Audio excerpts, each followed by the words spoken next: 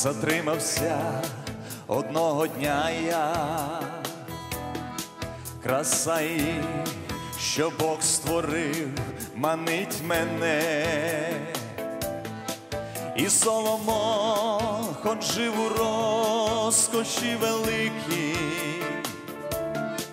так одягатися не вмів, як квітка ця, коли звичайна квітка з поля так чудова, і стигне плід земний мудрість є у пчіл. Коли Бог дбає про таке мале звичайне, наскільки більше дбає він і про людей, serce moje.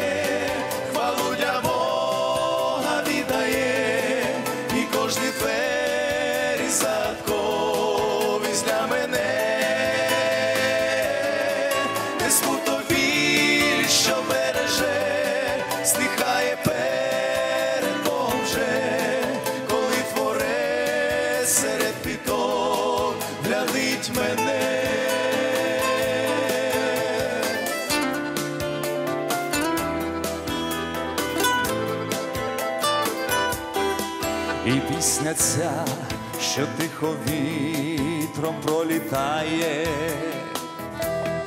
снується знов гармонію рослин квітки,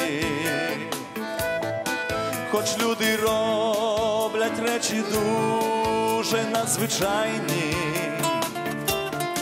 проте в рослині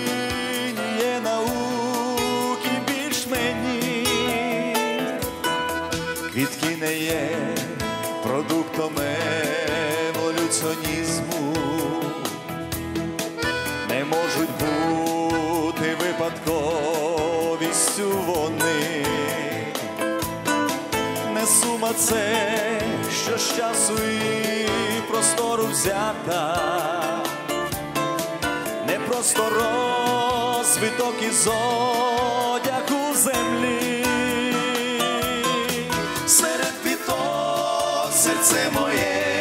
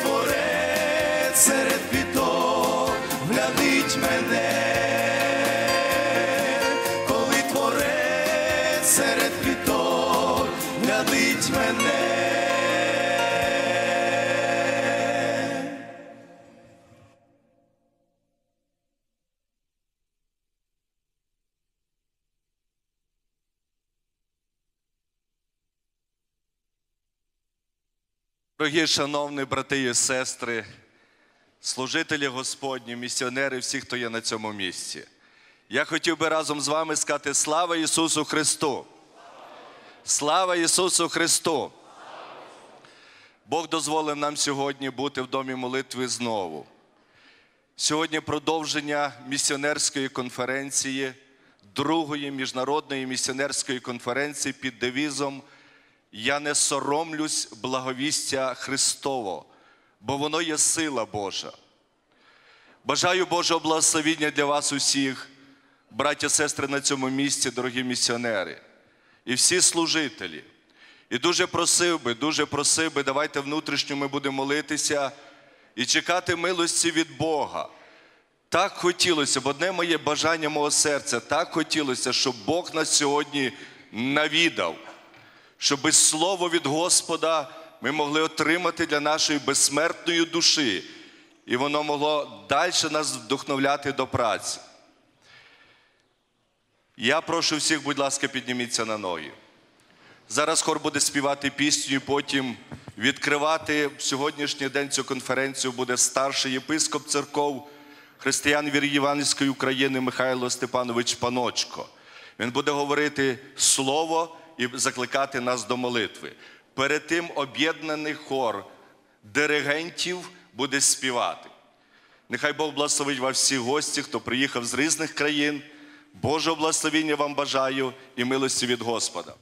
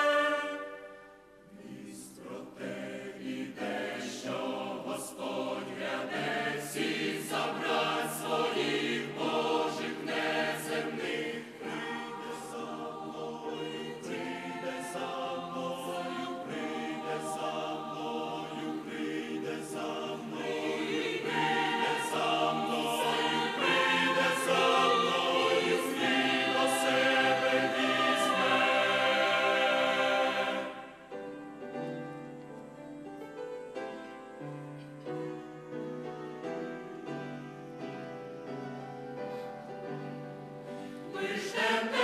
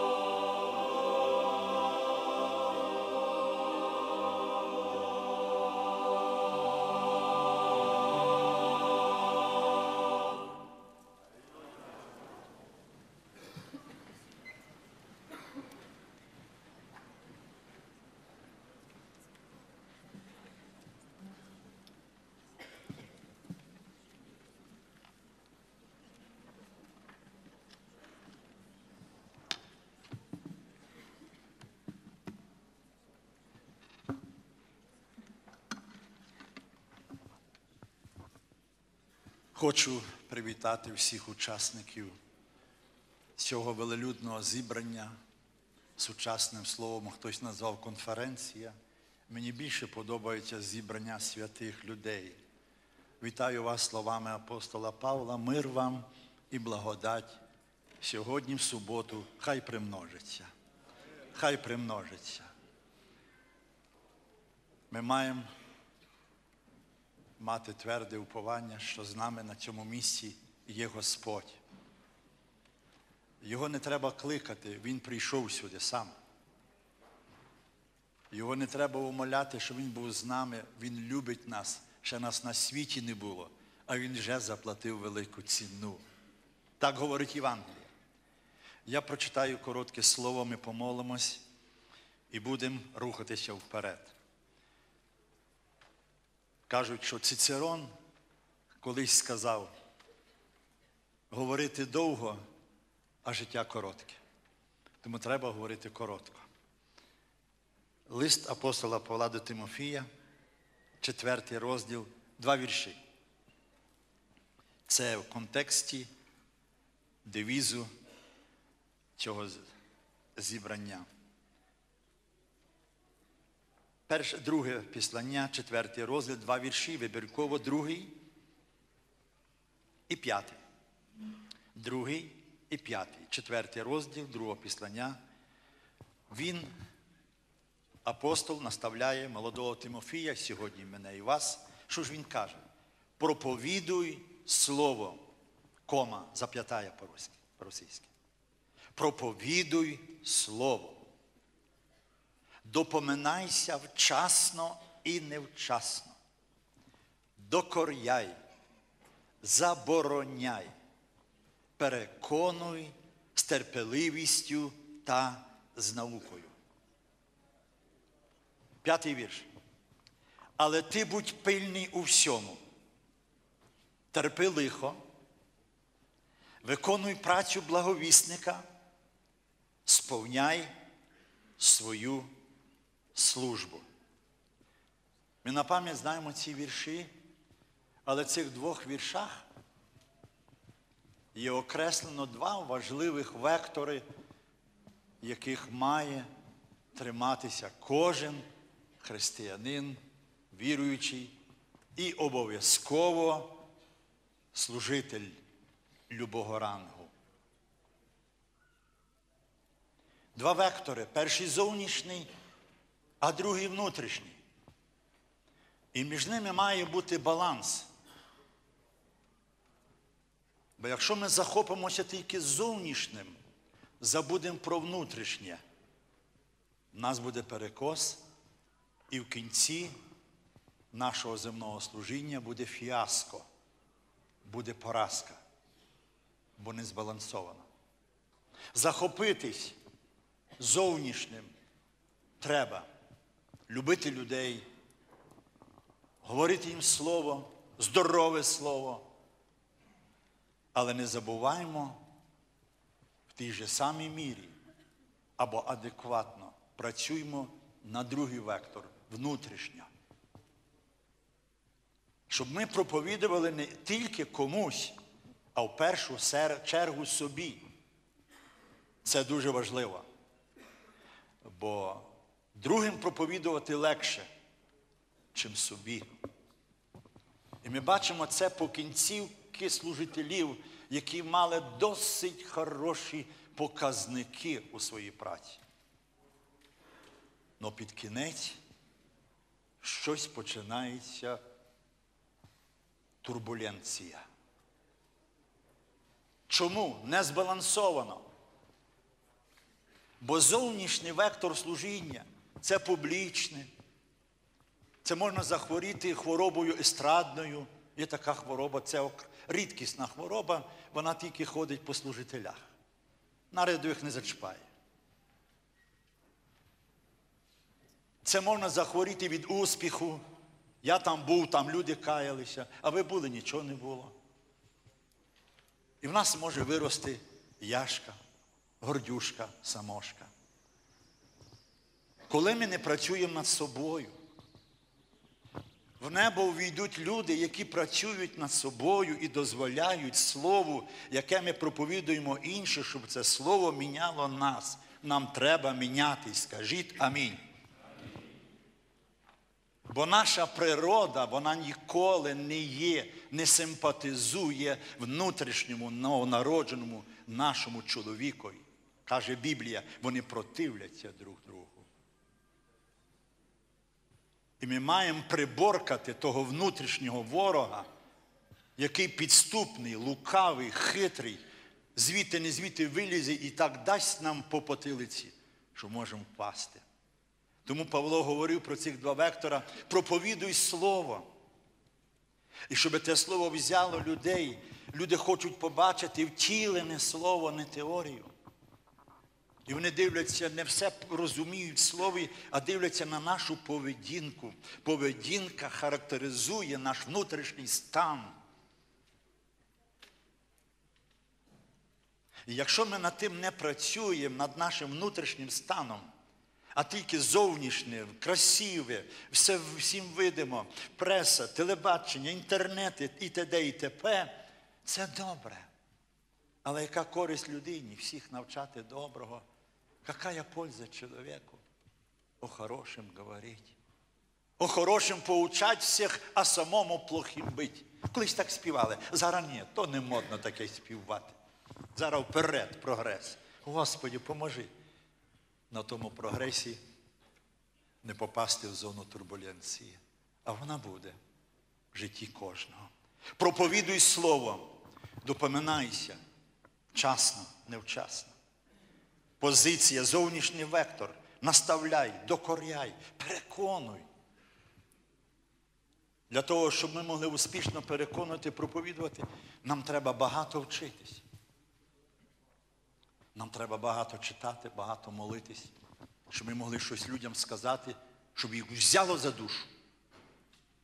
Не наша, не наша харизма, а Божа харизма, щоб їх взяло, щоб їх потягнуло не до нас таких хороших, а щоб їх потягнуло до Ісуса. До Ісуса, щоб ви потягнули. І нам треба боятись, щоб люди не до нас тягнулись, а до Нього. Не за нас ловились, а за нього. Бо сьогодні ми є, завтра нас нема. А Ісус вчора, сьогодні навіки той самий. Хай Бог благословить нас у зовнішньому векторі. Ниви пожовкли, люди чекають слова, не тільки в тюрмі і наркомани чекають в Верховній Раді, чекають чиновники, силові структури, чекають, чекають, бо без Божого Слова іде процес загнивання і маємо понести Слово. І понести його правильно, без наших добавок, без ГМО. Наші церкві не так постановлено, наші браття не так розуміють. І ми починаємо додати свої добавки, а воно не працює. Люди хочуть добірного, чистого зерна, чистої поживи, а воно є в Євангелії. І ще раз Євангелії читаємо, молімось, вникаємо це слово, і щоб воно спрацювало і назовні на людей. І вони будуть дивитися, а ну цікаво, ти проповідуєш іншим, а як ти живеш. Це дуже важливо. Внутрішній вектор ми з вами тут читали. Але ти був пильний у всьому, терпи лихо. Не все зразу получиться. Не зразу буде такий голово закружляючий успіх, і то добре. Не все в нас буде легко, терпи лихо. Чомусь признаки апостольства Ісус сказав, апостол Павло сказав, признаки апостольства у моїм успіху, у моїм таланті, у народженні церковні. Признаки апостольства у всякому терпінні. Терпінні. Ніхто так не терпів, як Божий син. І ніхто так не терпить сьогодні мені і вам, як Господь на небесах. Слава йому навіки. Донині нас терпить. Тому терпи лихо, працю благовісника. Наставляє, щоб Тимофій дбав про свій зовні, внутрішній стан. Чого вам і всім і собі бажаю. Ніколи не робім розбалансировки.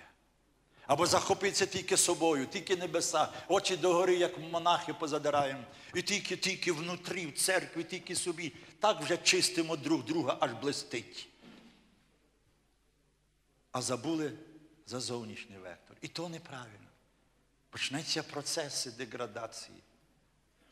Почнеться, бо вода, яку я дам, каже Божий син. Вода, яку я дам йому, в ньому зробиться джерелом. Де ті джерела? А ми тільки хочемо напитися води і глухо клапан закрили. Отримали благословіння, слава тобі, Господі, і закрили. І ви знаєте, що навіть найкраща вода, якщо її закупорити, вона засмердиться. Кажуть поляки, засмраде. Каже, зробиться в нім джерелом води, що тече. Ви чуєте? Що ми отримали від Господа? Хай воно міняє наш характер. Він дуже і дуже потребує корекції, бо характер Христів ідеальний, і ми маємо до того ідеала рівнятися. Амінь.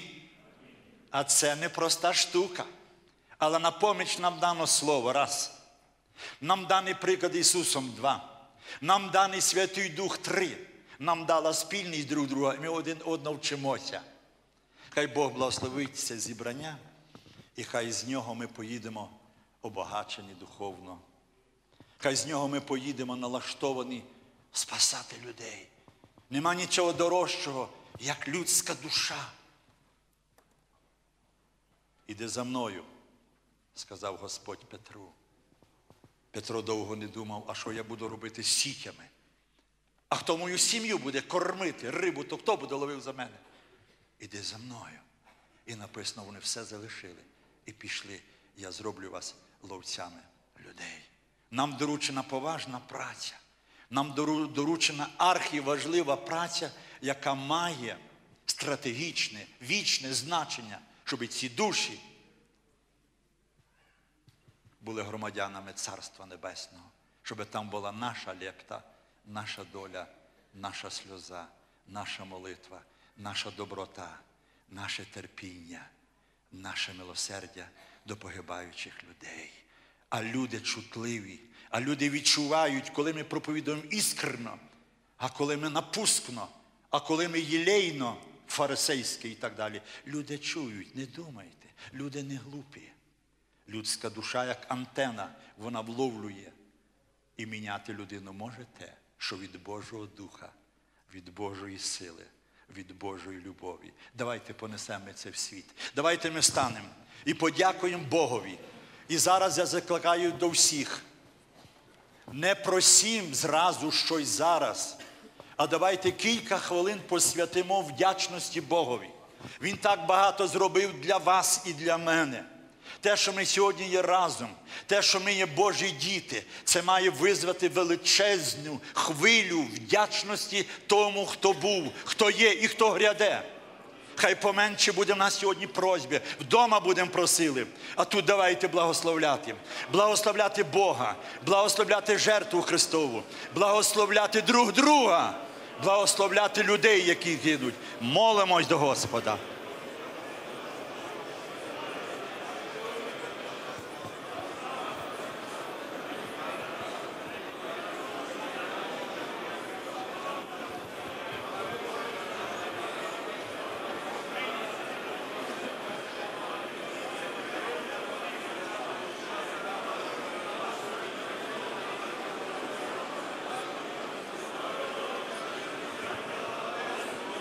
Благословен. Благословенно ім'я Бога нашого. Благословен цар царів і пан панів. Благословен Месія наш. Благословен Агнець Божий. Благословен, благословен. Алілуя. Алілуя, Дух Святий. Огорни це зібрання, огорни кожне юне серце, брата і сестри. Нехай Твоя ласка сьогодні підніме і укріпить. Слава Тобі, подяка Тобі. О, хвала імені Твоєму. Хай буде цілий день, день і ніч тобі слава, тобі слава, слава, слава і подяка на віки віков. Ти достойний, ти достойний, хвали і честь прийняти від нас. Дякуємо тобі, дякуємо тобі, дякуємо тобі. Благословляємо ім'я Твоє, поклоняємось Тобі і величає Тебе душа наша. Благословен, благословен, благословен на віки віків, цар слави, що схилився над нами, що підняв нас з болота, що воскресив душу нашу, що дав нам статус Божих дітей. Слава, слава, слава! За те, що ім'я записав на небесах, слава тобі, що освятив і обмив, і оправдав. Слава тобі, слава тобі. За те, що заступаєшся сьогодні, як вірний і добрий первосвященник на небесах заступаєшся за нас, за немочі наші, за согрішіння наші. Слава, слава, слава. Подяка тобі, дорогий наш Господь. Ми тобі дуже дякуємо, Спасителю, що ти без, без просьби прийшов сюди. Як ти без просьби прийшов до колодця Якова, і ти сидів, чекав одної душі, тим більше, скільки тут твоїх дітей, за яких ти помирав, за яких ти висів на хресті за яких ти молився перед страданнями. Отче, хочу, щоб вони були єдино, як ми з тобою. О, ми дякуємо тобі, що ти звершив велике чудо, нас далеких, чужих, об'єднав одну християнську сім'ю, дав нам одного духа, дав нам одну віру, дав нам одну дорогу, і одну, одні небеса відкрив нам і дав нам одне Євангеліє. Дякуємо. Сердечно дякуємо за довір'я, що нам простим, незначним, малограмотним людям. Ти довірив величезну працю благовістити недосліджене багатство Христове людям. Господи, дорогий наш Спасителю, дякуємо, що так багато праці ти звершив над нами і надалі продовжуєш. Дякуємо тобі. Дякуємо тобі за свободу велику в нашій країні, про яку молилися наші попередники. Коли вони страдали, терпіли, плакали, молились, взивали, мерзли голодні, холодні, взивали, Боже, змилуйся. І ти змилувався. І їхня молитва була почута на небесах, і ми увійшли в свободу. О Боже ласкавий, за це дуже дякуємо Тобі, що в цій свободі ми маємо великі достатки. Ми маємо вдосталь хліба, гарний одяг, транспорт, прекрасні дома молитви. Слава, слава! Хай не умовкне в народі Твоїм. Хай буде нейтралізований всякий дух нарікання. Хай буде нейтралізований всякий дух незадоволення, осудження і іншого непотрібства. Хай сьогодні це зібрання буде на Твою славу, Господи. Не нам, не нам, а імені Твоєму. Слава, слава, слава. Нехай Твоя благодать покриє, як кермонська роса, кожного брата, кожну сестру, наших хористів, всю Твою церкву в Україні, всю Твою церкву у світі, у всіх континентах і материках. Вона Твоя, вона Твоя належить Тобі. Улюблена, прекрасна, смуглява суламіта, вона Твоя.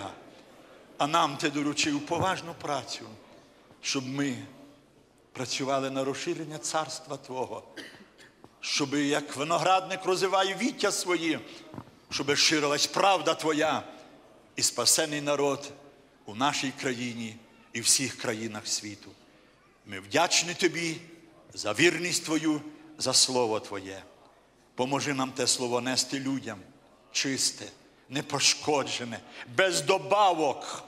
Поможи нам, Боже, поможи нам усім, поки двері відкриті, сіяти, сіяти добірне євангельське зерно. А також поможи нам мінятися. Працюй над нашим характером, збережи нас від гордині. Умоляю, Отче, від того страшного гріха, збережи мене і твій народ, збережи нас від цього демона. Збережи нас від цього духа користолюбства. Збережи нас, Боже, щоб нами рухала одна мотивація побільше спасенних на небо, побільше спасенних на небо. Боже мій Боже, запали наші серця тою ревністю, яка була в твоєму серці, що ти одній з самарянці проповідував і спас її душу. О, це для нас великий приклад. Нехай Твоя любов вливається в наші душі, бо без Твоєї любові так важко служити. Без Твоєї любові неможливо терпіти. Без Твоєї любові неможливо зростати в возраст Христов. Неможливо. Тому нехай Святий Дух, який несе океан любві, хай переповнить всіх місіонерів, всіх пасторів, всіх благовісників, всіх левітів, кожного члена церкви. Хай течуть ріки води живої, хай течуть ріки води живої, очисті джерела від всякої заблуди, від всякого гріха і неправди. Во ім'я Ісуса, хай це місце буде тою купальнею во ім'я Христа. І все хай буде для укріплення нашої віри, для запалення нашої ревності, іти в цей світ і нести Слово. Бо ми не соромимось Євангелії, бо в ній є сила Божа. В ній є сила Божа. Ми тобі дуже дякуємо. І нехай Твоє ім'я буде благословенне, ім'я вічного Бога, Отця і Сина і Святого Духа. Амінь.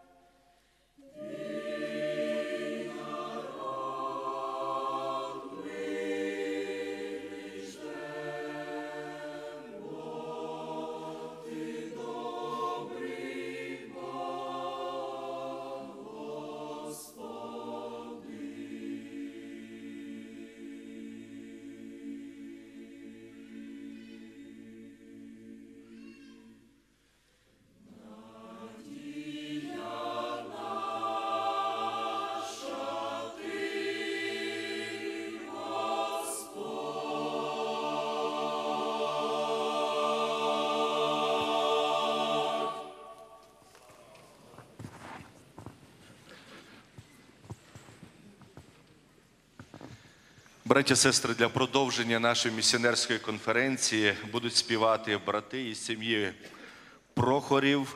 Веди мене в житті, ти Дух Святий зараз пісню.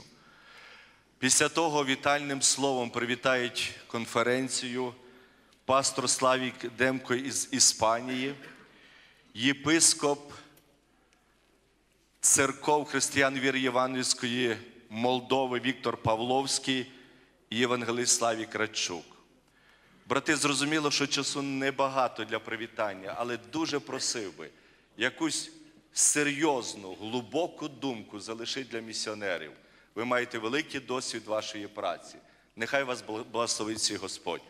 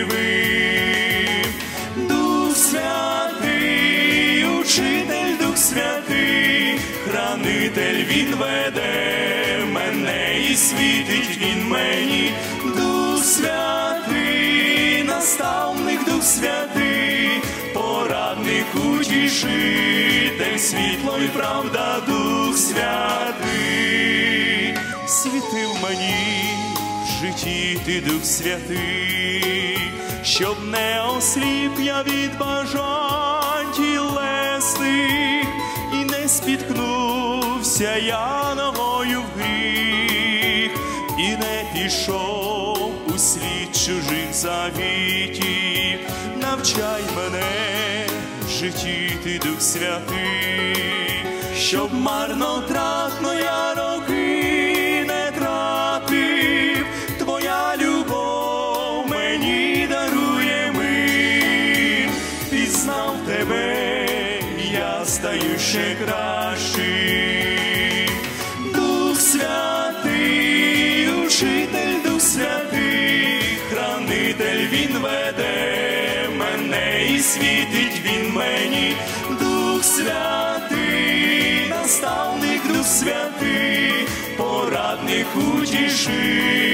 світло і правда Дух Святий.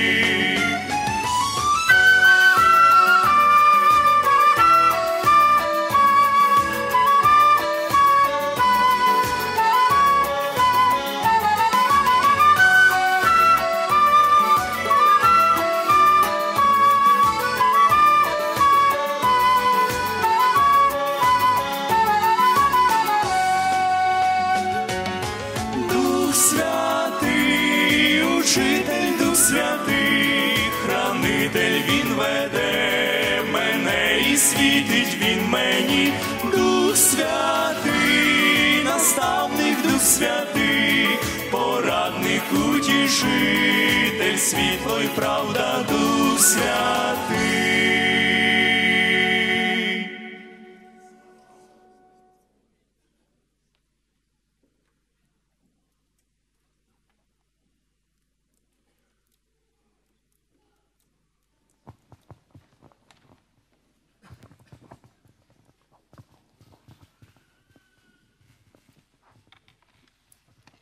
Слава Ісусу Христу. Вітання вам з теплої Іспанії, Боже благословінь, вітання від всіх наших церков, що знаходяться в Іспанії. Майже в кожному великому місті Іспанії є наша Євангельська церква в 12 великих містах Іспанії. Бог допоміг і благословив, і ми звіщаємо Слово Боже на теренах Іспанії. Так що запрошуємо вас також.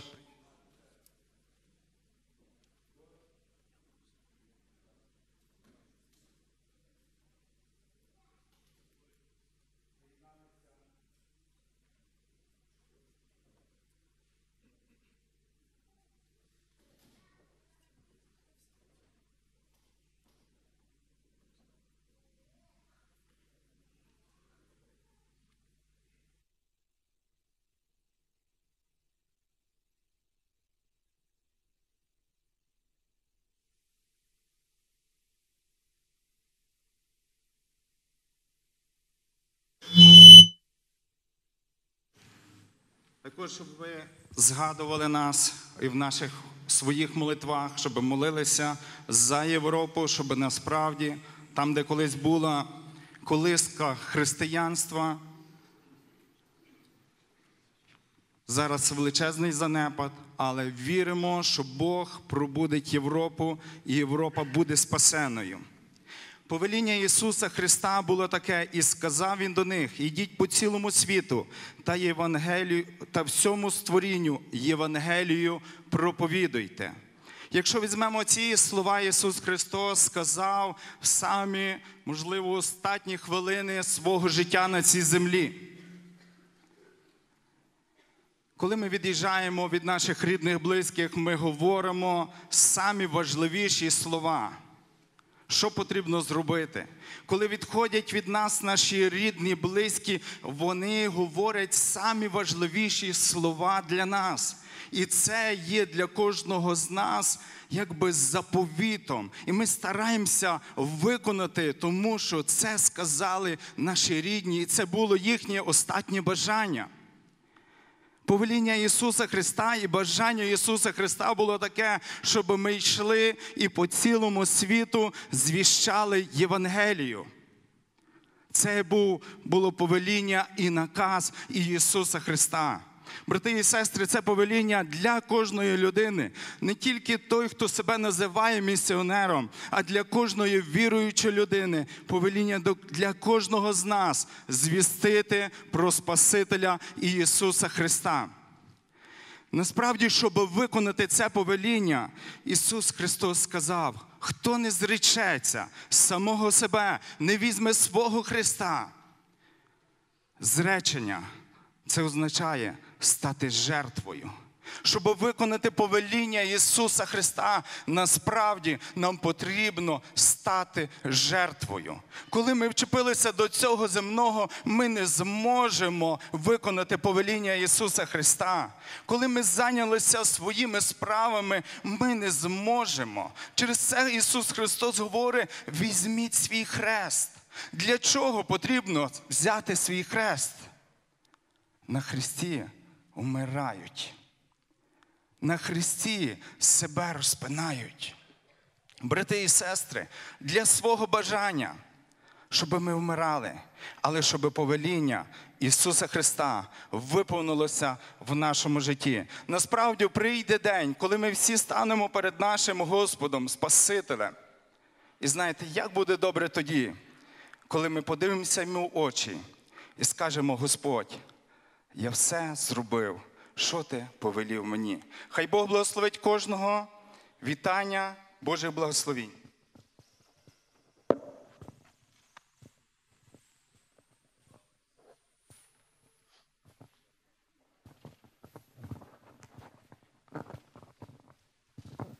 Мир вам, братья и сестры, дорогие участники второй международной конференции. Сердечные приветствия из Молдовы. Розумієте всі? Розумієте, так? А то буде стидно, як молдаван буде говорити по-українськи. Очень сильно благодарен Богу за возможность иметь подобные мероприятия особенно в нашем контексте. Знаете, мы все время были те, которые были на позиции, принимая миссионеров, принимая группы миссионерские и открывая широкие поля для работы на этом постсоветском пространстве. Сегодня картина меняется. И сегодня Господь показывает нам огромную армию детей Божьих, которых Господь поднял во времена этой великой свободы и дал нам возможность увидеть важность того дела, которое было от самого начала, это дело миссии. Я благодарен Господу, что есть это желание, что есть это намерение в церквях сегодня двигаться в этом направлении. Хочу сказать, что от самого начала – подобное дело и служение от начала Церкви Христовой, мир, дьявол, авторитетные власти и правления этого мира никогда не говорили «добро пожаловать на эту работу».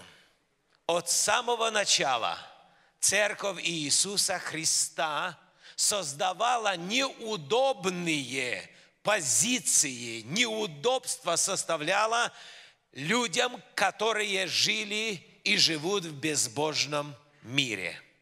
Этот мир не принадлежит церкви, этот мир не принадлежит Господу. У нас есть новый мир, у нас нас ожидает новое небо, новая земля. И к этому Господь дал нам возможность призывать сегодня Э, людей, живущих в этом мире, чтобы, освободившись от рабства греха, могли жить для правды Божьей. Читаю два стиха Деяния апостолов, 4 глава, 14, 15 и 16 стихи.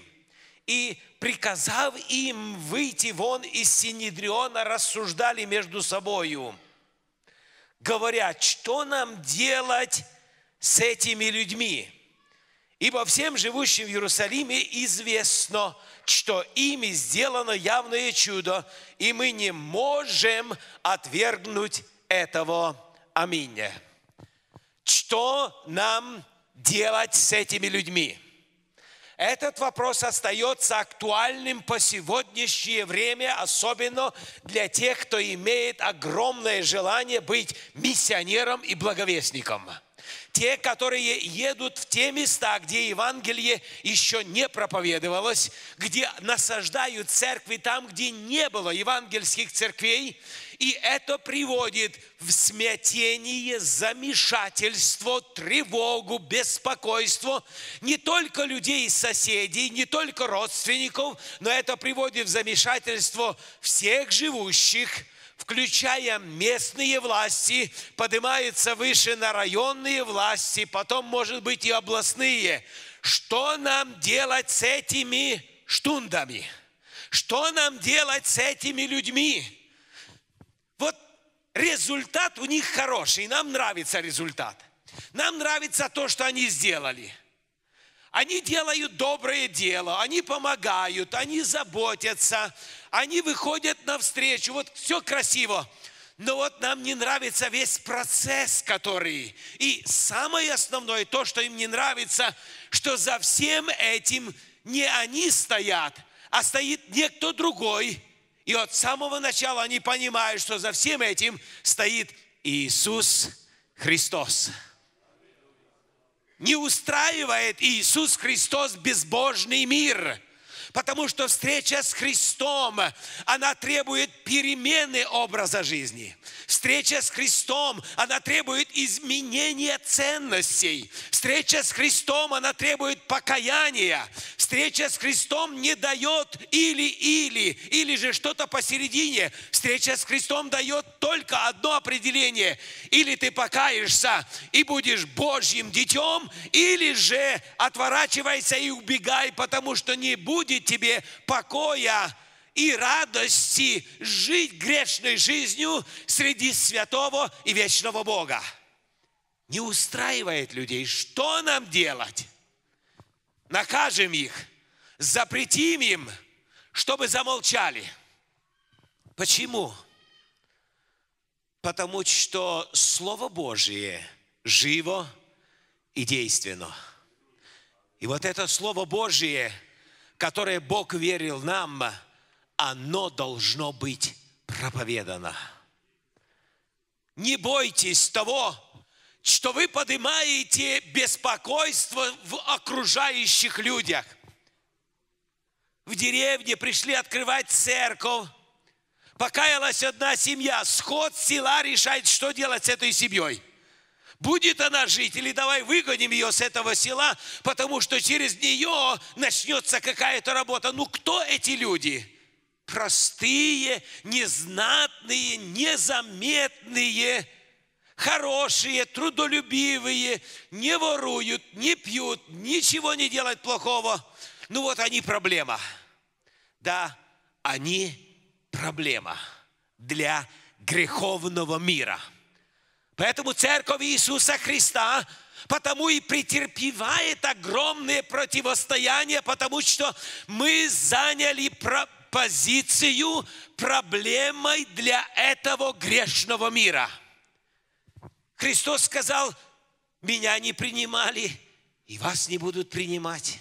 И это наше определение в труде, который мы избрали для Господа. Я желаю, чтобы каждый из нас оставался в этой позиции.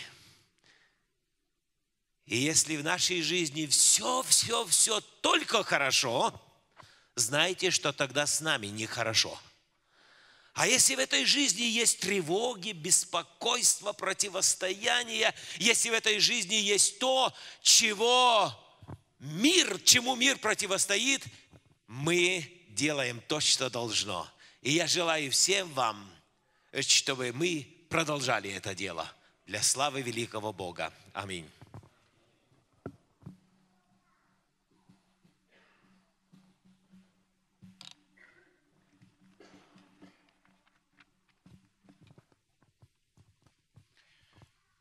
читаю для всіх і для нас одне із місць священного писання, книга пророка Єремія, з першого розділу. «И было ко мне слово Господне, прежде, нежели я образовал тебя в чреве, пропускаю, я осветил тебя, пророком для народов поставил тебя. А я сказал, о Господи Боже, я не умею говорить, ибо я еще молод. Якщо ви звернули увагу на початку, епископ Михайло Паночко сказав такі слова: перед тим, як ми прийшли сюди, Ісус Христос уже був тут.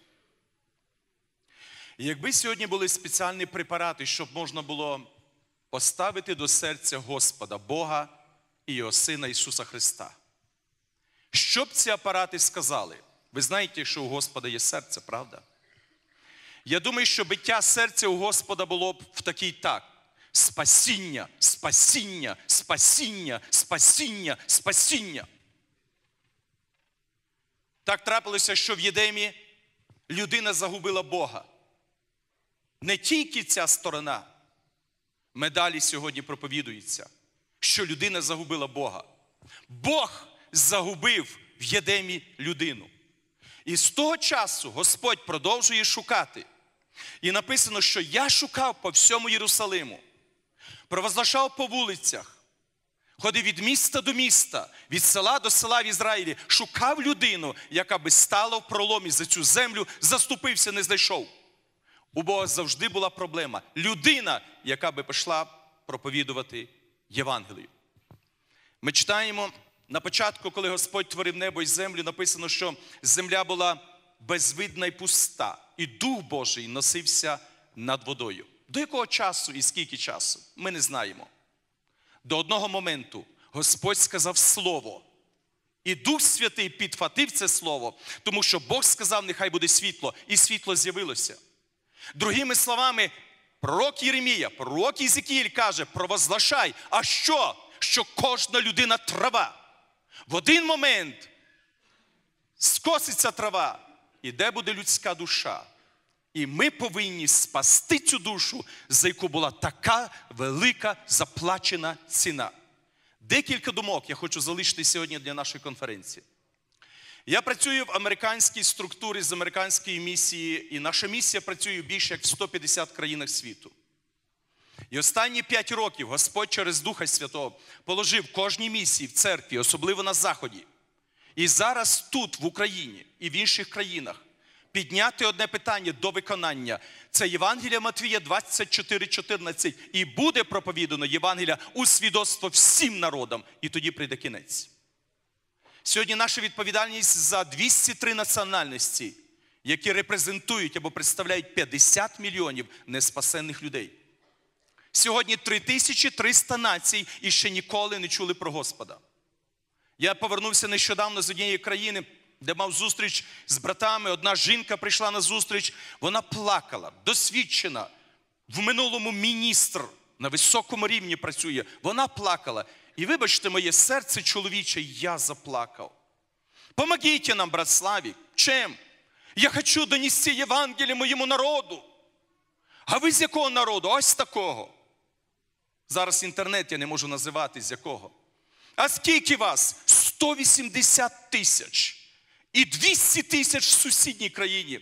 І з нашого народу я перша, яка схилила свої коліна перед Господом. Я хочу моєму народу донести віску спасіння про Бога. Скажіть, будь ласка, і допоможіть, будь ласка. Я недавно був в Монголії місяць назад. І коли я прослідив історію, моє серце залилося вдячністю Господу.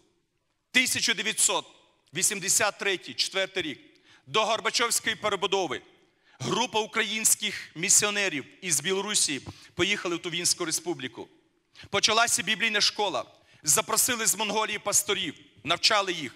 Я проповідав в церкві, де монгол навчався в Росії, там, де були наші місіонери. Тисячу людей в його церкві зараз. І 120 місіонерів, 100 церков було відкрито Монголії. Чи ви знаєте таку статистику, що за минулий рік 90 тисяч християн було вбито за проповідь Євангелія? Тільки тиждень назад, ось тут в підвалі, після весілля ми молилися, щоб Господь помилував і зберіг, коли 22 місіонери віддали своє життя в Афганістані тиждень назад. 200 церков зруйнували в Індії, і 200 пасторів були вбиті, а інші мусили втікати із того місця. Церква платить ціну, і ціна велика, але проповідь Євангелія не зупиниться. Я отримав вчора меседж чи фотографію. Мій син менший Давід, 21 рік, в Танзанії ходить від села до села, проповідує Євангелія. Ми як подивилися з Наташою, йой, був би він тут в Рівно, та як Лос-Анджелес, як Каліфорнія. А він грязний весь, ноги грязні, без туфлів, без носків. Руки грязні, каже, ми йдемо від села до села, проповідуємо від дома до дома. І за три дні 100 людей покаялося. Слава тобі, Боже, що вони, мій син там в Африці. Слава Богу за вас, брати і сестри, за те, що ви в селах, в містах, в Росії, в Україні, в Прибалтиці, в Азії, на Кавказі будуєте царство Господа Ісуса Христа. І остання думка. Трудний був час час Єремії. Ви знаєте, що сьогодні в Організації Об'єднаних Націй є 193 країни, деякі ще не признані. І із 193 країн 20 країн, які дають, вони дають фінанси, вони допомагають. 20. Це статистика світу. І з тих країн всього є 6 країн носіїв Євангелії, 6 країн місіонерських. Бразилія для Південної Америки. Нігерія для Африки. Далі не буду продовжувати. Україна для бувшого Радянського Союзу, для заснувшої і впавшої духовно Європи. Україна, Бог благословить Україну. Усі українські місіонери підуть у всі країни світу і будуть продовжувати нести євангельську вістку. Майте вогонь Божий для цього. Нехай горить він вас. Я закінчую такою думкою. Час Єремії був нелегкий. Молодий хлопець, не має досвідчення, не було можливості у Тори навчатися йому. Не було гарних вчителів, як під час Павла Гамаліїлів. Молодий хлопець, якого покликав Бог. Іди, перше ніж ти народився, я освятив тебе. Пророком для народів поставив. Ні, Боже, я не вмію. Я не можу. Я не знаю говорити. Іди, не буду. А подивися, Господи, який зараз час ми живемо. Не можна сказати, нічого зробити. Я місяць назад був в країні, де стоїть на колінах мама і молиться разом з діточками маленькими. Боже, поверни нашу кормільницю додому. Уже три роки в'язниці, ще два залишилося. За проповідь Євангелія. Єремія молодий не можу, не буду, не хочу. Почав говорити. Перші кроки зробив. Його схватили, заарештували і в тюрму посадили. Це не сьогоднішня в'язниця. В той час, так говорить історія, була в'язниця страшною. Викопали велику яму і садили туди чоловіка, але не можна було сісти або лягти. Не було тут там душа, не було гарячого чаю і не було ліжка. Вони мусили стояти ось так. Декілька сантиметрів можна було тільки рухатися направо чи наліво, в таку яму. І історія говорить, що в ту яму проводили по такому маленькому ровчику або по трубочці воду, яка капала із висоти більш як метр у тім'я голови, де не можна двинутися ні направо, ні наліво. І доказано сьогодні, так говорять медики, що капля води одна за одною по чуть-чуть капає в одне місце, то через 24 години людина сходить з розуму. А через 40 годин уже можна людину списати. Ось таким туртором був поставлений і пресований пророк Божий, молодий хлопець Єремія. І там, сидячи в цій ямі, він сказав і прийняв рішення: Боже, про ім'я Твоє я обіцяю більше ніколи, ніколи не говорити. Я буду мовчати. Все, ось це фіаско мого служіння. Яма і вода в тім'я голови через кожних 5 секунд. Але Господь, якщо має свою ціль і тебе покликав на дорогу проповіді Євангелія, він не зупиниться. Чули вчора, що сказали брати з Росії, які були на конференції в Америці, і коли двоє дівчат віддали своє життя в Росії за проповідь Євангелія. І коли він прийняв таке рішення мовчати, Господь додає току трошки більше. І коли цей ток пройшов в його тіло, в його кості, то в Біблії написано: і був огонь, заключений в костях моїх. Я удерживал его і не мог. І я закричав: піднімайте мене! Я буду продовжувати говорити про те, що є Господь Бог Савов. І Бог вжив Єремію, про якого ми сьогодні проповідуємо. Шановні брати і сестри, нехай вогонь Божий, вогонь Духа Святого буде в наших серцях проповідувати Євангелію. Бо сказано, Ісус сказав: не відходьте від Єрусалиму, чекайте, чекайте там, в цій аперрум, в цій горниці, коли зійде на вас Дух Святий, ви підете будете свідками в Галилеї, в Самарії, в Юдеї, до краю землі. І апостол Андрій дійшов до Києва і сказав пророче слово: ця земля буде благословена Господом, Богом, слава йому! Амінь.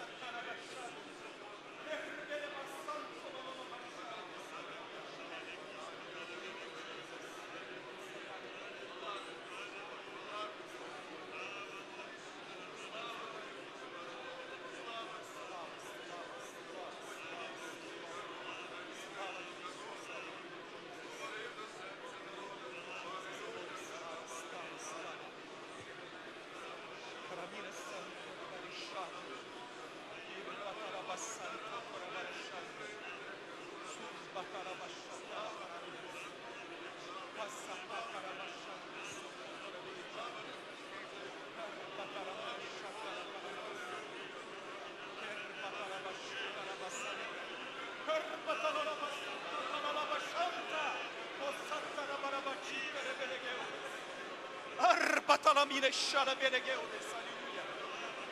Алілуя, караміне шандес. Алілуя. Алілуя тобі, святий Бог Ізраїлів. Алілуя тобі, Сину Божий. Thank you, Jesus, glory. Алілуя, караміне шандес. Саттарабере чаудина. Карба тараміне саттарабараба шандес. Glory.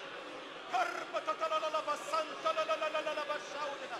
Іскарабілі шаудере берегес параудин.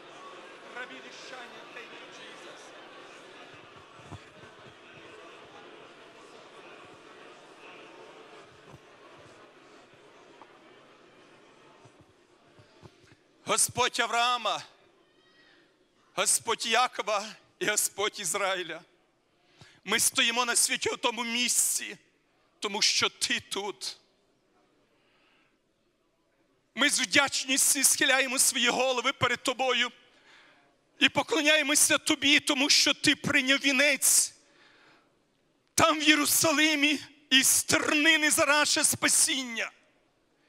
Ми дякуємо тебе за те, що в свій час ти покликав нас на стежку проповіді Євангелії. Ми дякуємо тебе за християнина, тата і маму, які навчили нас молитися, Отче наш, і привели нас до тебе. І показали нам благодать Твою, і ти наповнив оливою Твоєю, і покликав нас на стежку Євангелії. Слава тобі, святий Бог Ізраїлів! В свій час, коли заложувався фундамент місії добрий самарянин, ти бачив наші серця. Ми стояли на колінах і молилися, щоб була вся слава тобі, і щоб більше людей наповнило небо, щоб ад звільнювався, а небо наповнювалося. І ми дякуємо тебе за те, що ти благословив служіння місії. Дякуємо тебе за голос надії з Волині, за Чернівецьку місію, за Тернопільські місії, за інші місії в теренах Західної України, які дали сотні місіонерів на поля місіонерські і тисячі спасенних у небесного престола співають Алілуя! Дякуємо тебе за керівників. Дякуємо тебе за пастирів, епіскопів, за молоду генерацію. Дякуємо тебе за край український. Дякуємо тебе за волю в краї. Господи, наповни вогнем Святого Духа, благодаттю молоду генерацію і пошли в спрячу Європу і в інші країни принести світло Євангелії. В ім'я Твоє ми просимо. Молимося за Індію, молимося за Африку, за мусульманський край, де переслідують, де вбивають, де доповнюють число спасенними і доповнюють число вбійонних перед жертвенником. Допоможи їхнім сім'ям, жінкам, дітям. І чоловікам, коли жінки віддають життя за тебе. Дякуємо тебе за українські простори, за проповідь Євангелія, за волю, за реформацію. Дякуємо тебе за Духа Святого, за благодать Твою, за молодь нашу. Алілуя тобі, Ісус! За конференцію цю слава тобі, за співучі голоса, за музикальні групи, за фінанси. Дякуємо тебе, за все тобі слава. Кербелегеудес. Запали вогнем десятки молодих людей для того, щоб ішти і в кожному селі насадити церкву. Тому що люди шукають відповіді. Вони зголодніли, збідніли, розбиті, мають вакуум, депресію. Боже, твій хрест, Голгофа, твої рани, Євангелія є відповідь на визови суспільства в 21 столітті. Ми просимо Твоєї допомоги. Амінь.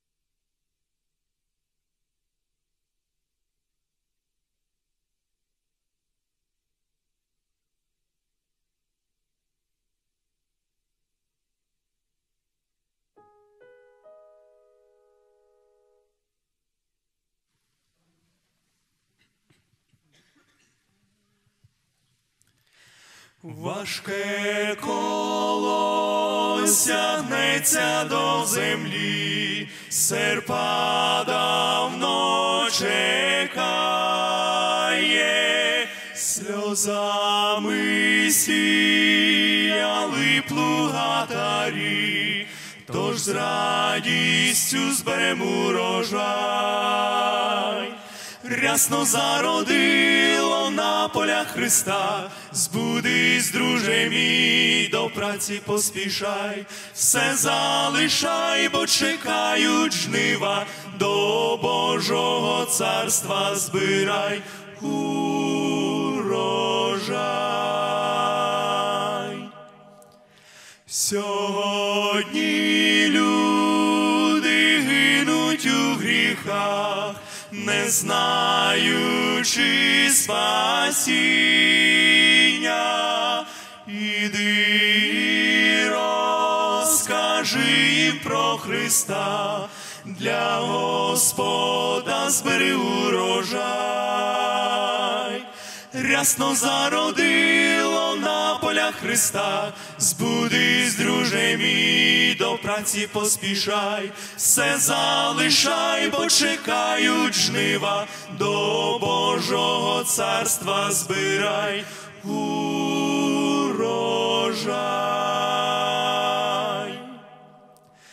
Підем скоріш всі дружньо на поля, робітників так мало, Святого Духа Бог дарує нам, тож з радістю зберемо урожай. Рясно зародило на полях Христа, збудись, друже мій, до праці поспішай, все залишай, бо чекають жнива, до Божого царства збирай урожай.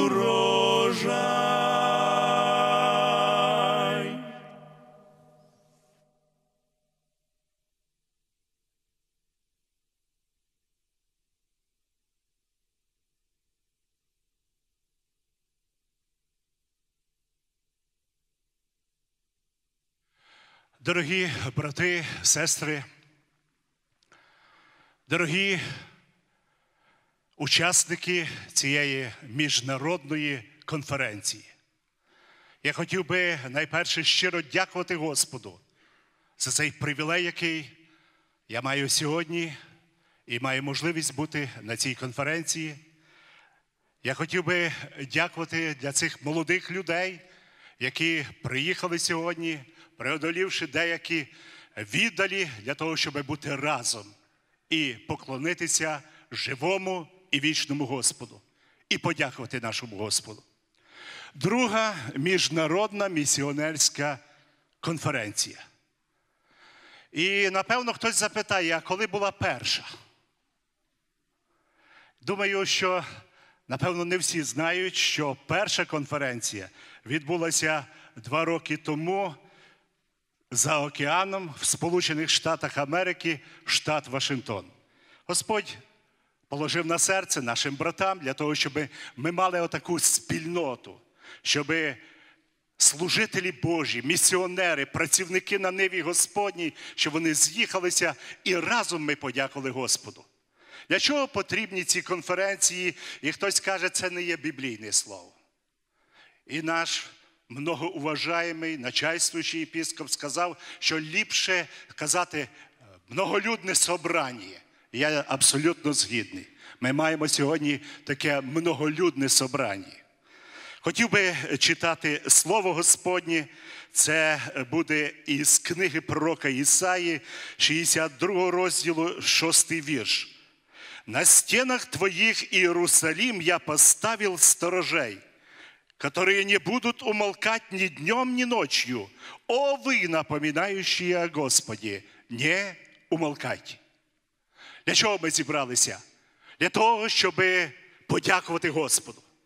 Для того, щоб привознести ім'я святого і вічного Бога. І Він один достойний слави. І вся слава, вся честь, вся хвала належить тільки нашому Господу і йому одному. Якби не Господь.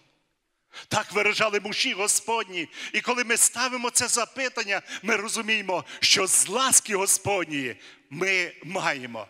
Біблія говорить для нас, що Він подарував для нас життя і життя з понад достатком. Жизнь з ізбитком дарував нам Господь. І Господь покликав нас до праці, винограднику Господньому. Ви знаєте, Господь веде нас своїми путями. І вчора прозвучала така думка, чому я тут? Чому ми тут? А я хотів би продовжити цю думку. А чому ми там? Деколи ми задаємося цим запитанням, будучи там, в Сполучених Штатах Америки, ми теж маємо певні переживання. Я пам'ятаю, колись в нашу церкву приїхав один молодий брат, гарний проповідник, і він з Білорусі і почав свою проповідь. Він починає свою проповідь і каже: браття і сестри, як я благодарен Господу. І вам, братья и сестры, я благодарен. Особенно вам, братья, служителя. Я думаю, за, за що така благодарність? А він каже, якщо б ви не уїхали, я бы не был пастырем. А так уехали, и вот меня избрали пастырем церкви. Ми поступилися нашими місцями. Колись вже багато років назад, більше 20 років тут, у цьому залі, е, конференція проходила. Ми вийшли, перерва була, ми вийшли на вулицю, і наша чернівецька делегація фотографувалася там. Серед нас був такий брат Гріша Заєць, Григорій Миронович. Наші браття знають його. Він такий не лишений чувства юмора. І каже: е, браття, ви знаєте, в нашій церкві пресвітера вибирали. І як ви думаєте, кого вибрали? Мене вибрали. А потім продовжує. Тоді ще покійний Роман Іванович був, якраз він там на, на порозі був, каже, якби в нашій церкві був такий, як Роман Іванович, я вам гарантую 100%, мене ніколи би не вибрали. Ну, ліпшого за мене не було, мене вибрали. Браття, сестри, ми на тому місці, де нас поставив Господь.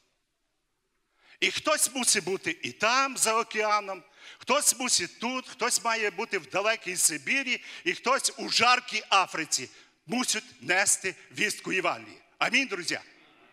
Ви знаєте, нам не просто, повірте, я не жаліюся, бо ви скажете, жаліюся, повертайся. Ні, я не жаліюся, але я скажу, що нам порою непросто. Навіть ситуація, яка склалася з Україною. Сталася біда в Україні. І це всі ми розуміємо. І ви знаєте, якось ми почали по-особливому допомагати для України. Мої брати знають, скільки тільки е, допомоги, гуманітарної допомоги, десятки контейнерів були відправлені. Але не так навіть просто це зробити, збирати ту поміч в наших церквах. Бо там не тільки одні українці. Наші церкви інтернешнл. І там багато є. І навіть сусіди наші, добрі сусіди, браття добрі, але вони не зовсім розуміють, чому в Україні ми маємо допомагати. І ви знаєте, як мені приходиться деколи відповідати моїм братам. Я колись чув таку гарну думку. Одну багатодітну маму запитали, кого вона більше всього любить. А вона сказала, я люблю більше того, хто десь далеко від дому, до того часу, коли він повернеться. І люблю того, хто хворий, поки він не виздоровить. Друзі мої, Україна поки що хвора. Але я вірю, що вона скоро виздоровить. Тому що є Господь над нами, і Господь сильно любить Україну. І місія нашого народу це є особлива місія. І брат Славік підкреслив це. Я вірю, що Господь Він має свої плани про Україну. Але поки що ми більшу увагу звертаємо там для України. Хоча наші е, місіонери трудяться в різних країнах, ми маємо наших добрих сусідів, таких добрих сусідів мексиканців. Буквально за границею там. недалеко від нас. Наша молодь часто їде туди. Я собі деколи думаю, я працюю на роботі, зустрічаю одного мексиканця, він так само працює зі мною. Я запитав, звідки він? Є таке місто Тіхуана, буквально за границею там, в Мексиці. І я запитав, а ви допомагаєте десь для вашого народу? Він теж з церкви повного Євангелія, П'ятидесятницької церкви, а він так дивиться на мене і не має що відповісти.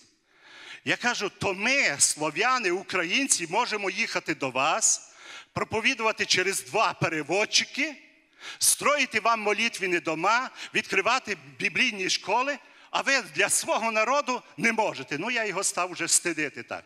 Не знаю, як він сприйняв цю критику, але я дякую Господу за наш народ. Дякую Господу за наш народ, який там, в Росії, в діаспорі, в еміграції, називайте як хочете. Але дякую Господу, що праця робиться. І ми те, що ми можемо. Ви знаєте, деколи я кажу про те, Господь зміряв наші сили. І Він знає те, що ми можемо зробити, і Господь знає те, що вже нам не під силу. І більше того, що Він доручив нас, Він не запитає.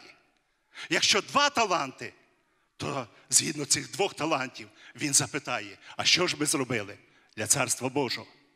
І тому, браті мої і сестри, праця вона шириться в Латинській Америці, проповідується Євангелія. І там наші не, просто слов'яни, українці проповідують. Індії проповідують Євангелію українці. Африки, брат уже згадував про Африку, наша команда повернулася. 394 чоловіки прийняли водне хрещення. Хрестили. І це не так. Покаялися і вже йдемо хрестити. Два роки працювали з тими людьми, і після двох років, от тепер було хрещення, 394 чоловіки хрестили. Це Господь робить. І нема нашої заслуги, але є живий Господь, який покликав нас до цієї праці. І тому, брати мої і сестри, апостол Павло каже: будьте міцні, будьте непохитні, завжди утверджуйтесь в ділі Господньому, знаючи, що ваша праця є немарнотною перед Господом. Нехай рясно благословить Господь вас. Я хотів би представити служителя Божого насправді місіонера, євангелиста, працівника, який вже довгі роки, довгі роки присвятив своє життя для служіння Господу.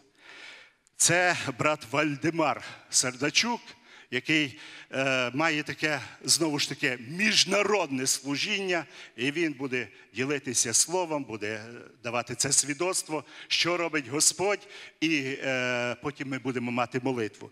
Після хор знову заспіває пісню, і заключним словом, заключним словом до нас звернеться е, брат Микола Синюк. Тут написано епископ, заступник начальствуючого епіскопа церкви України. Да благословить Господь.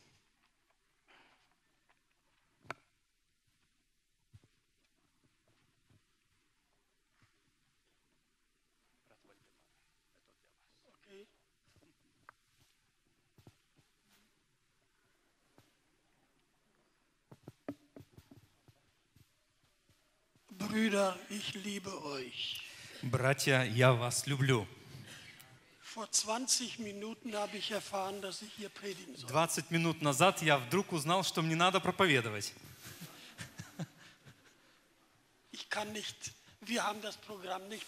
К сожалению, мы не, не вовремя получили программу, не совсем вовремя сами приняли ее. А, Не знаю, кто виноват, но не ищем виновных. Einige Gemeindemitglieder haben sich unterhalten. Некоторые а, члены церкви между собой беседовали. Der Lutheraner fragte, wie viel Zeit braucht ein Pastor, wenn er hört, dass er Sonntag predigen muss? Э, Лютеранин спрашивает, сколько нужно времени нашему пастору, когда он узнает о том, что он будет проповедовать в воскресенье? Er sagt mindestens eine Woche. Э, Прихожанин говорит лютеранской церкви, ну минимум, наверное, неделю времени. Der Baptist Баптист drei Tage. Три дня. Er. Тогда хорошая проповедь родится.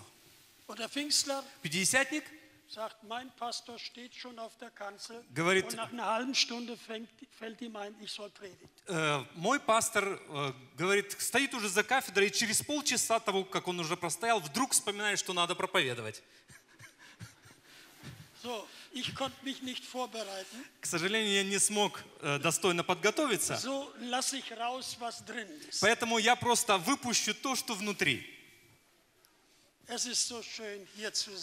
Так прекрасно для меня быть среди вас.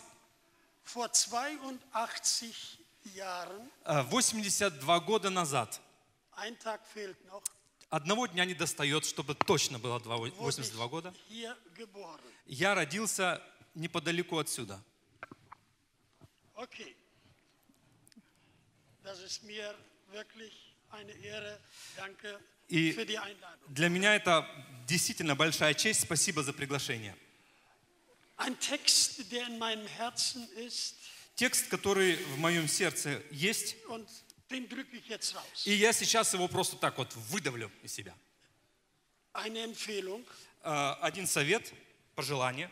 Während euer Bischof gepredigt hat, Э, Когда проповедовал брат-епископ, habe ich eine Predigt gemacht. э, я уже, э, у меня родилась проповедь. Aber keine Angst, die werde ich nicht halten. Но не бойтесь, я ее не буду проповедовать. Die werde ich aber halten. Но я ее проповедовать буду. Aber aus Jesaja, dem fünften Kapitel, Но из Исаии 5 главы, ich habe darüber noch nie eine Predigt gehört, я об этом никогда еще не слышал проповеди об этом месте so Писания. ich kann niemand beschuldigen. Поэтому я никого не могу обвинять. Lesen wir. Просто прочитаем. Kapitel 4 von Vers Исайя 4 глава, 1 bis 3. э, von 1, ja, Ja. стиха 1 по 3. 4 глава Исаии с 1 стиха. «И ухватятся семь женщин за одного мужчину в тот день, и скажут, свой хлеб будем есть, и свою одежду будем носить. Только пусть будем называться Твоим именем, сними с нас позор. В тот день отрасль Господа явится в красоте и чести, и плод земли в величии и славе для уцелевших сынов Израиля. Тогда оставшиеся на Сионе и уцелевшие в Иерусалиме будут именоваться святыми, все вписанные в книгу для жития в Иерусалиме. Pastore, Amen. Пасторы, аминь. Alles klar. Все до сих пор ясно. Die Frage ist die, Вопрос следующий. versorgt sein oder sich vermehren? Размножаться или просто о тебе заботятся? Забо- vermehren. Да. Vermehren. При- Приумножаться, размножаться. Darum geht es in der Mission. Об этом речь идет в миссии. Кто позаботится обо мне? Какая миссия возьмет меня на работу, если можно так сказать? Будет ли автомобиль? Будут музыкальные инструменты? Кто будет обо мне заботиться? Und diese Frage И этот вопрос настолько актуален,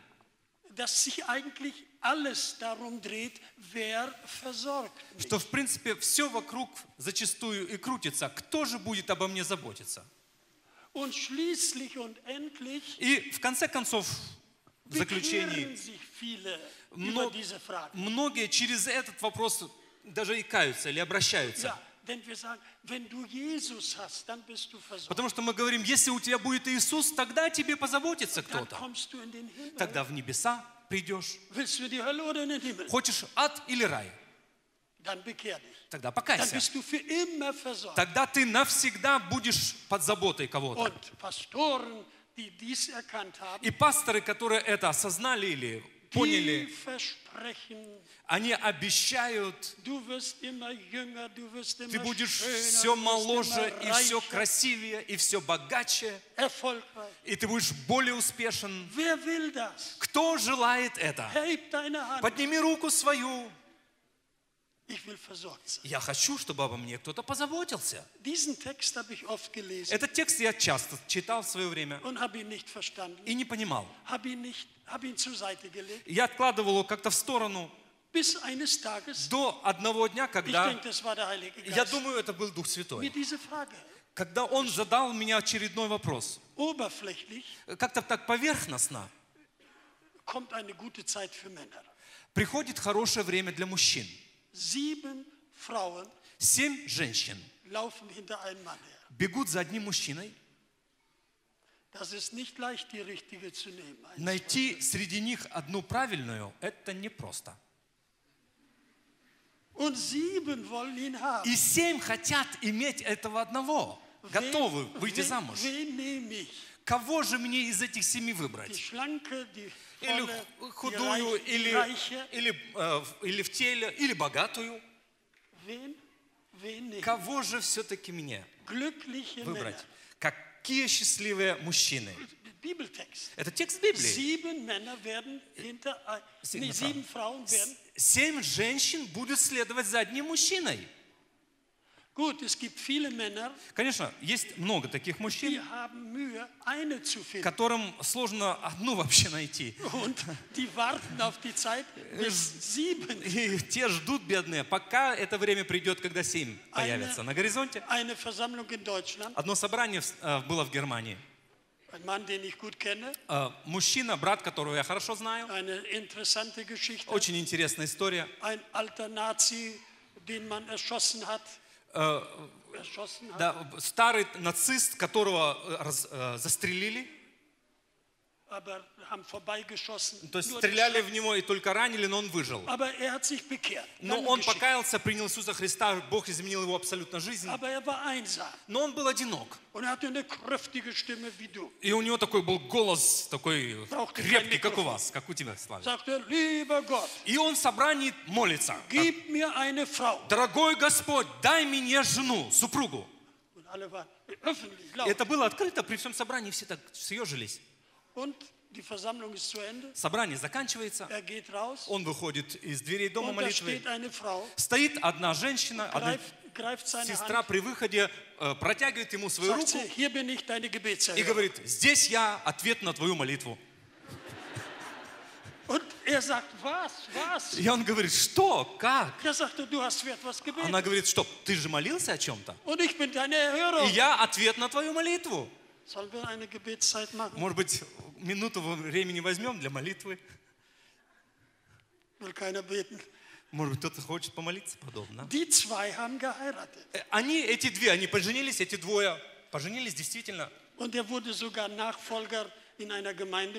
И он даже был потом, после меня, перенял церковь, где я в свое время был пастором этой церкви. er И позже он был миссионером в Перу вместе со своей er женой. Он нашел свою. Однажды мы одного молодого человека взяли с собой в Никарагуа. И он говорит, Вальдемар, я хочу здесь остаться, я хочу жить здесь, в этой стране. Ich werde hier Brötchen backen für die Kinder. Er war kein Pastor, Он keine не был пастором, он не, был, не заканчивал библейской школы, был хороший пекарь. И ну- говорит, я буду здесь, открою пекарню, буду печь хлеб для бедных Aber людей. ich bin alleine. Но я один, он говорит. Я не знаю языка. Как мне одному здесь вот пережить это все? Ich brauche eine Frau. Мне нужна жена. И Ich, Ду, я сейчас, да? А, И für ihn. Вальдемар говорит, я за него и молился, я за него и смотрел тоже, говорит, присматривался. Если бы я была э, женщина, если бы я был женщиной, то я бы за него замуж вышла. Хороший, молодой человек, брат, христианин. Er.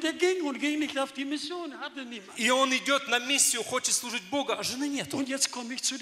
И теперь я подхожу к пункту. Bis er schließlich sagt, egal, До тех пор, пока он не сказал, все равно. wenn mich keiner will, Если никто не хочет за меня замуж, я все равно пойду на миссию, даже один. Я, я говорю ему, аллилуйя, слава Господу. losgegangen, И он поехал. Приехал в Гватемалу, Sprachschule. э, идет в школу иностранного языка изучать язык Und испанский. И на третий день посещения его школы sagt seine Lehrerin zu ihm, э, жена, ой, прошу прощения, его учительница говорит ему, ты будешь моим мужем. Он говорит, нет, нет, нет, только не со мной. Я приехал в. Никарагуа быть миссионером, а не для того, чтобы здесь жениться. А, Она говорит, без проблем, я все равно с тоб- с тобой пойду. И как миссионер. sagt, ich werde fasten und beten, bis Gott mir zeigt. Он говорит, я буду поститься, молиться, чтобы Бог мне показал. Ich sage, Gerhard, wie lange hast du gefastet? Beten kann man Я говорю, lange. Герхард, а сколько ты постился? Ну, молиться можно долго, да, вот с постом как-то. Как долго постился? Sagt. Он говорит, на следующий день я уже сказал да. Und die sind verheiratet. И они сегодня еще женаты. Und warum erzähle ich das? И почему я вам это рассказываю? Gott hat ihm die richtige gegeben. Бог, вас? Die richtige gegeben. Бог дал ему правильную. Sie war nur 32. И ей было всего лишь э, 32. 32 года. Sie war schon Witwe. Она уже была вдова, и у нее было трое детей. Она Mann. страшную жизнь была, вот эта супружеская жизнь, муж, муж ее был алкоголик. И через эту э, нужду, проблему она пришла к Господу. И Господь ей проговорил, я пошлю тебе одного из далекой страны. So, Gott sorgt für uns. Бог заботится о нас, Und понимаете? jetzt komme ich wieder zu den И теперь я опять же к этим женщинам Und возвращаюсь. diese sieben Frauen sind anders. Эти женщины семь, они другие. Warum heiratet man? Почему вообще женятся или выходят замуж? Schwestern, ich will euch nicht beleidigen. Сес- Сестры, я не хочу никого обижать. Aber man heiratet, um versorgt zu sein, Но правда? женятся или выходят замуж, одна из причин, чтобы о тебе заботились. Die Verheirateten, Те, которые уже замужем подольше, я думаю, вы уже вы согласитесь со мной, можете даже кивнуть головой. Правда же? Чтобы Okay, о тебе das, позаботились. das ist nicht unrecht. Das nicht Э- Это, ничего стыдного в этом нет, это, это реальной жизни. Wer wird für mich sorgen? Кто обо мне Ich позаботится? habe immer kalte Füße. У меня всегда холодные но- Wer wird ножки. mir die Füße wärmen? Кто же мне их согреет вечером? Wer, wer wird? Кто же, кто же подаст мне стакан горячей воды? Leben. Это жизнь, понимаете, это жизнь, и порой долгая Amen. жизнь. Это просто жизнь. Кто позаботится обо мне? Und hier kommen die Frauen. И здесь возникает вопрос. Они говорят ему, мы хотим свой хлеб есть. Эй, послушай, тебе не надо мне покупать одежду даже. Некоторые не женятся, переживают, могу ли я о своей жене позаботиться. Die hat solche Ansprüche. Обеспечить такие сегодня требования вообще у молодых. Понимаете, что Дух Святой открывает мне? Мы, верующие, кто позаботится о нас? Кто согреет нас? Кто оденет нас? К тем мы и бежим. И кто больше всего обещает, аллилуйя, вот там Бог. Послушай, они говорят, нет, мы этого не хотим. Нам это не нужно. У нас другая проблема. Нам стыдно. У нас нету плода. И братья, и сестры, чудесно все. Хоры, Kirchen. Церкви, здания церквей. In Deutschland gibt es kaum solche Э, Kirchen. В Германии, я не знаю, есть ли вообще такие здания церквей. Wunderbar. Чудесно, рад за вас. Aber wo ist unsere Frucht? Но вопрос ко всем нам, где наш плод? Brüder und Schwestern, Братья и сестры, wann hast du eine Seele für Jesus когда ты последний раз приобрел душу для Иисуса? Die Kirche wächst, Церковь растет, weil die vielen Kinder nachwachsen. потому что семьи большие, естественный прирост. Где наш плод? Они говорят, нам стыдно, мы в позоре живем, потому что плода нету. И, пожалуйста, можно я чуть-чуть поковыряюсь вот в этой точке? Пожалуйста, сделай нас плодовитыми. Wir möchten deinen Namen tragen, Мы хотим имя Твое носить, nicht den Namen einer Kirche, Nie- nicht den Namen einer Mission. не имя какой-то церкви или какой-то миссии. Wo ist die größte Gemeinde? Wo Где ist большая самая церковь, где что-то такое значимое. beste Может быть, лучшая молодежная программа, еще что-то. Leute, die Leute werden geholt, geholt И людей, людей э, зовут или приобретают определенными mit, обещаниями. mit Tanz und Kino und mit Vergnügen Порой даже и танцами, и кинотеатрами, и концертами, и разными про- э, программами. И пастора говорят, давай, давай у меня хорошо. Frucht? Но где плод?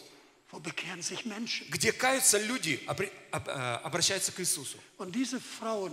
И эти женщины, они, они символизируют что-то. Я скажу сейчас именно что. Мы хотим иметь плод.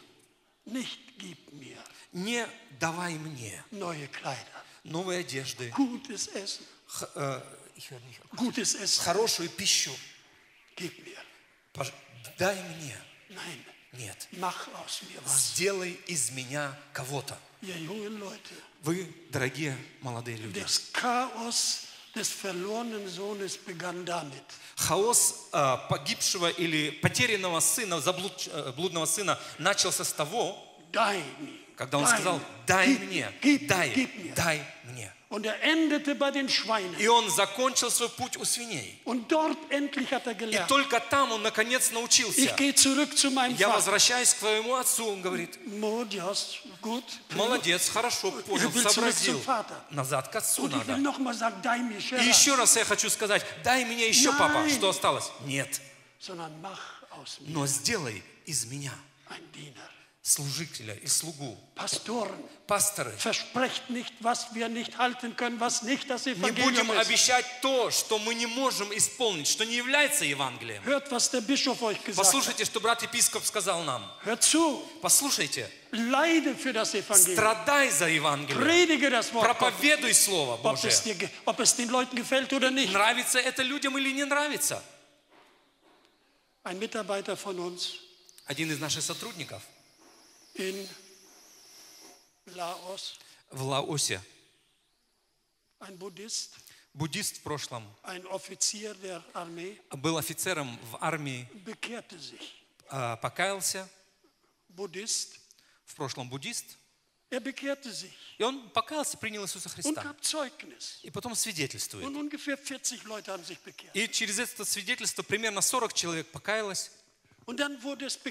И потом об этом стало известно. Этот человек теперь проповедует Иисуса. Люди начали об этом говорить. Er verurteilt zu 13 Jahren Gefängnis. И его хватают, арестовали 30, а, прошу прощения, 13 лет тюрьмы. Seine Frau hat ihn gesucht. Wo ist er? Его жена искала, где он, где он вообще пропал. Семь месяцев она его искала. И она не могла найти, куда его отправили, где он вообще находится. До тех пор, пока э, один из офицеров, прошлых его сотрудников, сказал ей, что он там-то, там-то находится. er. Он не был просто в тюрьме. Jetzt rede ich blau. Нет, теперь я говорю, какой это цвет? Сино-зеленый цветом. Er war nicht im Gefängnis. Нет, он не был просто в тюрьме. В одной из тюрем его посадили в мусорную яму,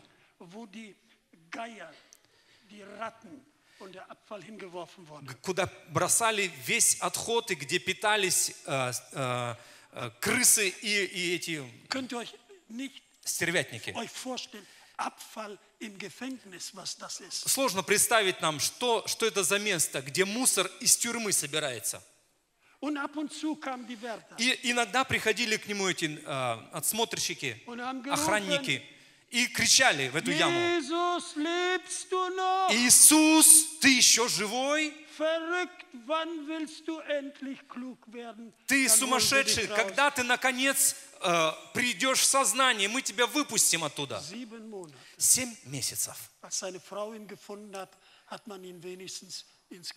Жена его нашла, и как-то все-таки его оттуда вытащили, и он сидит в тюрьме теперь.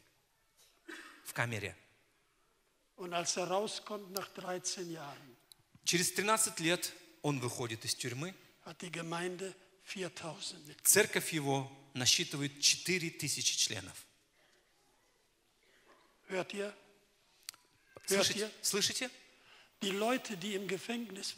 Те люди, которые были в тюрьме, эти криминальные личности, они каялись, принимали ihnen Иисуса. Он там проводил библейские уроки с ними. И когда их выпускали, er он посылал их к своей жене по адресу. И женщина была ответственна за этих людей, которые приходили. И она рассылала их по разным местам уже. Мы не хотим. Нам не надо давать хлеба, нам не надо твоя одежда. Мы хотим быть плодоносными. Братья и сестры, нам нужно быть плодоносными. Oh. О, да, мы хотим быть большими. Мы хотим иметь влияние. Мы хотим поднимать или опускать палец. Нам нужны деньги. Wo ist unsere Frucht? Но где наш плод? Братья и сестры, ich werde morgen 82. мне завтра Ich 82 habe исполняется. У меня нету забот а, других, кроме одной. Где мой плод личный? Где те люди, которые покаялись через свидетельство мое? Nicht, ich habe ein großes Stadion und da kommen 500 Leute nach Не какой-то стадион большой, где 500 человек пришли вперед для чего-то. И я бы сказал, посмотрите, и фотографии, и фильмы, и все свидетельствует о чем-то. Это же не мой плод. Это не твой плод. Vielen, Это плод многих, кто haben, молился, кто постился, кто приводил, приглашал. В конце концов, haben. они пришли и услышали евангельскую весть. Vielleicht kriegst du 3% Может быть, Provision. 3% ты и получишь, а может быть и определенная провизия. Если ты действительно сделал правильно все. Но это не мой плод.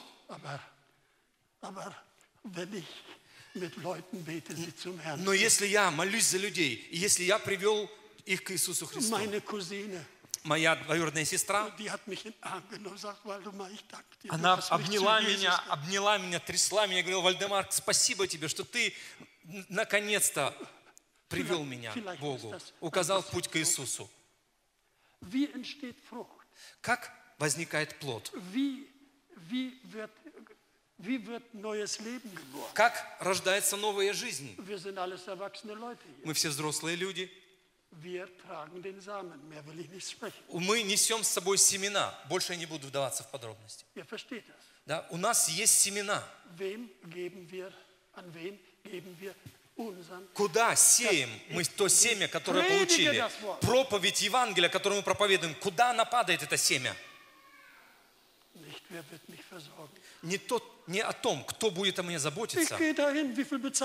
Я пойду туда. А сколько будет моя зарплата? А, другая миссия предложила побольше. Господь, прости нам такое состояние, если оно есть. Да простит Господь таким миссиям, которые предлагают или содействуют таким, такому менталитету. Это наша проблема. Проблема besten? Кто пла- платит получше Nein, или позаботится? Нет, сделай меня плодоносным.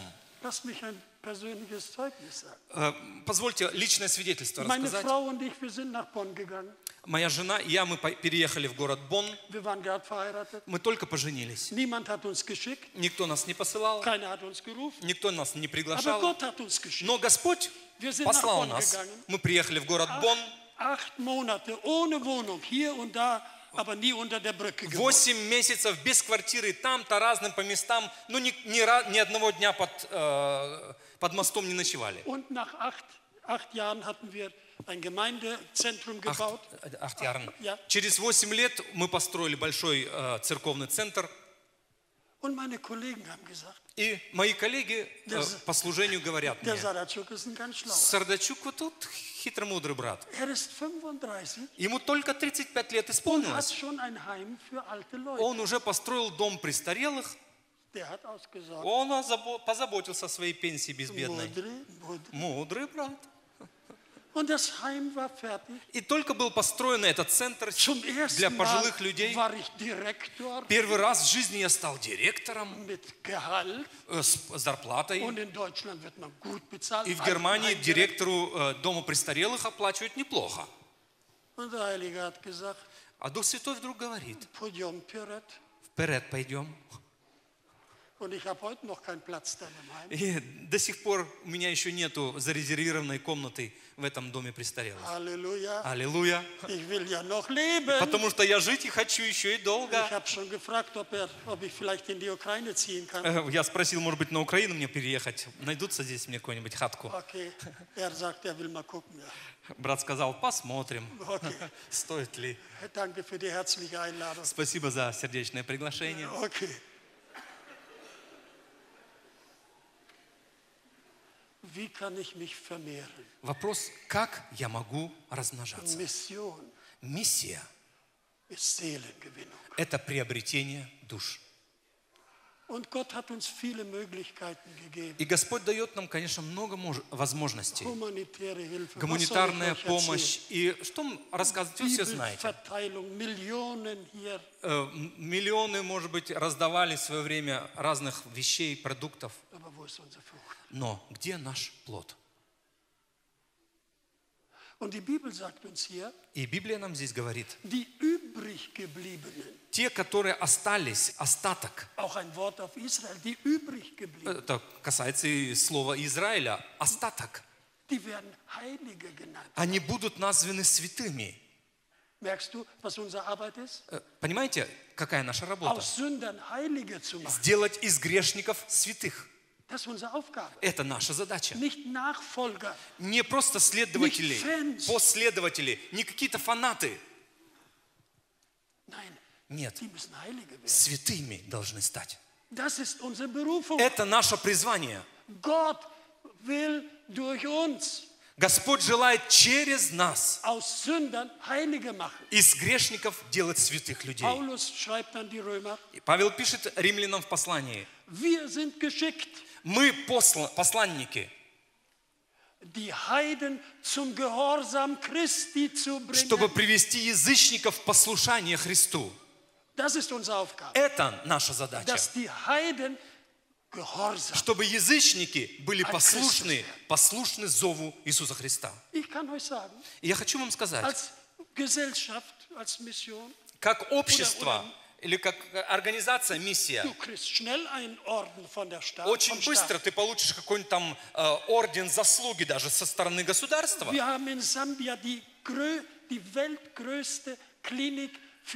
У нас в Замбии, э, в Замбии самая большая в мире клиника для СПИД-больных. Die Frau von George Bush spendet jeden Monat 50.000 Dollar. Жена Джорджа Буша до сих пор каждый месяц из ее фонда 50 тысяч долларов переходит на содержание этой клиники.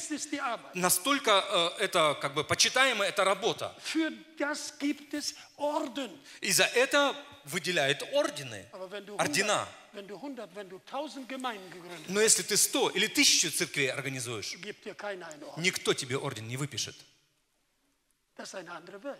Это абсолютно другой мир. Sozial tätig sein ist notwendig. Быть социально э, ангажированным, да, это важно, это Wir haben очень важный момент. Kinder, die wir 10 тысяч, десятки тысяч э, детей поддерживаются в О, разных заведениях. За это ты можешь получить награду.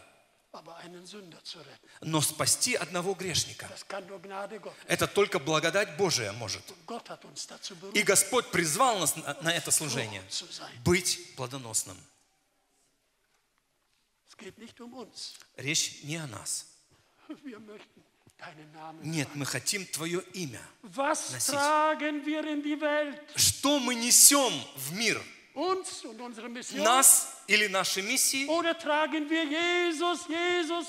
или мы несем на себе или в своих устах Иисус, Иисус и только Иисус. И тогда они будут и переживать. Мир, каков бы он был, он всегда останется миром. Справьте на, спросите брата нашего Анатолия Schwestern Две сестры из библейской школы как раз туда, в Сибири. Их буквально разрубили на куски, как, э, простите, скотину разрубают топором. Началось там, э, люди просто э, много слушали православного священника, и ненависть появилась. Историю брат Анатолий может вам рассказать подробнее. Die eine Schwester war noch nicht mal 18 Jahre Одной сестре не было еще даже 18 лет. die andere 28. Другой 28 вроде бы, да? Где-то так, в таком возрасте.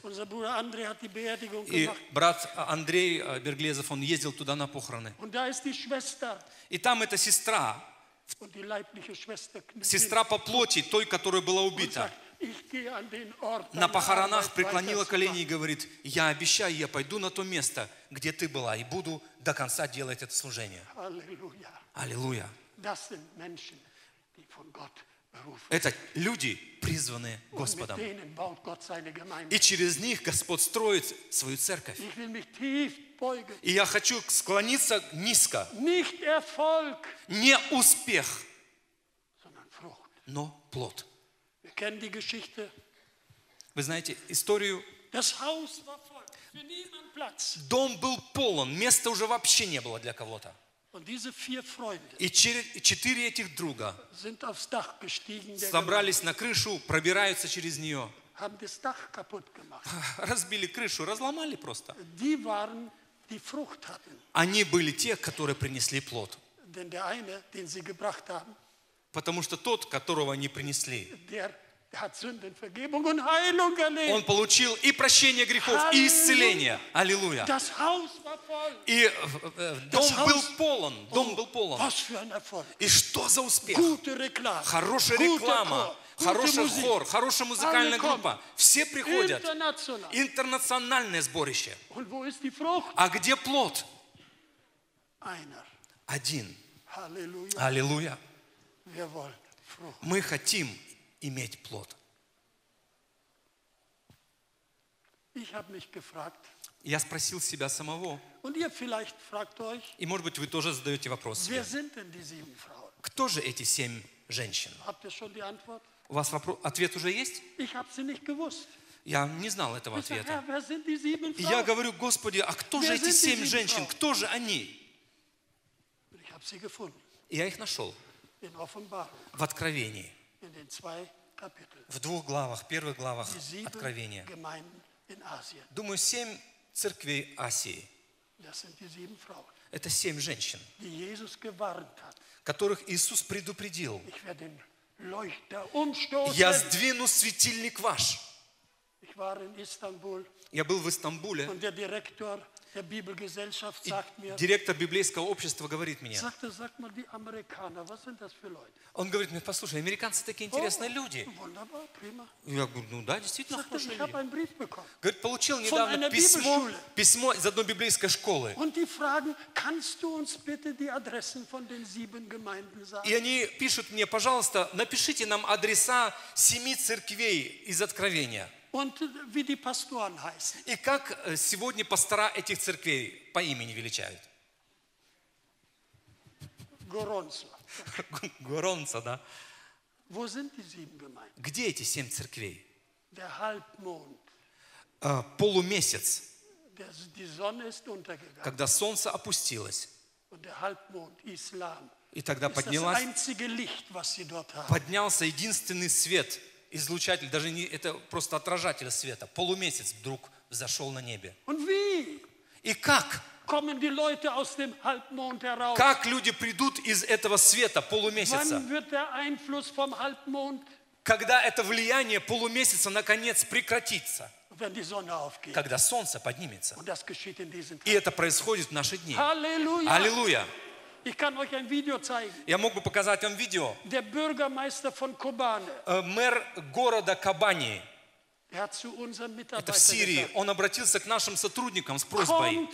Придите, пожалуйста, христиане, назад в наш город. 98 Jahren. Во- э, ах, то 90. Я- 90, 80, 98 лет тому назад мы разбили у нас последнее здание церкви в нашем городе. И теперь проклятие уже около 100 лет в городе. Приходите, стройте церковь, пожалуйста, в городе нашем. Wir haben dort eine Suppenküche für 10.000 Мы открыли там э, благотворительную столовую, 10 тысяч людей ежедневно кормят. Сотни уже покаялись сегодня. И они идут по этим местам и проповедуют сегодня Евангелие Иисуса Христа. Почему? Потому что Евангелие должно, должно светиться.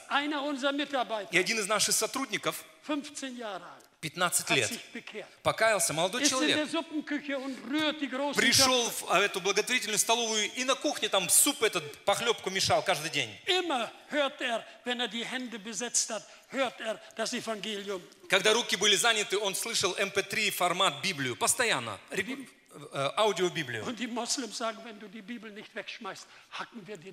Пришли мусульмане, схватили его, говорят, если ты от- от- откажешься от Библии, если не откажешься от Библии, мы отрубим тебе руки. И они ему отбили, от- отрубили руки. И насмотрели за ним. Er И он дальше, дальше э, э, говорил о Библии. hacken wir dir die rechte Hand ab. Да, они сказали, мы отрубим тебе правую руку, если ты не откажешься от Библии. er. И они, он знал, что это не шутка. Одна рука уже была отрублена. Er gehalten. И дальше он говорит, я не отрекусь от Иисуса. Ein junger, 15-jähriger Молодой человек, мальчик буквально, 15 лет. И когда они ему отрубили вторую руку, junge Leute, молодые люди, wann hast du zuletzt deine Bibel in der Hand gehabt? когда ты в последний раз держал в руках свою Библию? Er hat gesagt, und wenn ihr mich ein Dutzend Mal umbringt. Он сказал, если вы меня десятки раз убьете, Jesus ist mein Herr. Иисус остается моим Господом. Dann haben sie ihm den Kopf abgeschlagen. Они отрезали ему голову. Nicht eine Geschichte von Не история из каких-то книжек прошлого столетия. unser, Наш сотрудник сегодня. Это наша история.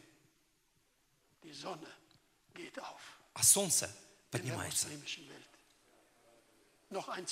Еще одно свидетельство. И потом мы будем молиться о гонимых христианах. Это те, которые как раз хотят приносить плод Иисуса. Если бы они просто закрыли свой рот. Или, может быть, просто пере- перебежали бы в Германию, а может быть, в Америку. Они бы получше жили, хорошо, спокойно жили бы. Приятно. Жить.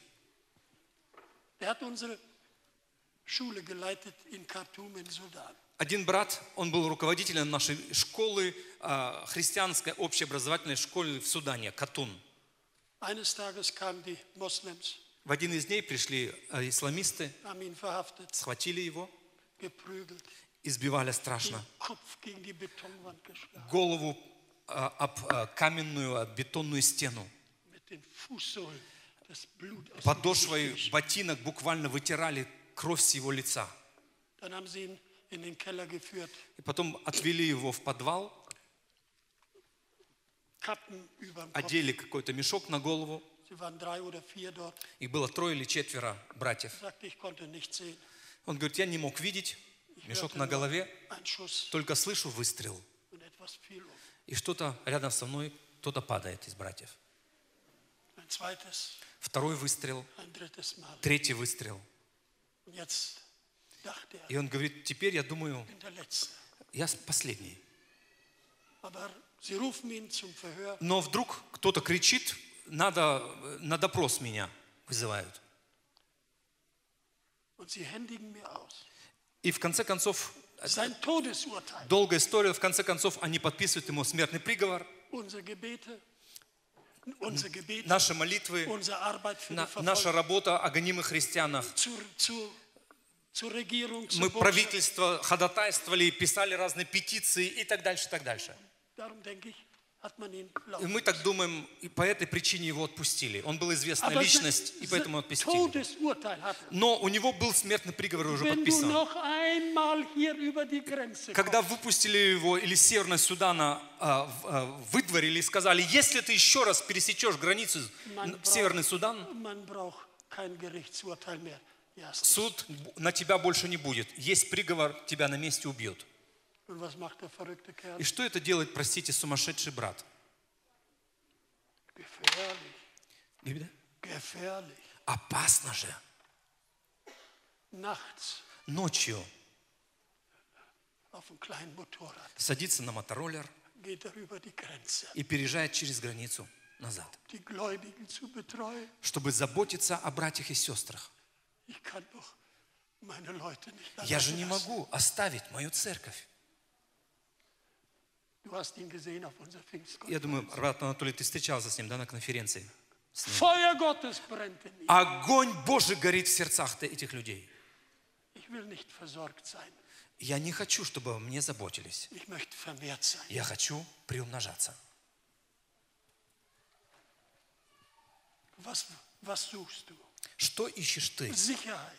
О, да, беспокойную жизнь. Unsere Missionare klagen Наши миссионеры порой Rumänien, э, в Румынии. Ukraine, или на Украине, в России. Говорят, молодежь наша уходит, чтобы лучше жить, или уезжают.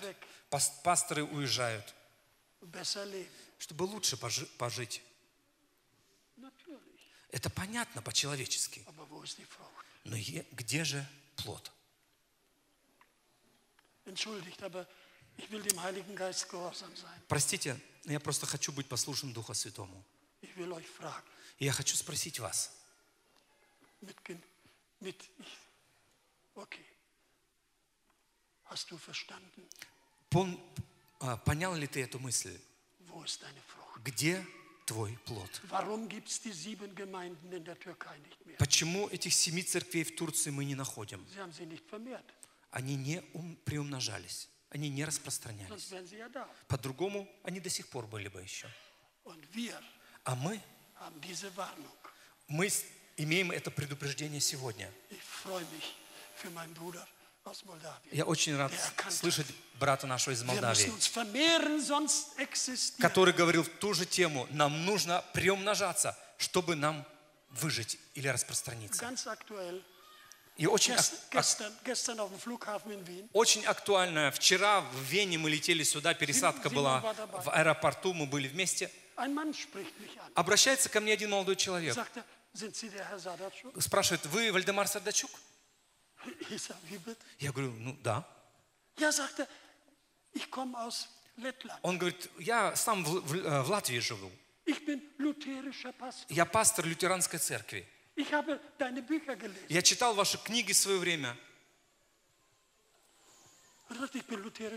Сегодня я служу в лютеранской церкви. Но в нашей церкви люди переживают крещение Духом Святым и говорит, я сам тоже крещен Духом Святым со знамением иных языков. Я тоже говорю на иных языках, он свидетельствует. Прямо на аэропорту. Я говорю? Как лютеранская церковь в Риге? Э, э, в- Мировой э, совет церквей, die особенно, особенно германская лютеранская церковь, aus Litau, aus. Lettland, Они дис- дистанцировали или даже исключили всю латышскую лютеранскую церковь из круга своего общения. И миллионы, которые они оплачивали, поддерживали лютеранскую церковь в Латвии, они сказали, нет, мы не будем вас больше поддерживать. Вы проповедуете против однополых браков, вы, вы не допускаете э, женщин на рукоположение и так дальше, поэтому мы вас поддерживать не будем. Ich sage, ihr habt so viel Geld verloren. Я говорю ему, вы столько денег потеряли. Sagt er. А он говорит, аллилуйя. Aber Gott ist mit Но. Господь с нами. Он говорит, Аллилуйя. аллилуйя. Suchst du Versorgung oder Ищешь, Frucht? ищешь ли ты заботу или плод? Ich frage euch, Я спрошу тебя, wann sind bei uns die letzten Mal die Leute когда Geist последний getauft? раз у нас In люди в наших Geist кругах getauft переживали крещение Духом Святым и огнем? In zwei Wochen Kirche. Через две недели мне пригласила одна лютеранская церковь. И брат говорит мне, на день Пятидесятницы Мы несколько- мы несколько десятков людей крестили открыто в водоеме э, полным погружением во свидетельство для всех. Это лютеранская церковь. Есть и такие. Halleluja. Аллилуйя. Я тоже баптист, крещенный в воде, ну и Духом Святым. Wir auch И немножко лютеране мы тоже где-то в истории.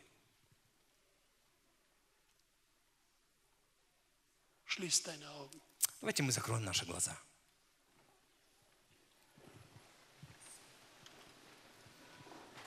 Ich habe nicht gesagt, ihr sollt aufstehen. Я просто попросил закрыть глаза, но спасибо, Aber что встали. okay. Kürzen wir ab. Мы сократим Vor Gott, перед Господом, vor Gott, перед Богом, vor dem Heiligen Geist. перед Духом Святым Eine Missionskonferenz на миссионерской конференции. wird nicht gemessen, wie viele Leute da waren, Не, будет, э, не будут смотреть, сколько было людей, сколько денег собралось, но сколько людей посвятили себя служению миссии. Кто сегодня здесь, кто приходит к Иисусу и говорит, я хочу быть плодоносным. Выйди.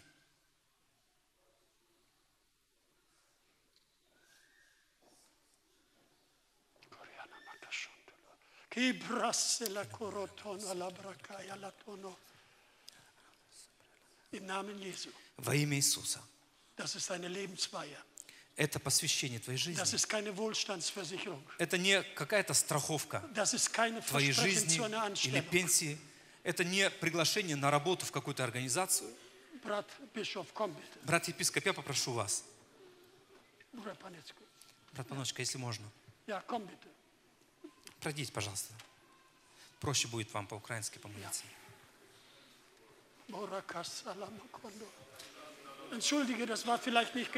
Простите, может быть, это не было запланировано, но я хочу просто. Духу Святому быть послушным. Выходи во имя Иисуса. Сегодня мы хотим, сегодня мы хотим э, приобретателей душ рекрутировать. Те, кто желает приобретать души для Иисуса. Или пошлет тебя Бог в Китай, или в Африку, или в Сибирь, или пошлет тебя в район Ровно. Приобретать души. Выходи во имя Иисуса. Из хора, если у кого-то есть это побуждение в сердце, здесь ты посвящаешь свою, посвящаешь свою жизнь Господу для приобретения душ.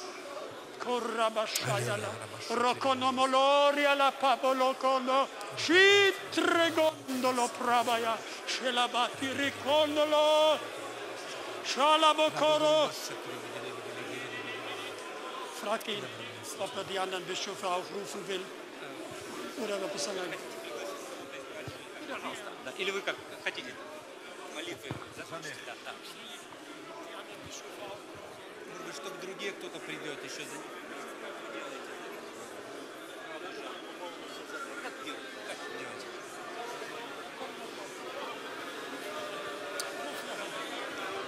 Выходите, у кого есть еще желание. Вместе будем молиться. Аллилуйя. Пасторы, которые, которые ты не видишь успеха в своем служении приобретения душ. Выходи, выходи. Посвяти по-новому твою жизнь Господу в это служение.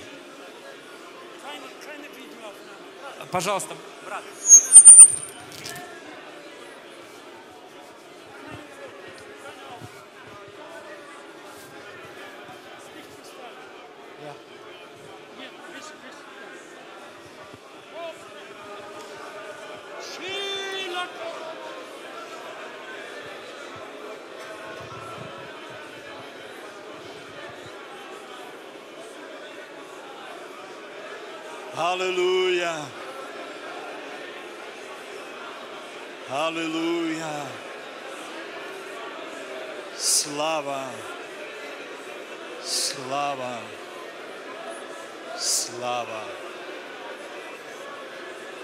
Благословенно ім'я Твоє, Господи. Вся слава Тобі, наш Господь. За Твою працю над серцями нашими. За благодать Святого Духа дякуємо. За твій поклик святий дякуємо. За підготовку сердець до служіння дякуємо. За твої обітниці святі дякуємо. За вірність твою дякуємо. І хочемо посвятити життя наше для тебе.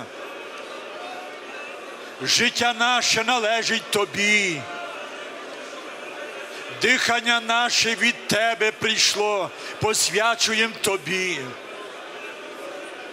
Перед тобою схилилися твої діти, сини і дочки. Візьми кожного в свій уділ, наповни своєю силою, наповни своєю мудрістю, наповни своєю благодаттю. Огонь святий твій, хай горить і не вгасає у серці кожного, щоб був дорогоцінний плід во ім'я Ісуса. Господі, вживай насліддя Твоє.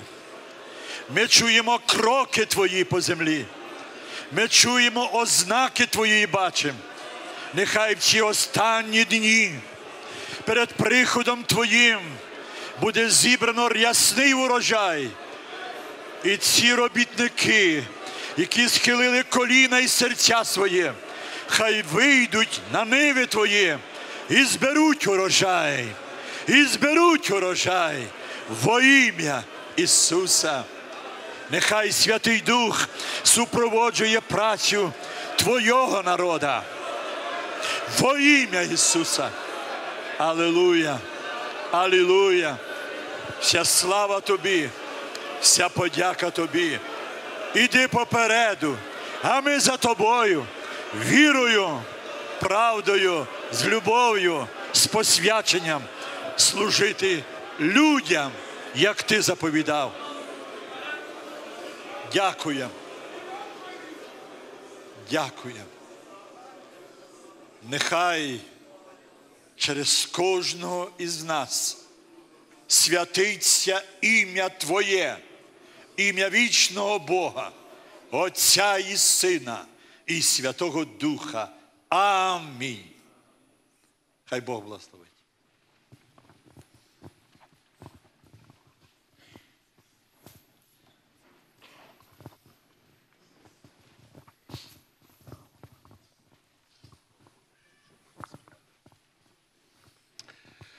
Браття, сестри, Господу.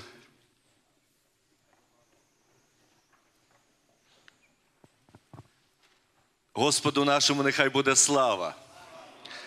Я просто, знаєте, переповнений, подякую Богові за його благодать і за силу Духа Святого, яка сьогодні перебуває на цій конференції. Бажаю Божого благословіння для вас. Зараз хор буде співати пісню, і єпіскоп Микола Синюк буде говорити слово. Ми візьмемо хвилин 20 нашого обіду. Я дуже прошу. Не завжди бувають ці моменти. Брати поручили зробити або зробити заклик до пожертвування на цій місіонерській конференції. Одна думка була не робити. Це ж Україна. Це ж Україна не робити, якось все-таки покрити цю конференцію. А друга думка, браті і сестри, присядьте, будь ласка. А друга думка, а друга думка. Ми перед лицем Бога, незалежно в якій країні знаходимося, і ми повинні чути Слово Боже, втішатися Божим Словом, дякувати Господу за Духа Святого і за Божу благодать. І якщо потрібно жертвувати, жертвувати від серця. Я пам'ятаю, мій брат Юрій перший раз поїхав в Індію. Дуже бідна країна, Дуже бідна. По правді я вам кажу. Я 13 разів був в Індії, і кожен раз, коли там буваєш, аж за душу бере життя цих людей. Вони були в одній церкві, може 250 чоловік було. Служили в цьому зібранні, коли кінчили зібрання, пастор вийшов допереду і каже: браття, сестри, ми зберемо сьогодні добровільне пожертвування для місіонерів, які приїхали з Америки служити у нашому зібранні. Ви знаєте, мого брата Юру і братів аж затрясло. Підбігли до пастора, не робіть цього, сльози на очах, не робіть цього. Ми вам привезли фінанси. І дивіться, що він каже. Брат каже: ми вчимо наших людей жертвувати на діло Боже і підтримувати місіонерів, які проповідують Євангелія. Через те каже, ви не мішайте нам робити нашу справу. Вони всією церквою зібрали 2 долара 53 центи. Браті сестри, але вручили їх во ім'я Господа Ісуса Христа. З одної сторони, кажеться, на Україні нема фінансів. На днях чую молитву одного пастора. Він каже: Господи, Господи, я дякую тобі, що живу на Україні, і ти.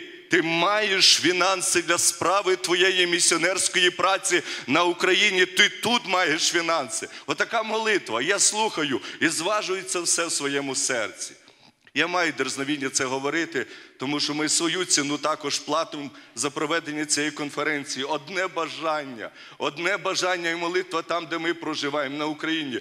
Господи, навідай твій народ, навідай конференцію, Боже, торкнися, запали, пішли, щоб багато ще людей могли бути захвачені Твоїм вогнем і просто горіти для Твоєї слави і проповідувати Євангелія. І нехай тисячі спасаються. Хтось платить ціну своїм життям, хтось платить ціну своїм здоров'ям, хтось платить ціну, ціну того, що поїхав, а дружина залишилася, діти залишилися, і потім знов поїхав, і потім знов поїхав або полетів, ради того, щоб досягати людей. Браття сестри, давайте ми просто з честю, як для Господа, зберемо добровільне пожертвування. Написано в Слові Божому, я не буду вже зачитувати, пускай твій хліб по водам, пускай, і потім, і потім воно повернеться для тебе. Я знаю, я знаю, Господь не залишав і не залишає нікого, нікого із вас. Особливо звертається, хто приїхав з Америки, з Європи.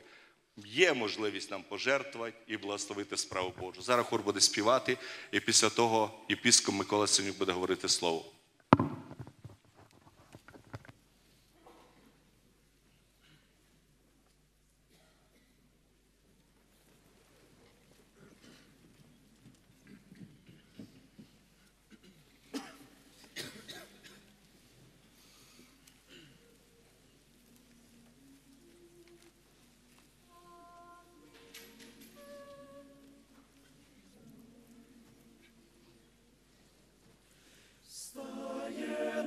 землею спасіння зоря, встає над землею спасіння зоря.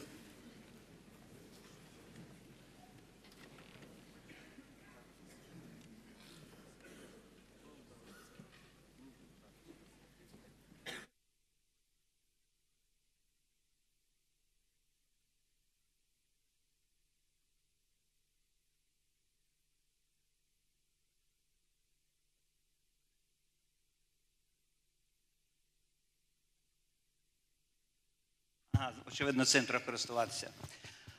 Отже, брати і сестри, е, маємо гарний і благословенний час сьогодні в цьому домі молитви. І я кажу брату Ростиславу, все, що потрібно зробити, було вже зроблено, і народ вийшов. Ну, отче нашу не хватило, і ми могли спокійно мити руки, але даруйте ще декілька хвилин вашої уваги, я також хочу взяти. Отже, перевіряю вашу пильність, брати і сестри, і вашу увагу. Сердечно вітаю всіх учасників третьої міжнародної місіонерської конференції, яка проходить. Молодці, молодці. Ви спрацювали, я перевірив вашу пильність. Все одно третьої, тому що перша міжнародна місіонерська конференція не в штаті Вашингтон була, а була в невеликому місті Єрусалим в день п'ятидесятниці, і приблизно стільки національностей, стільки сьогодні зібралося. Тут були зібрані там. Кажіть амінь. З третьої міжнародної конференції у вас. Хай Бог благословить.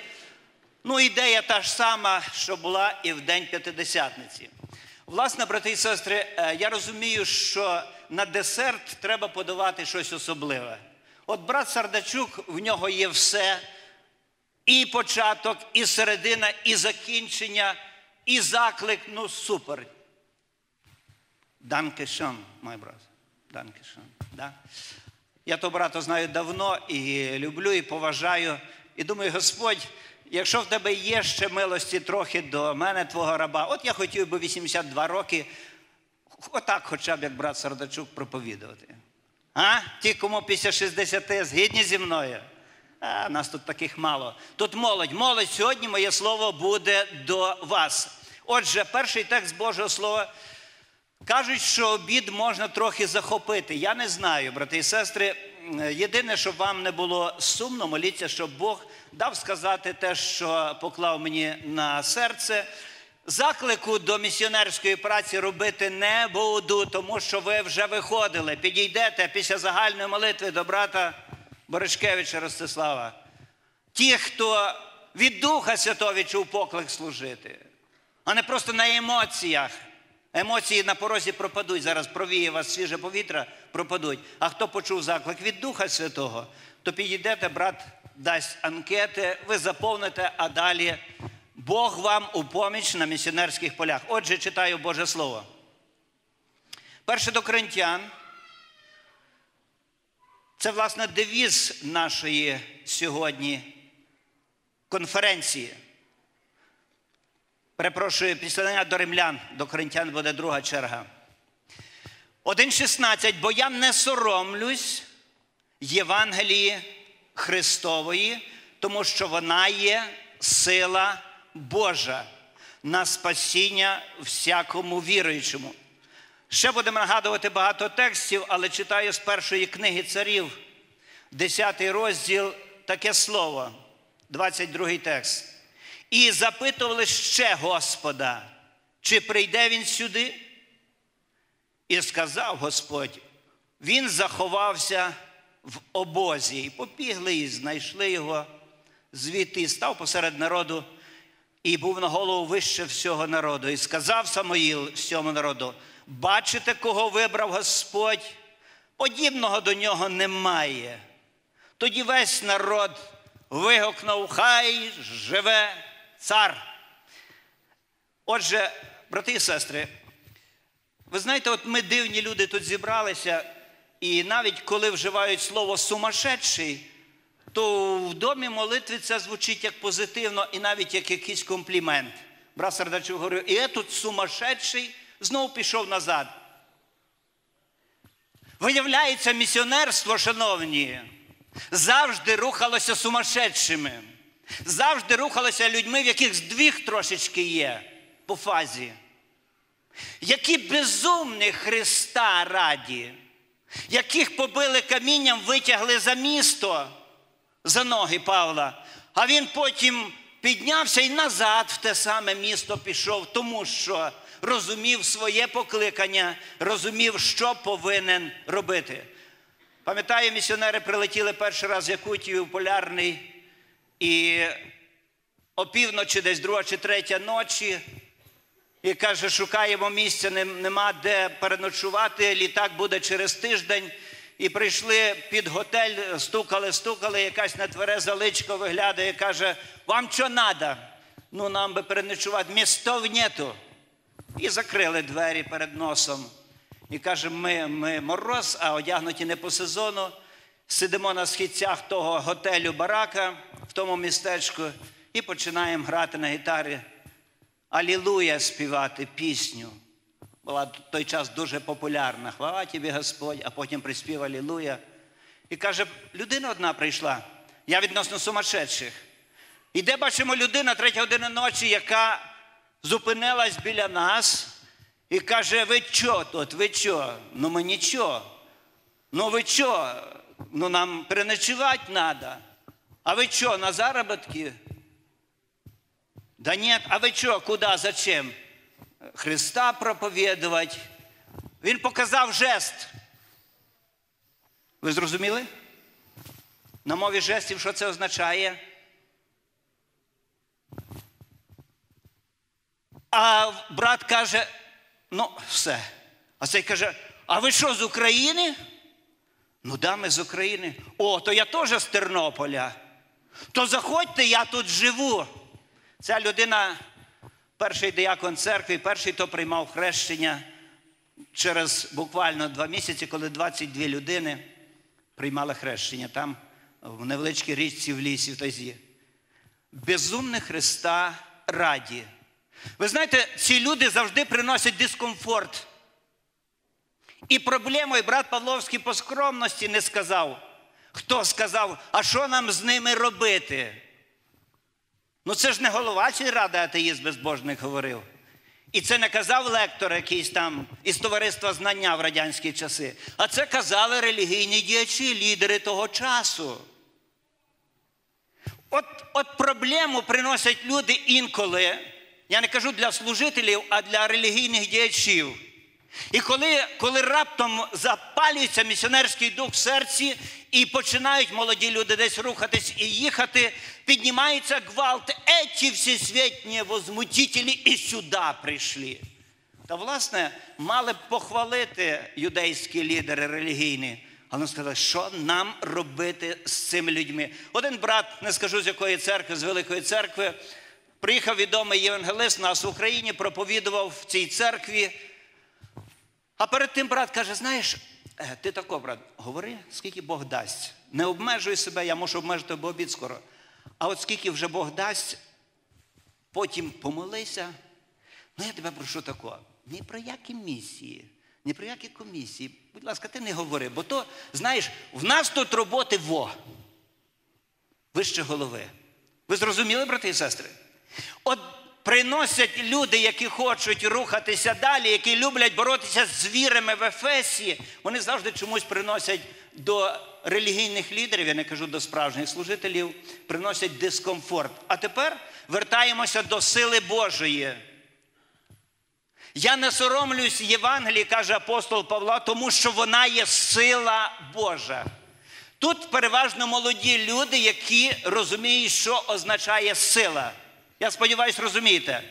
Маленьке дитя оцю книжку не підніме, бо для цього треба мати силу. І коли б мені 10 хвилин тако тримати, то, мабуть, зболіла б рука. Сила це можливість. Я можу зробити щось в буквальному розумінні сила, фізична наша сила. Я читав недавно одну історію, трагічну історію про молодого чоловіка в Сполучених Штатах, який хотів бути сильним. Хотів, щоб його фото, голий торс і м'язи бачили в інстаграмі чи в Фейсбук, не знаю де. І він займався дуже і дуже активно вправами, які допомагали нарощувати м'язи. Сильним, сильним, ще сильнішим. От тоді скажуть, оце, о, оце да, оце да. Але помимо фізичних вправ він ще вживав таблетки, які сприяють нарощуванню м'язів. Може, ви читали цю історію? М'язи росли, але сердечний м'яз не витримав. І результат був трагічний. Ми говоримо сьогодні про силу. Я не соромлюсь Євангелії, тому що вона сила Божа на спасіння кожному віруючому. Божа сила, шановні, призначена на спасіння, не для нашого задоволення, а для того, як говорив брат Сардачук, плід потрібно принести. Сила Євангелії. Ісус Христос звертається до своїх учнів одного разу і каже: браття, для вас краще, щоб я пішов. Уявіть собі, пастор Великої церкви, такої як ця, там чи іншої якоїсь великої, де люди каються, де, де діє Святий Дух, де чудеса проходять Господні. Одного разу на членському піднімається і каже, брати і сестри, і сльози витер, краще для вас, щоб я пішов. Ну, може таке в реальності бути чи ні? Та як я піду, що тут буде, браття? Ви розумієте, про що? Служителям зараз говорю, то не для вас молодь. Ісус каже, краще для вас, щоб я пішов. Син Божий знав, про що говорив. Тому що ви приймете силу, ми говоримо сьогодні про силу, коли зійде на вас Дух Святий і будете моїми свідками. Сила Євангелії на спасіння, сила Духа Святого не просто для емоційних переживань у наших служіннях. Я одного разу набрався, даруйте нахабства, і сказав в день п'ятидесятниці ну таку не дуже гарну думку. Потім мені докорили, про що це він говорить. Я привів приклад взаємостосунків у шлюбі. Коли люди мають ось цю насолоду в шлюбі, але говорив брат Сардачук, а плоду немає. От чомусь для багатьох людей, християн, в тому числі молодих, можливо, от переживати особливе емоційне забарвлення, особливі духовні переживання оце те, що потрібно. Але Дух Святий для того, щоб в мені і в вас зріс плід. Дух Святий, каже Ісус Христос, вам краще, мене не буде, але прийде Дух Святий, який вас наповнить, і ви станете моїми свідками. Сила Святого Духа, я тримаюся цієї думки і продовжую триматись. Сила Святого Духа має безпосередній напрямок і конкретну ціль. Ви будете моїми свідками. Не просто буде звучати так, говорить Господь служіння. Буде. Не просто Бог буде хрестити Духом Святим, буде. Основний, основна стаття, де має Дух Святий використовуватися, це місіонерство. Це проповідь Євангелії. І я стояв і стою на цьому, і на цьому стоїть Боже Слово. Ви приймете силу і. А що і? Будете моїми свідками. Зараз говоримо про силу. Сила Євангелії, сила Святого Духа. І говорить апостол Павло ще про одну силу, і ми перейдемо до старого заповіту. 1.18, перше пісення до Коринтян, бо слово про хрест для тих, що гинуть, глупота є, а для нас спасаємих сила Божа. Слово про хрест. Сила Євангелія, сила Святого Духа, сила Христа Христового. Це не той хрест, який закопують на в'їзді в населений пункт. Це не той хрест, який зараз продвинуті християни євангельські вішають на золотих ланцюжках і носять. Носять хрест. Це щось інше. Сила Христа полягає в тому, шановні брати і сестри, молодь. Сила Христа полягає в тому, що ти маєш на цьому хресті померти. На цьому хресті ти маєш умертвити своє я, свої людські амбіції, свої знання.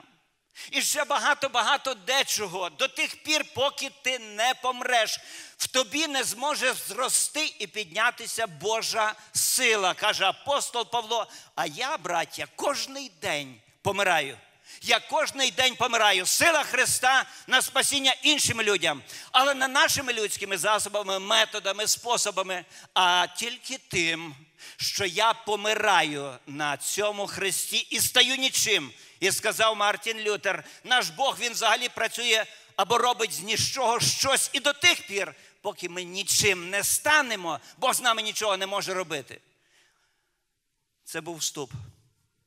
Ще пару хвилин, і ми помолимось, щоб їжа була смачна і благословенна.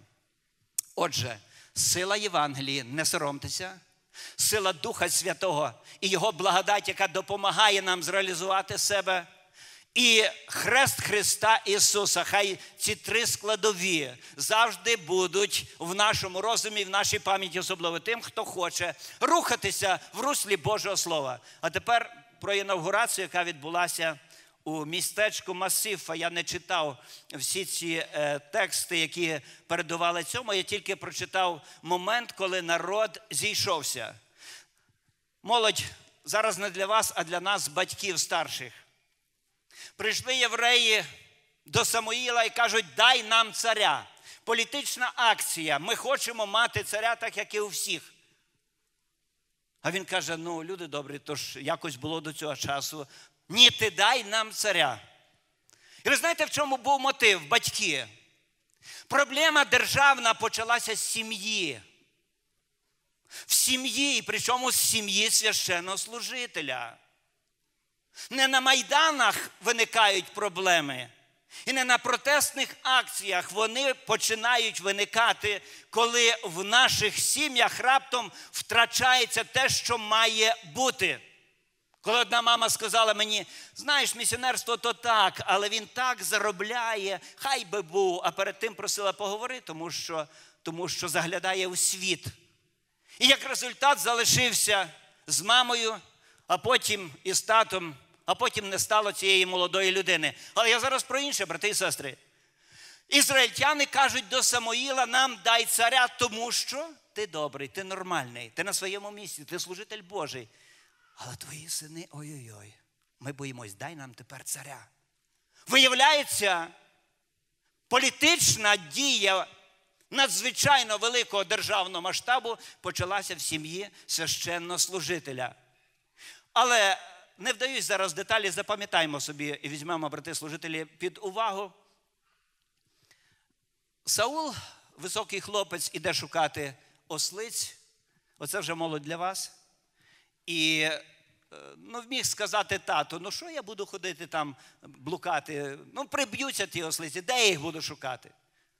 Кому я позвоню і кого запитаю?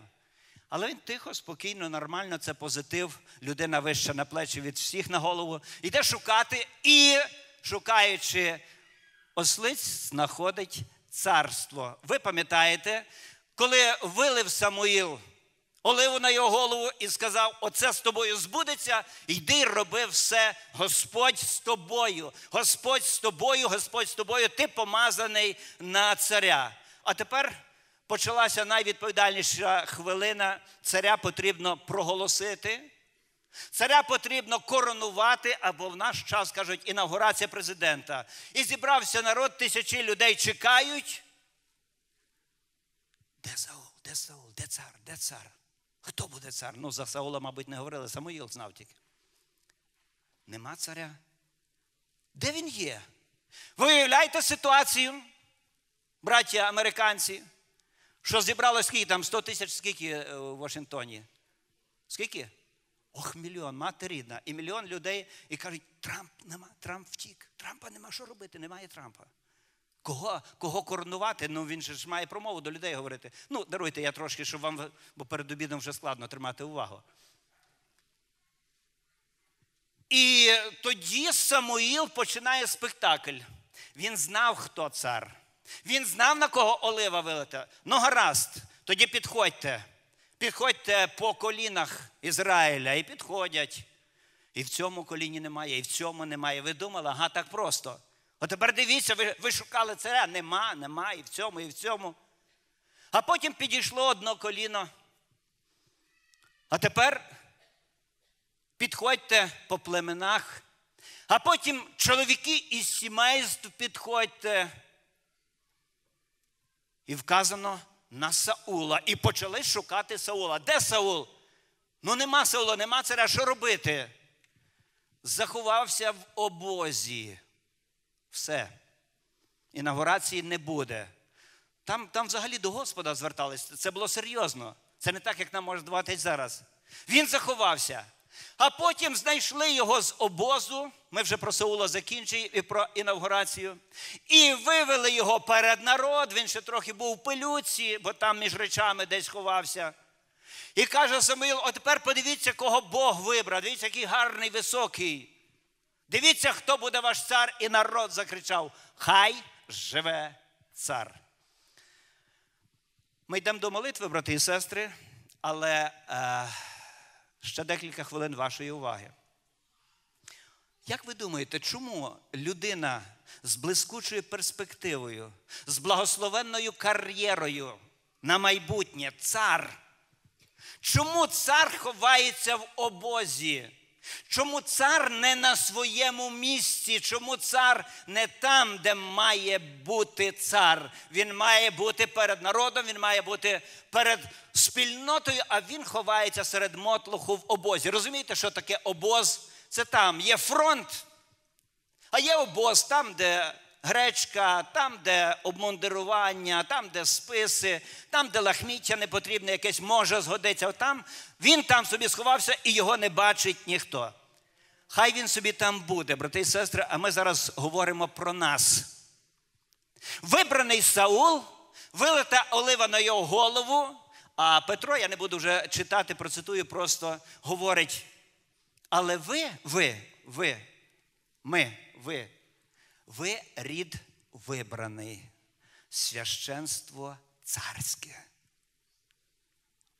Виявляється, цариці і царі сидять тут, в цьому залі, вибрані для Господа і для Спасителя нашого Ісуса Христа. І стоїть питання: якщо ми рід вибраний, то то чи варто нам, царям і священникам, як говорить Слово Боже, бути не на тому місці, на якому ми повинні бути, ховатися в обозі?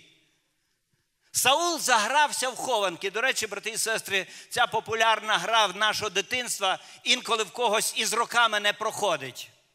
Ми любили бігати, ховатися, ви знаєте, всі любили гратися в хованки. Адам, де ти, Адам? Я заховався. Куди ти? Я в корчах, Господи. А чого? Бо я голий. Я я нагий, я зрозумів, хто я насправді. Гедеон, Господь з тобою. О, коли б то Господь був, то я б тут не ховався б в тій печері. Я мушу вимолочувати це зерно і пригинати, щоб, бува, не побачили, бо й це заберуть, і буду голодний.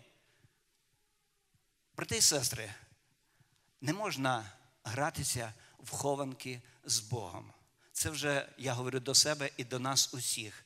Нас покликав Господь до своєї слави. Ви рід вибраний, бо є рід лукавий і перелюбний, є рід зміїний.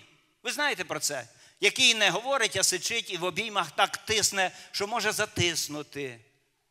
І зробить зло, і сліду не лишить. Це рід зміїний, є рід.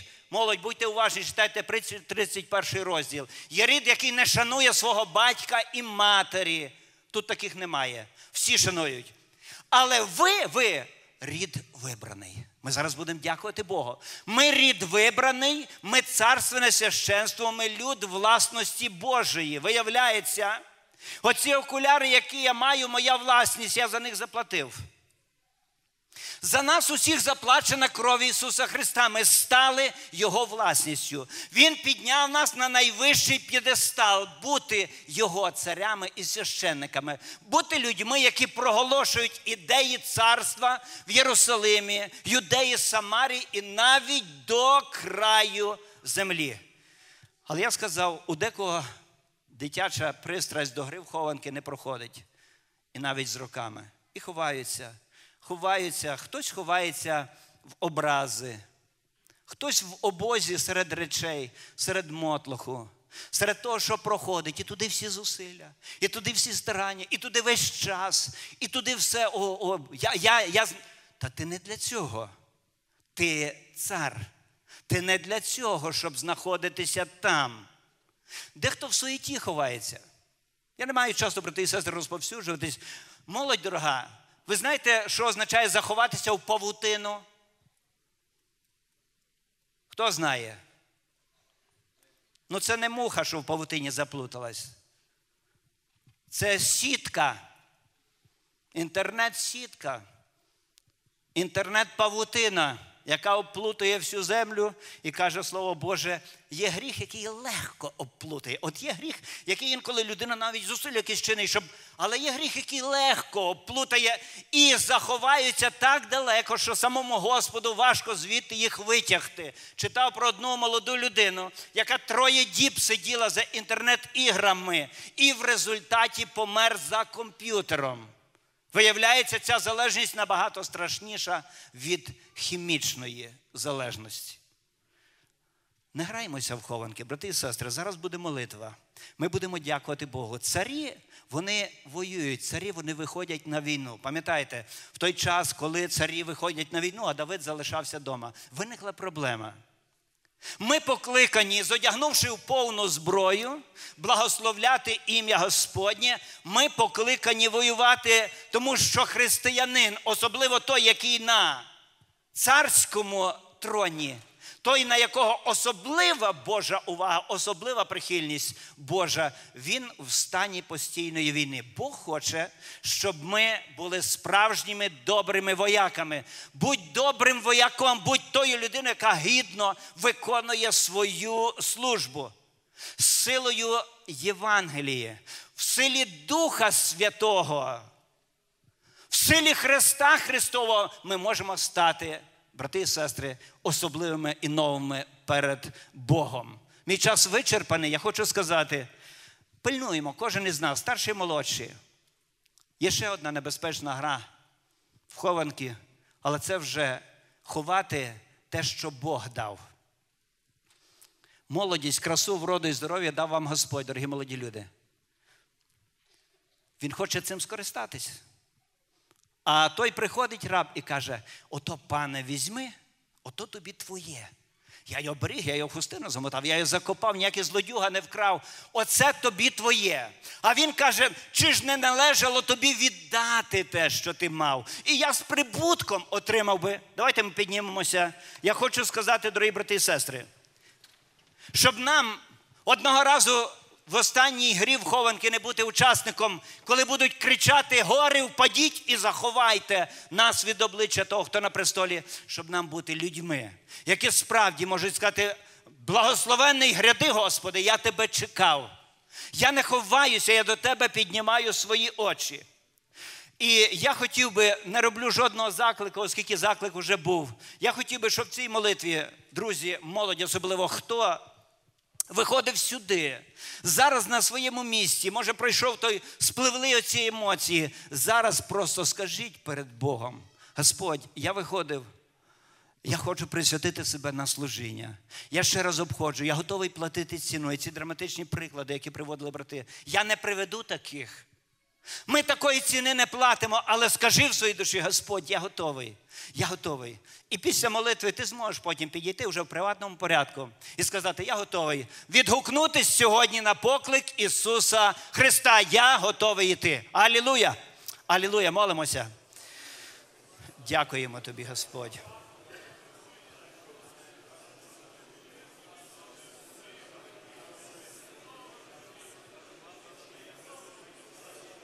Дякуємо тобі, Господь. Дякуємо тобі, Господь. Дякуємо тобі, Ісус. Благословений ти. Благословено Твоє ім'я. Дякуємо тобі. Дякуємо тобі, Дух Святий. Дякуємо тобі. Благословляю ім'я Твоє. Славлю і превозношу тебе, достославного, моєго Спасителя і моєго Господа. Дякую тобі. Дякую тобі за щедроти твої і блага. Дякую тобі за твою віковічну любов. Дякую тобі, що ти нас знайшов. Ти нас спас, ти нас оправдав. Ти зробив нас царями і священниками. Алілуя! Допоможи ж нам, Господи, благословити Тебе і поклонитися Тобі, і превознести Твоє святе ім'я нашого Спасителя і нашого Господа.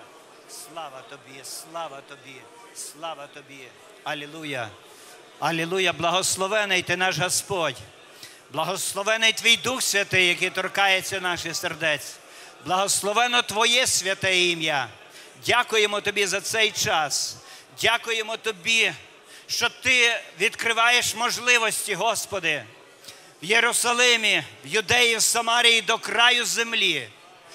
Той час, Господь, коли чути кроки Твого приходу, допоможи нам вийти із своїх схованок, молодим і старшим, і сказати: візьми нас, Господь, і скористайся нами, бо ми помазані на Твоє царство. Ми стали царями і священниками. Алілуя! Допоможи нам, Господи, зайняти належне нам місце, щоб бути там, де повинні бути, щоб Твоє святе ім'я благословляти і превозносити нашого царя і нашого Господа. Дякуємо Тобі, поклоняємося і благословляємо Твоє святе ім'я. Я прошу Тебе, благослови продовження цієї конференції, особливо, Господи, вечірній час коли будуть зібрані люди, потурбуй Дух Святий, щоб могли прийти і ще раз, і ще раз почути звістку про тебе, спасаючого Господа. І цю перерву благослови ми в твої добрі і сильні руки віддаємося в ім'я Ісуса Христа. Амінь.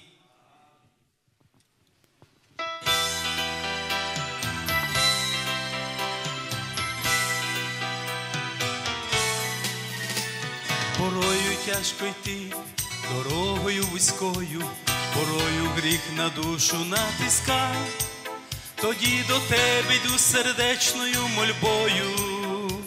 Тримай мене, Ісус, не відпускай, тримай тоді, коли можливо і не встояв, коли гріхом образив я тебе, і знов до тебе я з молитвою простою направлю погляд вірі до небес.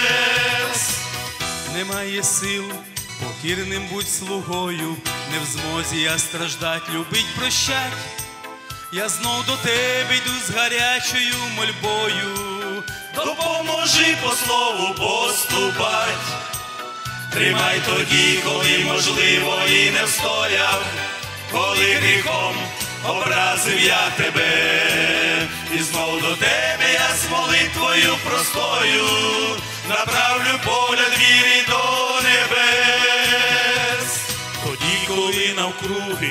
Буря неспокою, тривожить душу вітром. Б'є в лице, лише з тобою у молитві заспокоюсь.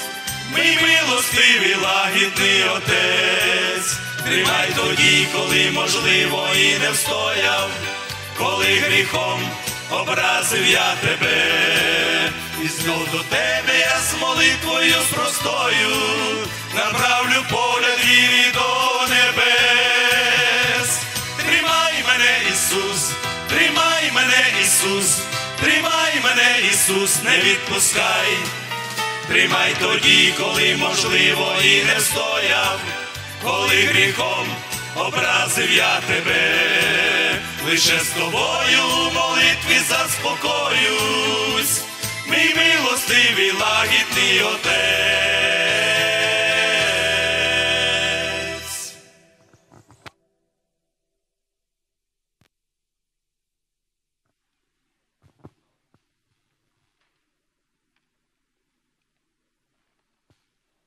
Слава Богу, братья и сестры, за то, что Бог нам дал быть всем вместе на этой второй миссионерской конференции, как брат сказал, уже третья.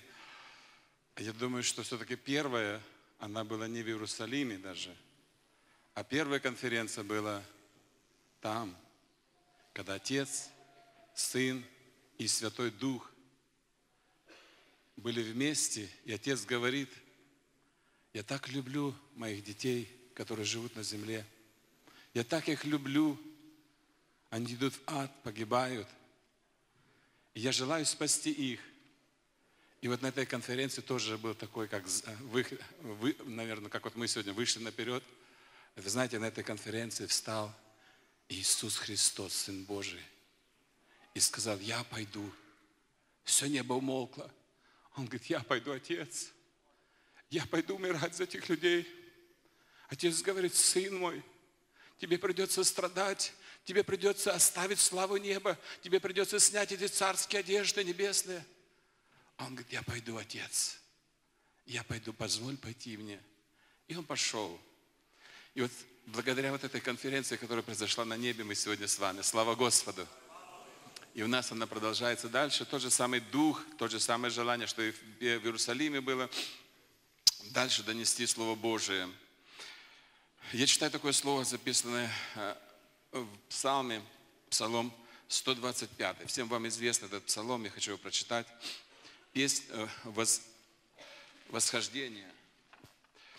Когда возвращал Господь плен Сиона, мы были как бы видящие во сне. Тогда уста наши были полны веселья, язык наш пения. Тогда между народами говорили, великое сотворил Господь над нами, великое э, сотворил Господь над нами, мы радовались. Возврати, Господи, пленников наших, как потоки на полдень. Сеявшие со слезами будут пожинать с радостью. С плачем несущие семена возвратится с радостью, неся снопы свои. Миссионерский труд – это трудный, это очень трудно. Я больше как, э, как евангелист и в Большой Церкви был и приезжал, даже сюда на Полтаву, в другие места, в Россию и в Южную Америку. И вы знаете, вот э, приезжаешь, все устроено, собрание устроено, люди, реклама. Вот собрание приходишь, проповедуешь. Вот, а вот как-то эм, жизнь пасторов, которые готовят, я как-то не очень знал эту жизнь, хотя проводили на то время пасторский семинар. Учил пасторов, хотя сам никогда не был пастором. И вот как-то Господь положил больше, как 10 лет назад, уже 12 лет, как из большой церкви, у нас церковь большая, вместе с детьми в Сакраменто церковь, где-то около 6 тысяч человек, больше тысячи молодежи только было на то время. Вот я был э, сначала по молодежи пастор, а потом на миссионерской труд евангелизации начали заниматься. И вот такое на сердце легло в один момент, что э, поехать в город Сан-Диего, нас город там, это на самом крае Калифорнии. И мы там увидели, что там где-то где- около 70, 70 тысяч русскоязычного населения, 60% из них э, евреи, которые русскоговорящие евреи. Вот. И такое получил сердце, чтобы идти туда проповедовать. И вы знаете, я вот когда уже действительно ты едешь один, взяли семью, поехали, э, и первое знамение, которое Бог дал, мы, нас не, мы не могли снять квартиру, квартиры очень дорогие в том городе, это курортный город. И я помню, как я молился, молился в четверг, это было, и спрашивал Господь, говорю, если ты хочешь, чтобы я остался здесь, в этом городе, дай мне жилье, потому что не моя зарплата, ну, я был на, полное, э, на полном времени служения, там она абсолютно не хватало для того, чтобы трудиться там или э, платить за, за свое э, жилье. И вот э, помолился так и утром, мне звонок, и спрос- одна женщина звонит, вы не могли бы посмотреть мое жилье? Я хочу вам сдать. Ну, хотела бы сдать. Мы посмотрели, но оно, оно больше, чем, чем, мы, чем моя зарплата, больше на, на 1200 долларов. Жилье мое больше, чем моя зарплата, на 1200. Вот. Но это шаг веры был. На шаг веры был. И мы пошли на это, взяли жилье, и так мы стали там проповедовать Слово Божие. И вы знаете, вот тогда испытываешь все, что испытает, испытывает миссионер. Вам это знакомо, то, что я, может, сейчас говорю, когда мы на- начали служение в квартире, у меня дома в квартире. Вот, и на собрании, если бы из, из церкви, где 6 тысяч человек на, вообще, вот, попасть на такое собрание, где твоя семья, а у меня семья семь и я, семья, значит, семь и я, как раз семеро и я, шестеро детей, жена и я, семь и я. Вот. И вот собрание идет семья. Вот как раз вот собрание семь человек.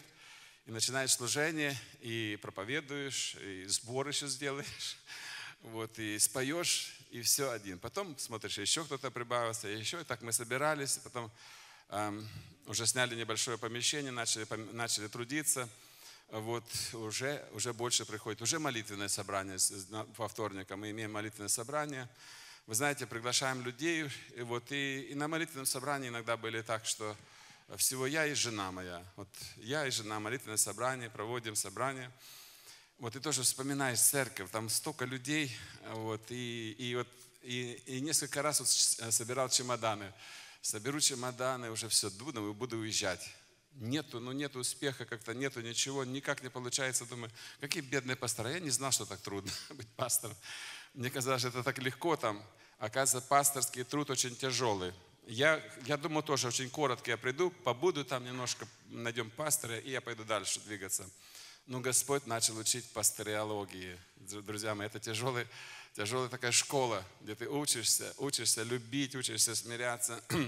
Вот. Иногда было на собрании, когда на молитвенном собрании, не воскресном, вот во вторник я вспоминаю, э, что жена не смогла пойти. Вот я один, один на собрании, сижу и в двери смотрю. Может быть, кто-то еще придет.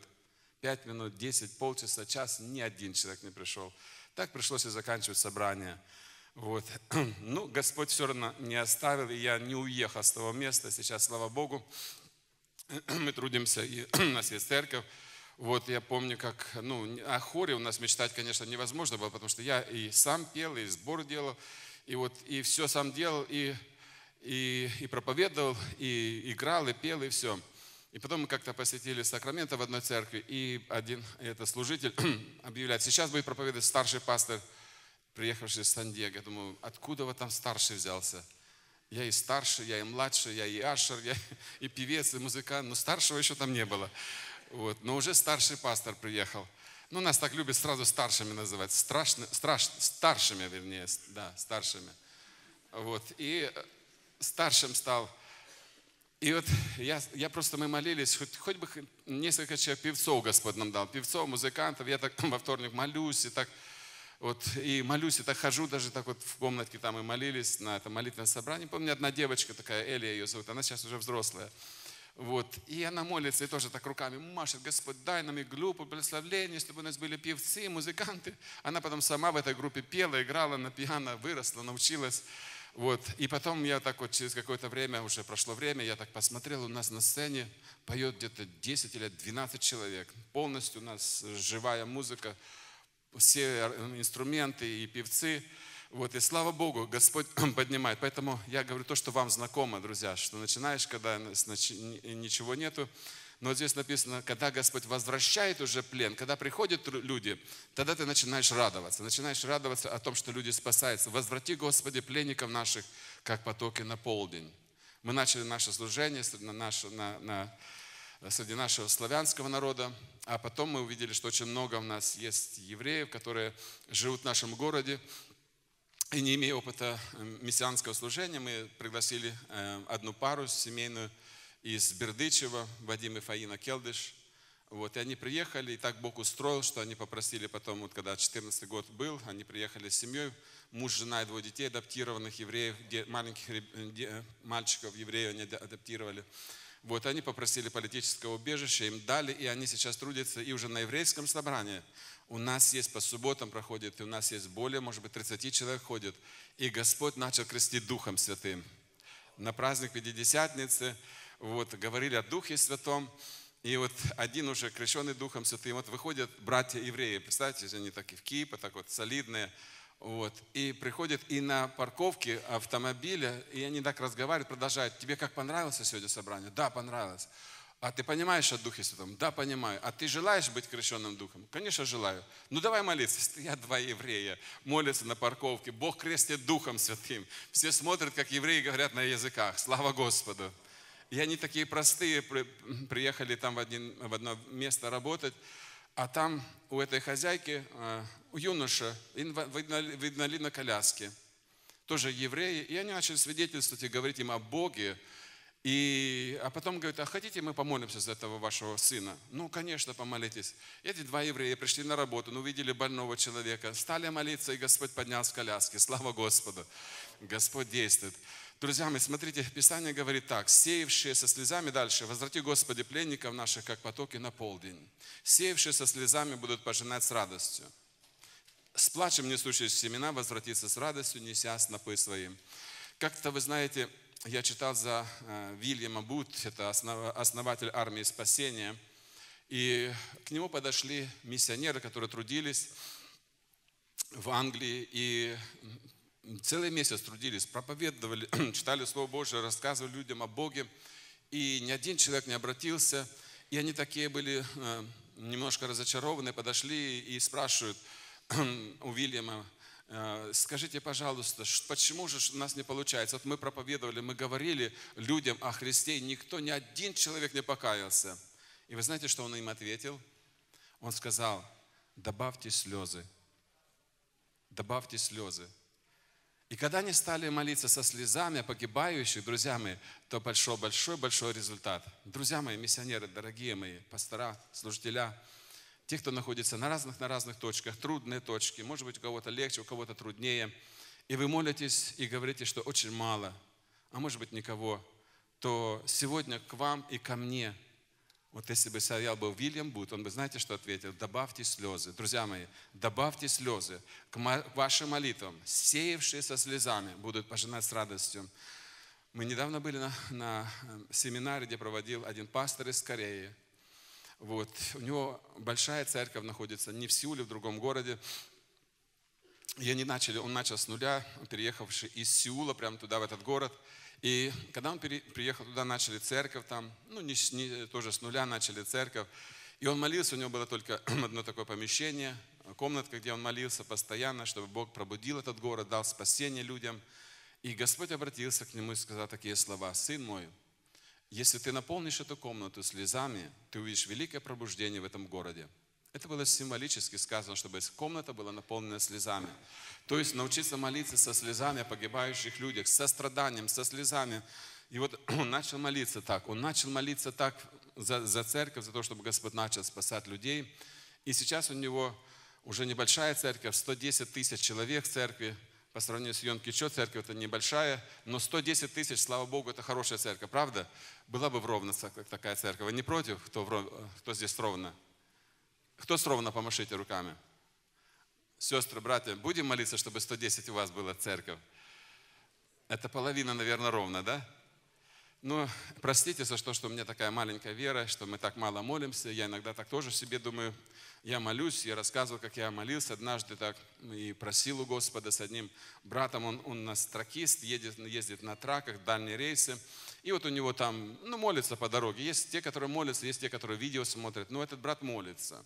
Молится, Господь спасает. И говорит, молюсь духом. Говорит, зимой едешь, такой гололед, спускаешься с горы, просто траки на обочине лежат. А я молюсь за рулем и молюсь духом. Так молюсь духом, и как будто кто-то впереди идет, как будто дорогу кто-то прокладывает. Я еду, мой трак едет, все сунутся, а я еду и молюсь духом. И вот такой брат интересный, приехал в наш город и позвонил мне, говорит, я здесь стою на парковке, если хочешь, подъедь ко мне пообщаемся, помолимся. Я, конечно, говорю, я с ним знаком и всегда иногда звоню ему. Вот, я приезжаю в него в трак, это Вольво, такой большой трак у него, мы зашли в кабину, и он мне показывает, вот здесь я слушаю радио, вот здесь у меня есть Библия, которую я включаю, слушаю, вот здесь у меня кассеты есть, которые я слушаю, прекрасное пение, и молюсь, еду и молюсь. И такая кабина большая, и я здесь молюсь. Я чувствую, как будто, вы знаете, это скиния, где, где Господь присутствует в его кабине вот такой наполняет Дух Святой. И мы так поговорили о пробуждении, начали говорить о том, что Господь обещал, что в последнее время будет очень сильно действовать. Очень и очень сильная волна придет пробуждение в последнее время. Так Дух Святой открывает у нас, я думаю, и у вас открывает это. И вот мы молимся таки под впечатлением нашей беседы. И я молюсь пред Господом, Господь, пошли миллионы, дай, чтобы еще миллионы спаслись. Господь, я так с сокрушением молюсь, дай миллионы. И вдруг я слышу, по плечу кто-то мне стукает, я открываю глаза, этот брат меня по плечу стукает, говорит, не молись такой молитвой. Не молись, говорит, такой молитвой. А я так испугался, думаю, что я неправильно сделал. Он говорит, проси миллиарды. Проси миллиарды. Не молись такой молитвой, это неправильная молитва. Друзья мои, как мало мы молимся, да, правда? Вот Господь хочет, чтобы половина людей спаслись на земле. Так Писание говорит или как? Чтобы все люди спаслись. Друзья мои, когда мы молимся за миллионы, а куда мы остальных отправляем? Вечную муку, правда? И вот говорю, что мы духовные. Брат Сергей, духовный человек миллионы просит. Братья и сестры, это не духовность, это плотской человек, если мы так молимся. Поэтому не будьте плотскими, как я. Будем просить миллиарды. Аминь для того и конференция, чтобы мы научились молиться за миллиарды людей. Севшие со слезами будут пожинать с радостью. Итак, мы должны молиться, братья и сестры, научиться молиться со слезами. Этот брат в Корее, он не только сам научился молиться со слезами, он научил всю церковь. Вот братья наши были, служители были в этой церкви. Это говорит, особая церковь. Говорит, настолько ты чувствуешь Божье присутствие. Когда молодежь выходит, когда они начинают молиться, то ты просто смотришь, у них слезы катятся, они молятся со слезами. Это не слезы, как это, вы знаете, самосожаление, слезы, что-то меня не хватает. Нет, это слезы за других людей. Не плачьте обо мне, Христос сказал, плачьте о себе детях. О ком-то ты плачешь. Моя мама, которая вымолила нас всех пред Господом, у нас было пятеро в моей семье, и все сейчас служат Господу, все, все спасенные. И вы знаете, мама часто плакала, нам не нравилось, мы смотрели на мамы на глаза, часто в слезах, она как только начнет молиться, у нее слезы катятся. Я думаю, ну почему же мама плачет? Ну как вот, как не понимали. А вот эти слезы, потому что слезы, кто-то лил слезы, я стою сегодня перед вами. Слава Господу, друзья мои. Мы должны плакать, сеявшие со слезами. Миссионеры, будем сеять Слово Божие со слезами. И мы пожнем с великой радостью, а пожнем уже не семена, а здесь написано, что мы пожнем? Снопы сеется слово, слово, сеется семя, а пожинаются снопы. И поэтому мы, я хочу ободрить вас, друзья мои, давайте добавим слезы. Иисус Христос смотрел, смотрите, э, на Иерусалим, когда он сходил с Илионской горы, вы кто-то там был, наверное, уже, многие там были. Это смотришь, и прям Иерусалим пред тобой, когда ты смотришь с Илионской горы на Иерусалим, он как на ладони у тебя. И написано, смотря на город, помните, что он сделал? Он заплакал о нем смотря на город, заплакал о нем. Иерусалим, Иерусалим, о, если бы ты знал хотя бы всей твой день, о, если бы ты знал, друзья мои, о, если бы знали города, что ожидает вскоре, после пробуждения придут Божьи суды, из, не, не, только, не только деревья, из земля и асфальт, на котором мы ходим, все будет гореть. Земля и все дела на ней сгорят. Мы живем перед великим пробуждением и перед пришествием Иисуса Христа, поэтому мы должны сегодня за наши города плакать. Он, смотря на город, заплакал о нем. Я бы хотел, чтобы мы, мы почувствовали эту вот боль, сострадание о наших городах, о наших, о наших селах, о стране, где мы с вами живем, плакать, просто начать молиться со слезами, и Господь услышит. Я говорил и рассказывал, как корейцы, они молились Господу в свое время, когда Господь посылал миссионеров туда, в Корею, первых миссионеров, которые пришли из Англии, им отрубили голову, их разрезали на куски. И все равно приходили еще следующие миссионеры, проповедовали, и вот в промежутках того они сеяли Слово Божие, и они э, это слово было посеяно это в, корейскую, в корейские сердца, и потом они начали молиться. Их преследовали очень сильно, но они молились за Корею. Бедная, бедная страна на то время была. Сто лет назад там не было ни одного христианина. И они молились Господу, они молились Господу. И вы знаете, они просили Корею, они просили, чтобы Господь пробудил эту страну, пробудил нашу страну. Они так любили свою Корею. Они выходили, у них горы на горах, кто-то тоже был на этих молитвенных горах, в Йонкичой, в других церквях, мы там были тоже. И они там на этих горах кричали пред Богом. И вы знаете, этот э, переводчик показал, как они кричали, друзья мои. И они кричали по-корейски, Господь, это чье? И вот они кричали, говорят, мы кричали как звери там, мы кричали как звери, мы кричали, Боже, помилуй нашу Корею, Боже, помилуй нашу Корею, спаси нашу Корею. С таким криком, со слезами молились Господу. И на сегодняшний день 26% в Корее верующих людей. Слава нашему Господу. Экономика поднялась, страна поднимается, потому что нашлись люди, которые начали молиться со слезами за свой народ, за свою страну. Друзья мои, мы в это время с вами живем живем историческое время.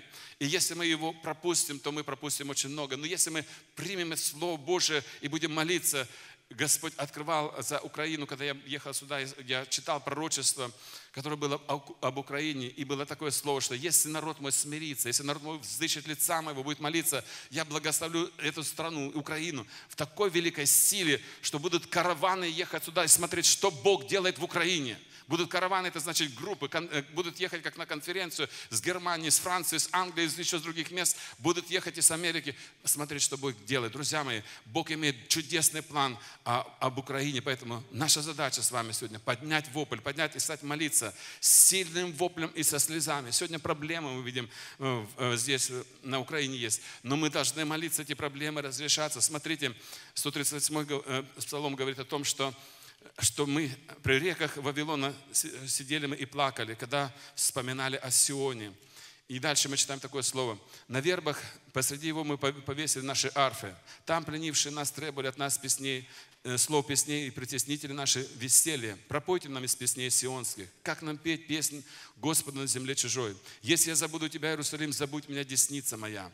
Прилипни язык мой гортани моей, если не буду помнить тебя, если не поставлю Иерусалима во главе веселья моего. Друзья мои, мы должны поставить сегодня Иерусалим, это церковь, это Божий народ, это Божье дело во главу нашего веселья. Мы не должны забыть, что мы призваны трудиться для Господа, что мы те, о которых мы сегодня слышали, царственное священство, народ святой. И если мы забываем Иерусалим, свой город, забываем свою церковь, чем-то другим занимаемся, бизнесом или еще что-то, прилипни язык мой, гортани мои, если на моем первом месте не будет Бог, если нам в моей жизни не будет церковь, если дело Божье станет на каком-то второстепенном месте, прилипни язык мой, гортани мои, пусть они имеют уста мои тогда. Это как будто как проклятие человек берет на себя, но это дерзновение в том, чтобы что все стало на свое место. Бог на первом месте, Господь и планы Божьи на первом месте, все остальное. Друзья мои, я бы хотел, нету сегодня здесь с нами Михаила Степановича Паночка, но мы с ним говорили много-много на завтраке о, об Украине, о, о том, что сейчас происходит.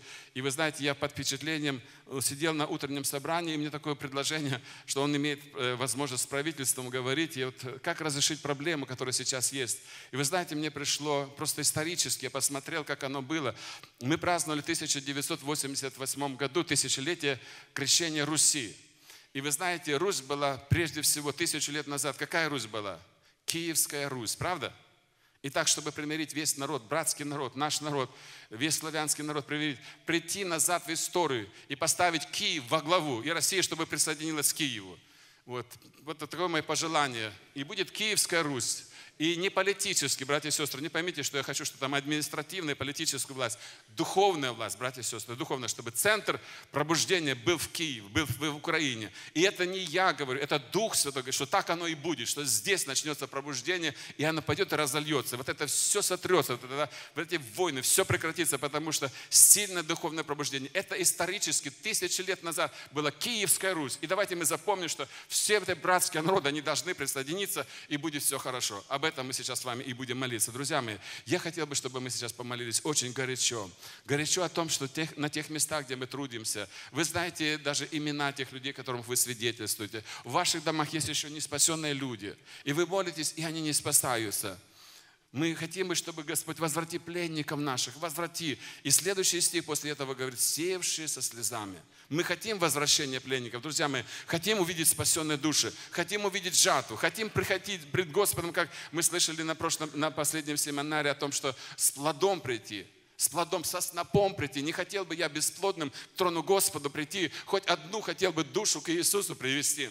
Мы такой псалом поем. Поэтому, чтобы одну хотя бы душу привести, чтобы нам много принести плода, нужно сеять со слезами. И я приглашаю вас к молитве, к молитве со слезами о погибающих людях, чтобы этот миссионерский дух вошел в нас, чтобы мы не стеснялись, чтобы мы плакали о погибающих людях, о наших городах. И Господь даст великую жатву на всех местах, где вы трудитесь. Господь, мы благодарим Тебя, мы славим Тебя, превозносим Тебя.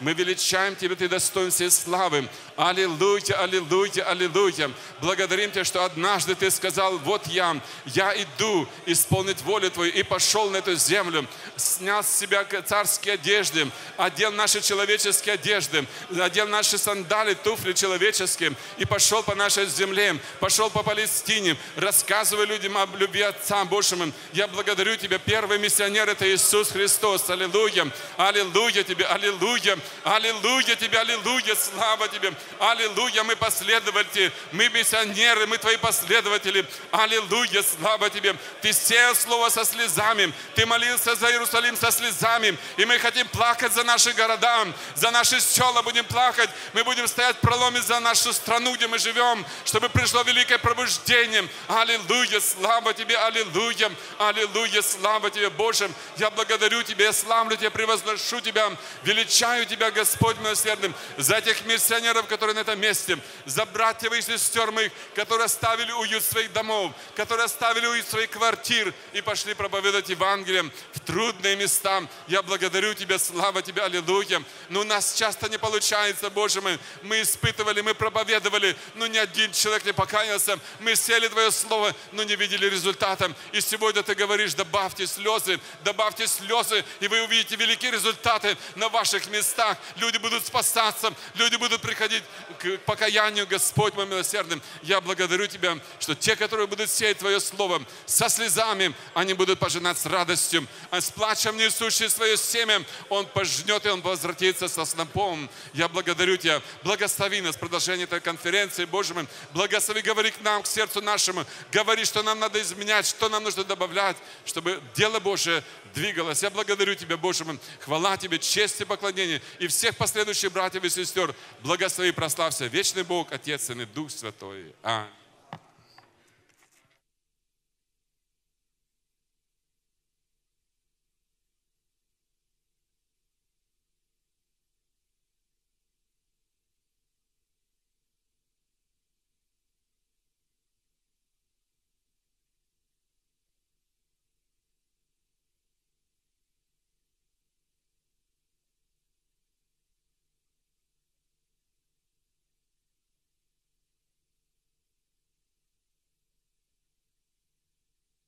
Цена, цена, цена.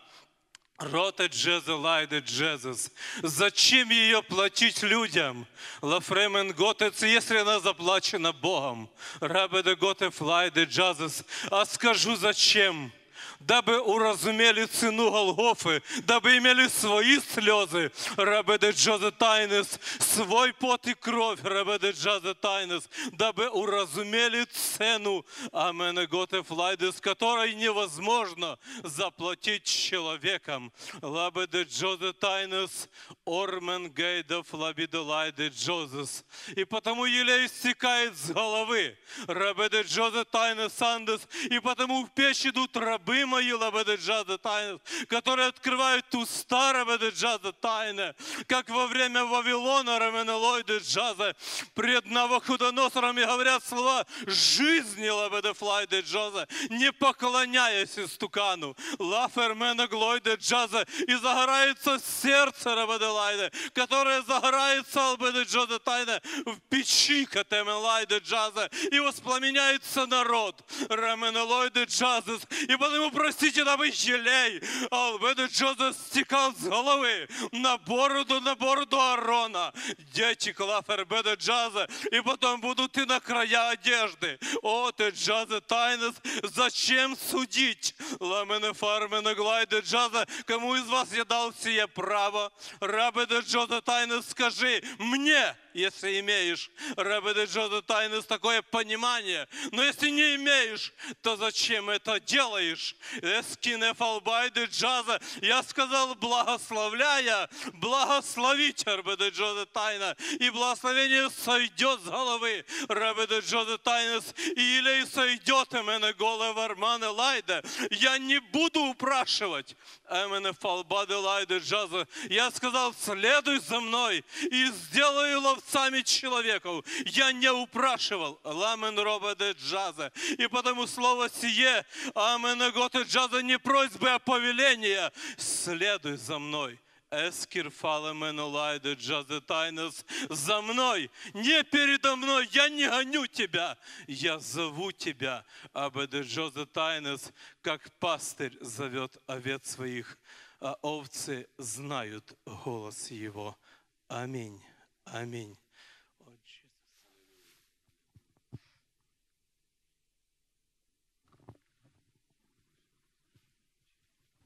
Ми займаємо наші місця, будь ласка.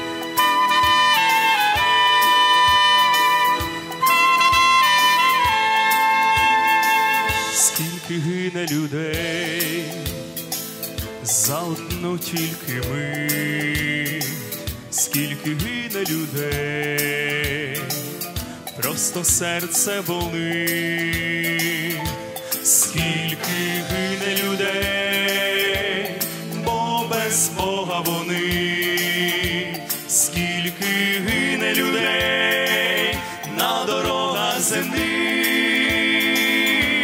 розкажи про Христа, людям всім розкажи, на Христі Він страждав,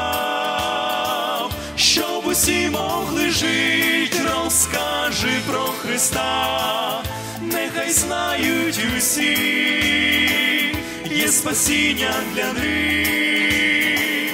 В Ісусі Христі, скільки гине людей, рідних, близьких, чужих, скільки гине людей, чи сказав ти для них,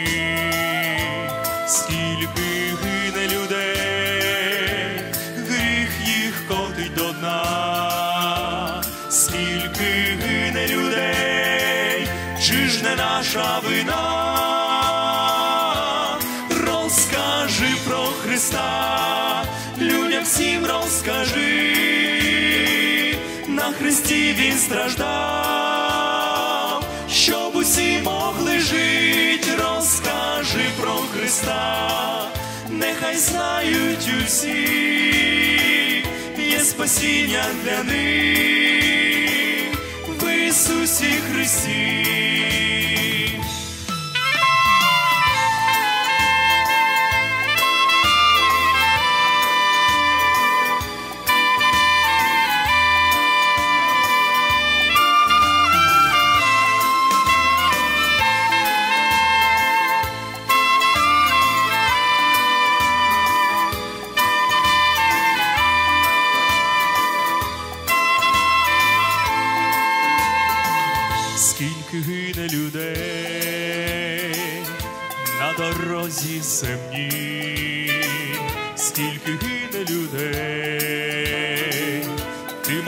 Мовчати не смій, скільки гине людей, нехай твої уста.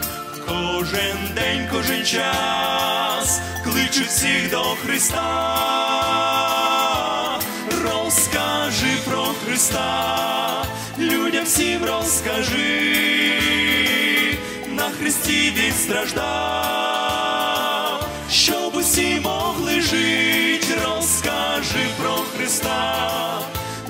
знають усі, є спасіння для них. В Ісусі Христі.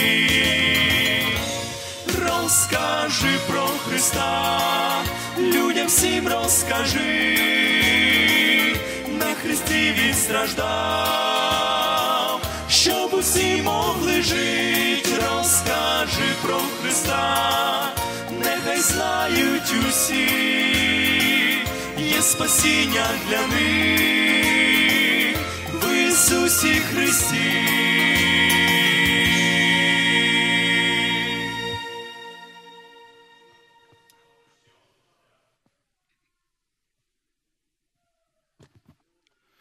Слава Господу, брати, сестри. Я маю коротке оголошення. Хотів би звернутися. Е, Автомобіль ВК 5535. Будь ласка, е, заберіть з проїзду. І е, сестра Таня Маліновська, якщо ви є в залі, будь ласка, будь ласка, вас тут просять, щоб ви послужили переводчиком для нашого брата Якова. Браті і сестри, ви знаєте, ми маємо сьогодні привілей бути в цьому зібранні. Амінь. І те, що робить Господь, Він робить за своїм божественним планом і згідно Його суверенної волі. Ми чули це пророцьке слово, яке було серед нас. Слідуй за мною, да? Одна пісня є, «Когда море бушует, когда тьма торжествует, слідуй, о, за мною. Да дасть нам Господь, по-перше, чути Його голос і слідувати за нашим Господом. І найкраще місце, яке ми можемо вибрати для себе, Одного разу, то було в Німеччині, вже багато років назад, проповідував там брат Дмитрій Безпалов. Знаєте, такого служителя зовсім недавно він відійшов в вічність. І він звернувся, то була така, е, ну я би сказав, теж конференція молодіжна, багато молоді було. І так як він бував в багатьох країнах світу, е, його хтось запитав: брат Дмитрій, а де саме лучшее місто? І він так гарно відповів: самое лучшее место – это место, що вибрала Марія. Амінь. Місце у ног нашого Господа Ісуса Христа. По-різному нас буде вести Господь, і особливо місіонери в наших місіонерських оцих поїздках, в цих служіннях.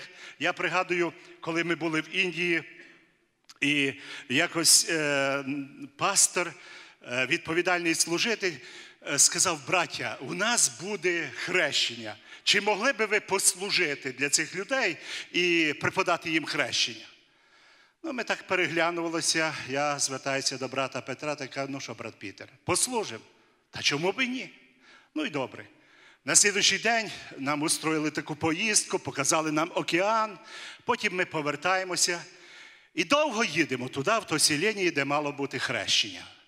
Їдемо, добра дорога закінчилася, вже така гравійна дорога, потім вже так якби бездоріжжя. І я все дивлюся, де там річка чи озеро, де ми маємо хрестити. І щось я дивлюся, вже немає того.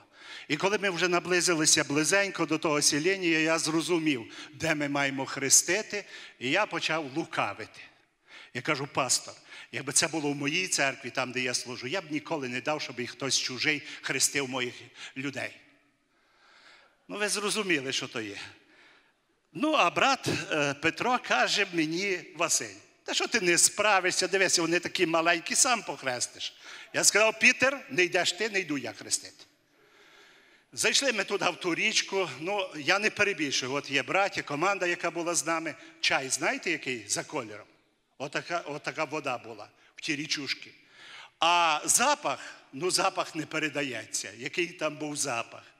І пішли ми з братом Петром, зайшли ми туди в ту воду, чуть вище колін залізли. Вони всі такі маленькі, 18 чоловік їх було. Ми хрестили. Знаєте, я дивився, пастор там на їхньому наречі, запитував, давав їм запитання, вони так гарно відповідали, ми хрестили їх, і потім вони так всі раділи, так плескали в долоні, так кричали Алелуя, я так розумів. Ви знаєте, мені так стало стидно. Я думаю, Господі, ми приїхали з багатої Америки туди. У нас абсолютно все є, але в нас немає того, що в цих людей. Вони мають радість, спасіння, вони переживають її, вони демонструють в такий спосіб, можливо, так, як їх навчили. І я хотів би, браття мої сестри, місіонери, щоб ця радість повернулася в наші зібрання, в нашому служінні, щоб ми робили це не з примусу, а щоб ми це робили, тому що нас покликав Господь. Апостол Павло сказав: і горе мені, коли я не благовіствую. Да дасть нам Господь оцю ревність, оце бажання. Я дякую Господу за наших місіонерів, за тружеників, які зараз будуть святкувати. Це брат Михайло Ханас, це Україна, Олександр Груслак, Німеччина і брат Роман Галіс, Ізраїль.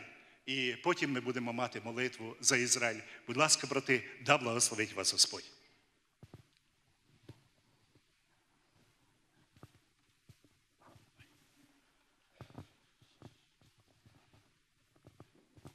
Слава Богу. Христос Воскрес. Сідайте, будь ласка. Мене звати Михайло. Я бачу, тут багато є людей, які вже чули моє свідчення, які знають мене. Але це те, що в мене виходить завжди добре, тому що я це пережив. Я бачив славу Божу в нашому домі. Я бачив славу Божу, як Бог ісціляє від раку. І все це я пережив в своїй сім'ї. І сьогодні просто хочу засвідчити, наскільки дійсності важливо бути в центрі. З самого початку було сказано в проповідях, і ми йшли сюди всі молитися, бути в центрі волі Божої. Мене запитали, Міша, а чому ти став місіонером? У мене відповідь проста. В мій дім прийшов місіонер і розказав про Христа. Дуже проста відповідь. І знаючи себе, знаючи своїх братів, знаючи наше положення в сім'ї, як ми жили безбожно, і просвіту, і якоїсь надії не було. Знаючи це, аналізуючи це, розумію, що як важно бути тою людиною, яка може піти і сказати, що тебе любить Ісус, що в тебе є надія. Інколи кажеться, коли я навіть зараз живу, бувши віруючим, я вже деколи і, і не стараюся пам'ятати і забуваю, що все ж таки такі люди є. Все ж таки такі люди є. Що Бог зробив в моїй сім'ї? Прийшов один старший чоловік, його звати брат Славік.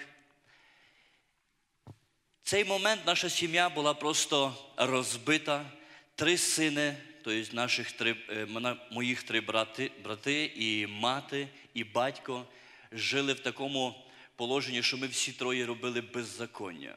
Ми чинили зло, були в банді. Що ми тільки не робили, міліція не переставала їздити в наш дім.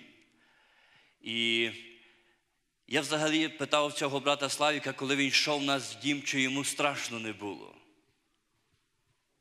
Тому що коли ми ще були тверезі, ще можна було щось з нами говорити, але коли ми були вже п'яні, то, то з нами вже неможливо було говорити. Ми сильно служили дияволу. Ми сильно служили дияволу, і дуже багато таких людей сьогодні є. Старший брат сидів три рази в тюрмі.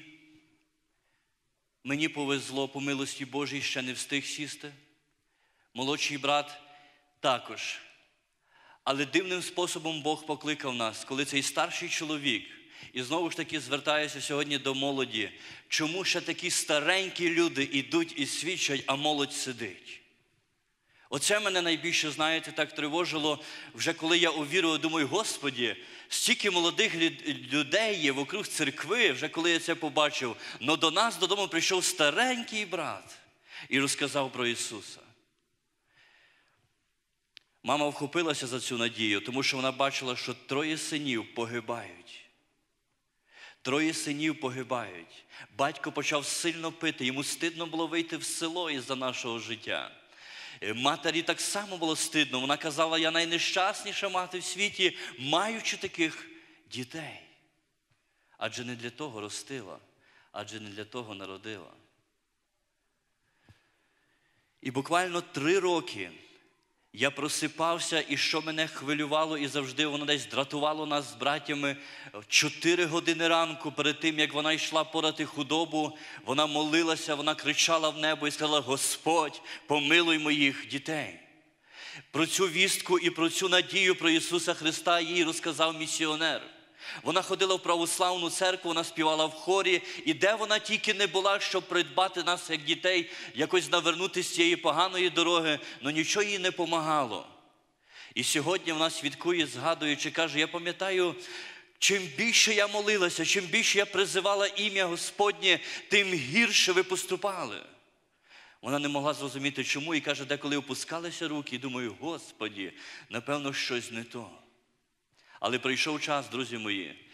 Три роки, біля трьох років, вона без перестанку молилася сльозами. І Бог прийшов на відповідь її молитов. Це треба було бачити, це бачили люди, це бачили сусіди, як Бог діяв в нашій сім'ї. Бог почав сильно впливати на мене. Мене алкоголь не задовільняв, мене гріх вже не задовільняв. Я не мав насолоди від гріха. Я не знав, що я маю робити. Знаєте, людина, яка ще грішить і має насолоду від гріха, вона ще щось в цьому житті ніби знаходить. Но коли Господь починає діяти, ти вже втрачаєш насолоду і хочеться всім зробити це таке, як самогубство. Я до цього йшов. Мої брати потім мені призналися, що в них такі самі думки були. І після трьох років молитов, щоб я не забрав багато часу, покаявся мій старший брат, покаявся молодший брат, покаявся я, покаявся батько і покаялася мати. Сьогодні вже моїх два брати і батько, вони є, несуть деякінське служіння в, церк, е, в церквах, там, де вони є. І після такого, знаєте, нелегкого життя моєї матері, тільки життя почалося, е, дізнаємося, що мама захворіла на рак. Ви знаєте, страшно, коли тобі Господь відкрився, коли ти згадуєш оті сльози, ці моменти, коли мама оплакувала тебе, коли тебе вже розум відкрився, Бог тобі його відкрив. І тяжко, так знаєте, стало на душі нам всім трьом синам і батькові, бо ми розуміємо, чиї це заслуги. І я пам'ятаю з ракової рікання, як ми вийшли з трьома, ну, ми троє братів вийшли. Одне пам'ятаю, мама каже, так було би добре бачити онуків. Хоча вони, вона і ми розуміли, і лікар казав, що це ще недовго залишилося. Одне, що каже, хотілося побачити внуків. А так каже, я радію, що мої діти спасенні. Щоб знову ж таки не, забагато, не брати багато часу, ми взяли піст і молитву. Лікар, який її вів, е, він е, готував її до операції, щоб вирізати цей орган, який був причиною цього раку, який був дійсності поражений. Аналізи були погані, і ми пригадуємо цей момент після трьох днів поста, якраз готувалися до операції, ми прийшли в лікарню. І лікар робить повторний аналіз і каже, щоб знати, що вводити, скільки вводити. І прийшов момент такий, знаєте, коли медсестра принесла ті повторні аналізи, він каже, ви чиї аналізи мені принесли? Каже, Хана з Марії. Каже, це не її аналізи. Я її лікар, я її вів. Весь цей час це не її аналіз. Він взяв ті аналізи, сам пішов, вертається назад і каже: я не знаю, що сталося, але нічого немає. Ми почали славити Бога, друзі. Просто це було чудо, яке ми прекрасно розуміли, що Бог зробив в нашому житті. Мати живе до сьогоднішнього дня. Вона бачить всіх онуків, які сьогодні є. І знаєте що, коли ми приїжджаємо, я як місіонер з Полтавщини, мій брат з іншого міста їде, і ми приїжджаємо своїми дружинами, ми приїжджаємо своїми нашими дітьми, її онуками, і вона каже: я сьогодні найщасливіша мати в світі. Чому? Бо бачу, що мої діти вони ходять в правді. Друзі, сьогодні багато сімей, таких як ми колись, молоді хлопці, які просто е, вбивають себе, просто які себе реалізовують для гріха. Нам так страшно чомусь до них підходити. Нам здається, що нас не почують. Но був момент, коли цей старенький брат він прийшов, він не побоявся і розказав про Ісуса. А Євангеліє, те, що ми сьогодні говоримо, це є сила Божа, яка може міняти тебе і мене в будь-який час, в будь-який момент і кого завгодно, якщо це слово звучить. У мене є дружина, яку Бог мені подарував, також про неї скажу. Я хотів, щоб вона вийшла сюди. Вона каже, я так переживаю, краще не буду портити нічого, я там посиджу, а ти каже, про мене скажи. Е, дружину Бог мені подарував. Я завжди кажу, що я не заслуговую такої дружини, тому що коли батьків знали, за кого вона виходить заміж, а мій авторитет всі знали, то вони готові були все завгодно зробити, щоб вона тільки не вийшла за мене заміж. Вони ж не вірять, що може так Христос поміняти зразу. Каже, Він щось придумав, Він хоче квартиру забрати в нас. І знаєте, ми любили один одного, ми почали зустрічатися, але коли я впізнав Христа, я зрозумів, як треба жити, наші стосунки якби перестали бути. І такий момент, коли батьки дізналися, що вона ще пішла в церкву цю, ну так забігаючи трошки наперед, е, я забагато забіг наперед, коли я пам'ятаю, зустрілися ми з нею, вона сказала: Міша, я почула, що ти пішов в штунди там, де твої батьки. Я кажу. Да. Вона каже: ну тоді вибирай або я, або ті штунди. Ну я ще на, на той час стільки мудрості не мав і кажу до неї, то видно, Бог мені дав таку мудрість. Кажу, ти неправильно трошечки сказала. Я кажу, ти сказала або ти, або Христос. Оце її зачепило. Вона вийшла, пам'ятаю, з цієї піцерії. Повірте, друзі, можливо, ми багато говоримо о духовних моментах, але коли ти прив'язаний до людини, коли яку ти любиш, приходить місяць, вона не дзвонить, а я її люблю. Приходить, знаєте, немало часу. Я думаю, Господі, ви знаєте, настільки тримався її, вона не дзвонила, і прийшов такий момент в життя моє. Я хочу сьогодні звернутися до всіх молодих людей, які, може, є такі моменти. І прийшов момент, коли я просто томився. Я сказав, Господі, я не хочу цього говорити, але я прошу тебе, звільни мене від цієї тяжесті, просто від того переживання. Я переживаю за нею, вона мені не байдужа, але я не можу спати нормально, я не маю волі, я не можу молитися нормально. Я кажу, Боже, от звільни мене від цього. Якщо вона має бути іншою дружиною для когось іншого, благослови, а мені дай мир. І знаєте, так не хотілося це говорити, але я зрозумів, що треба. І коли я це сказав, друзі, зразу на другий день вона подзвонила. Тому що я, я якраз, от Господь хоче побачити це в нас, от тим, чим ми найбільше сьогодні цінимо, чи готові ми тим пожертвувати ради нього. І вона подзвонила. Вона подзвонила і сказала, Міша, ладно, покажи мені, куди ти ходиш. Її завів туди. Вона послухала, Бог ще так благословив. Повний зал молоді. Проповідується, так знаєте, цільно, прямо, знаєте, хори гарно співають. Вона стоїть, я дивлюся, вона в шокі, вона ніколи в такому собранні не була.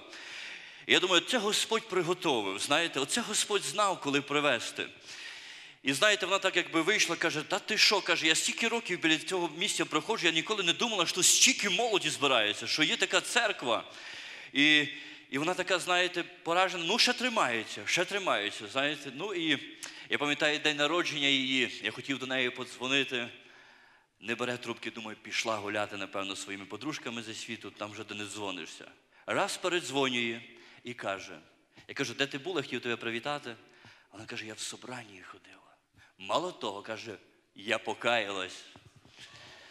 Знаєте, Бог, Він ніколи від тебе не забере то, що належить тобі, браті любі і сестри. Ми інколи так за це тримаємося, ми готові багато чим пожертвувати, думаючи, ніби Бог хоче від нас щось забрати. Те, що належить нам, Він нас благословить. Амінь, друзі. І коли батьки її дізналися, що вона ще й увірувала, вони її просто, ну, батько її сильно бив. Друзі, я не знаю, чи сьогодні хтось е, в даній нашій ситуації, молодь, чи хтось вже получав за Христа. Я навіть я ще не получав. Оскарбляли різними моментами, ну не получавши за Христа. А вона встигла багато получити за Христа. По голові її батько бив, копав живіт. Сам чоловік з Афга- після Афганістану бити вміє. І знаєте, вона завжди дзвонила і казала, що мені робити? Ну, взяти до себе додому я її не можу, бо Біблія так каже. Ну що робити, як помогти їй? І знаєте, приходив час, вона це все терпіла. І от прийшов день, коли одного разу її батьки просто склали чемодани і сказали вийти з дому. Дружини, чоловіки, які ще не одружені, можливо. Отакий вирок про стоїть. Або ти зрікаєшся, або ти йдеш від нього, зрікаєшся тої секти, а єдина дочка. Або іди з хати геть, куди хочеш. І вона пішла до мого брата. Мій брат на той час був вже одружений. Там була трьохкомнатна квартира, вони її прийняли до себе. За дружину вона мені ставала, я її брав з квартири своєї, е, свого брата. Коли я під'їхав, я пам'ятаю, вона вийшла в весільному платі. Я вийшов так.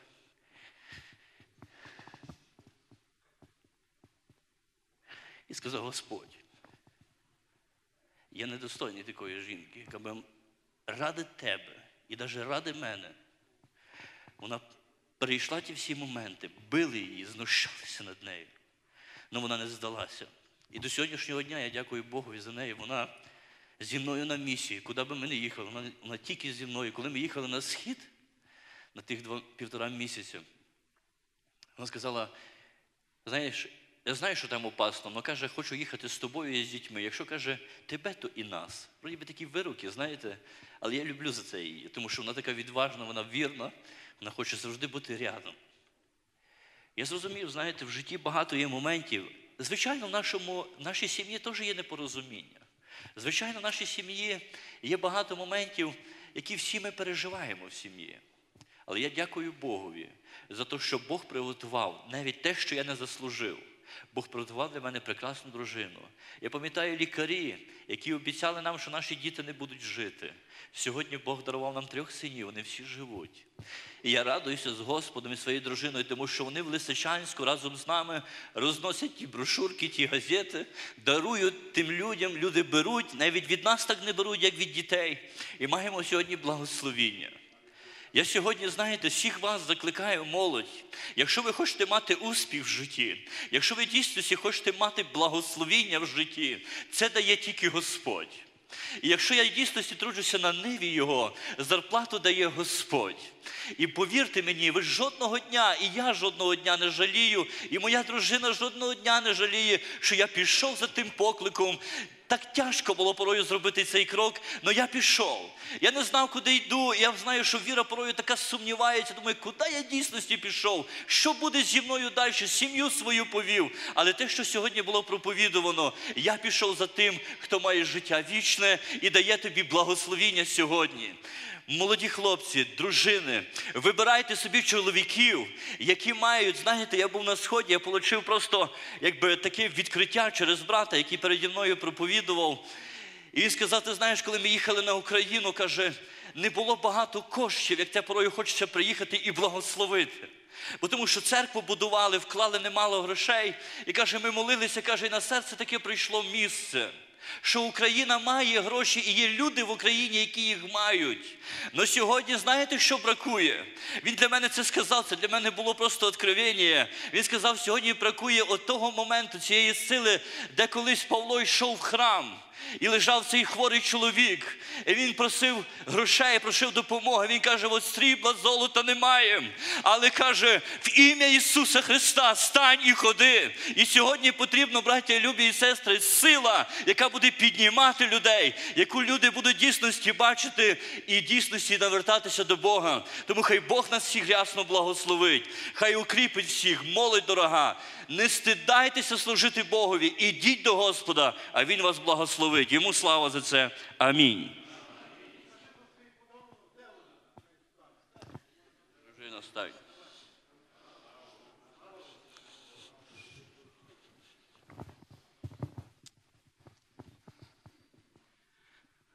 Слава Господу! Я тоже очень рад быть на этой конференции. Знаете, мы много вместе работаем, но есть такое время, когда можно просто так отдохнуть, посидеть и так подводить итог, вспомнить одно и другое, что мы сделали, что еще хотим сделать, а много хотим еще сделать. И каждого, я смотрю, по-другому призывает Бог на эту работу, на эту миссионерскую работу. Знаете, вы все нужны Господу, все, без исключения. Знаете, когда Иисус послал учеников за осленка, Он сказал, если вас спросят, то скажите, Он нужен Господу. И вы нужны Господу. Я буквально на днях читал, и вы все его читали, там речь идет о сотнике. Сотник, у которого заболел слуга. Заболел слуга, и он пошел. Ему было не безразлично, он хотел, чтобы этот слуга был исцелен. Я работаю на хорошей работе, у меня много рабочих, и вы знаете, я с такими не нянчусь, которые не хотят работать, которые, ну, мне не подходят. Взял, уволил, другого взял. И думал, сотник, ну я представляю, это какой-то военный начальник, которому подчиняется 100 людей, и слуга. А что ему не поменять? Нет, он не поменял. И я так подумал, как дивен наш Господь. Он нас не меняет. Если мы и заболели, то Он нам помогает, и чтобы мы опять вперед шли. Вчера такая была мысль, и знаете, очень интересная. Там была мысль доверить деньги Богу, доверить время и доверить детей. И я очень благодарен, что я вырос или родился в верующей семье. И Знаете, я так вспоминал, вспоминал, и я думаю, что Бог меня с детства готовил к этому, к этому, к этой службе, к этой работе. Я вспоминаю, я был так, может, 10, 11, 12. Может, для молодых это не интересно, но старые, наверное, вспомнят, что очень дорого было достать Библию или гусли пения. Я не буду говорить, где я жил и как это было, но там была подпольная типография. И там печатались эти все. А папа меня заставлял, не заставлял, он говорит, складывай все листки по страницам. Вот там страницы так, и складывай. И мы вечерами, когда темно, под лампочкой сидели, я страницы собирал, а он склеивал их, а потом другим отдавали, они корочку делали. И вот так мы, так я учился быть миссионером. Когда я подрос, и была команда так, 19 лет мне было, говорят, поедем в Финляндию грузить Библии. Мы там загрузили три грузовика. Я тоже не скажу, как мы грузили и как мы отправляли. Но эти грузовики пошли в Советский Союз. И буквально, может быть, 10 лет тому назад один брат с Молдавии приехал, и мы так вместе разговариваем в моем доме. И я рассказываю, как мы грузили эти грузовики Библиями. А говорит, а я, говорит, в лесу выгружал. Мы обнялись и говорим, слава Господу, одну и ту же работу делали – и вы знаете, я так думаю, знаете, это очень хорошо быть, много миссий иметь. И я всегда так за объединение миссии. Знаете, не всегда должна миссия все делать. Мы собираем автомобили, и мы знаем, одни делают мотор, другие делают оси, третьи еще что-то, а что-то и докупаем, колеса докупаем, там, э, фары докупаем. И поэтому миссия не должна всегда все сама делать. Ну, часть ты, часть другая миссия, и вот так вместе объединиться, и можно очень-очень большую работу делать. Еще немножко вспомнил я, буквально вот несколько лет тому назад, тут была речь тоже о Непале, ну, Индии я тоже часто был, я не буду вспоминать, часто вспоминают, потом после меня брат тоже будет про Индию говорить. Ну, в Непале я первый раз попал – и такой рассказ был, там тоже один служитель рассказывал, что они так каждые полгода идут в горы. Ну, Непаль достопримечательным горами, да, там очень большие горы, высокие горы. И он говорит, мы идем так на высоту 4 тысячи, 5 тысяч метров, и говорят, там люди о Боге вообще ничего не знают. И люди там долго не живут. Среднее, средний возраст их 45 лет. И умирают. Потому что там совсем другой воздух, меньше кислорода. Ну, все так. Ну, у меня так появилось желание, я говорю, я тоже туда хочу. Я тоже туда хочу. Знаете, он на меня так посмотрел, улыбнулся, сказал, Саша, тебе минимум 20 килограмм скинуть надо. И говорит, спортзала тебе за полгода, вот мы планировали через полгода, спортзала тебе не выходить. Но я думал так, 20 килограмм скинуть, это очень тяжело. А в спортзал вообще времени нету, вообще. Ну и так я уехал. Через некоторое время я написал по электронке ему письмо, говорю, вот, Юра, я хотел с тобой в горы, а ты не хочешь. Он мне пишет обратно, Саша, я не отказывал тебе, я только условия поставил. Ну, я пишу опять и говорю, я понял, что эти условия я не могу исполнить, поэтому никогда там не будет. Но он меня начал немножко так утешать и говорит, давай пониже, давай на 3000 метров. Ну, думаю, ну 3000 метров тоже пойдет. И мы собрались, сделали план так, и евангелизации хотим проводить. Я говорю, я группу возьму, то все. Он говорит, Саша, здесь в Непале так не проводят евангелизацию. Я говорю, а как? Ищи врача, ищи медсестер. И говорит, мы только эти люди, которые там в горах живут, они никогда вообще не видят врачей, ничего, они так и умирают болезнями. И говорит, мы будем служить им, просто спрашивать, что у вас болит, будем им служить и о Боге говорить.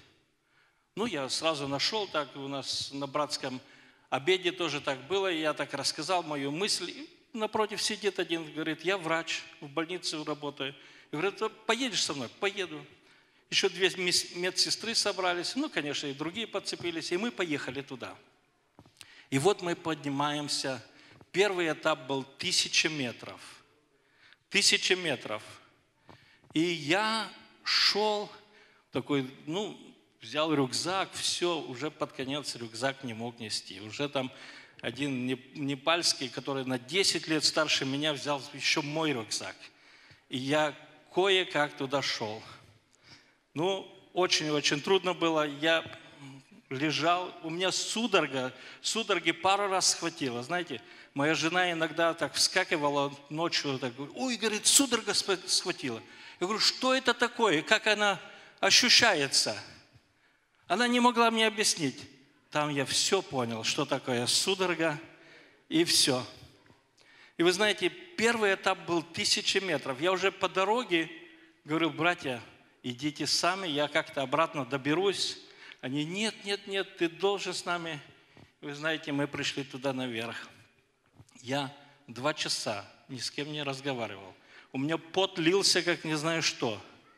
Но после двух часов умылся, я начал разговаривать, они говорят, о, Саша жил, значит, дело пойдет.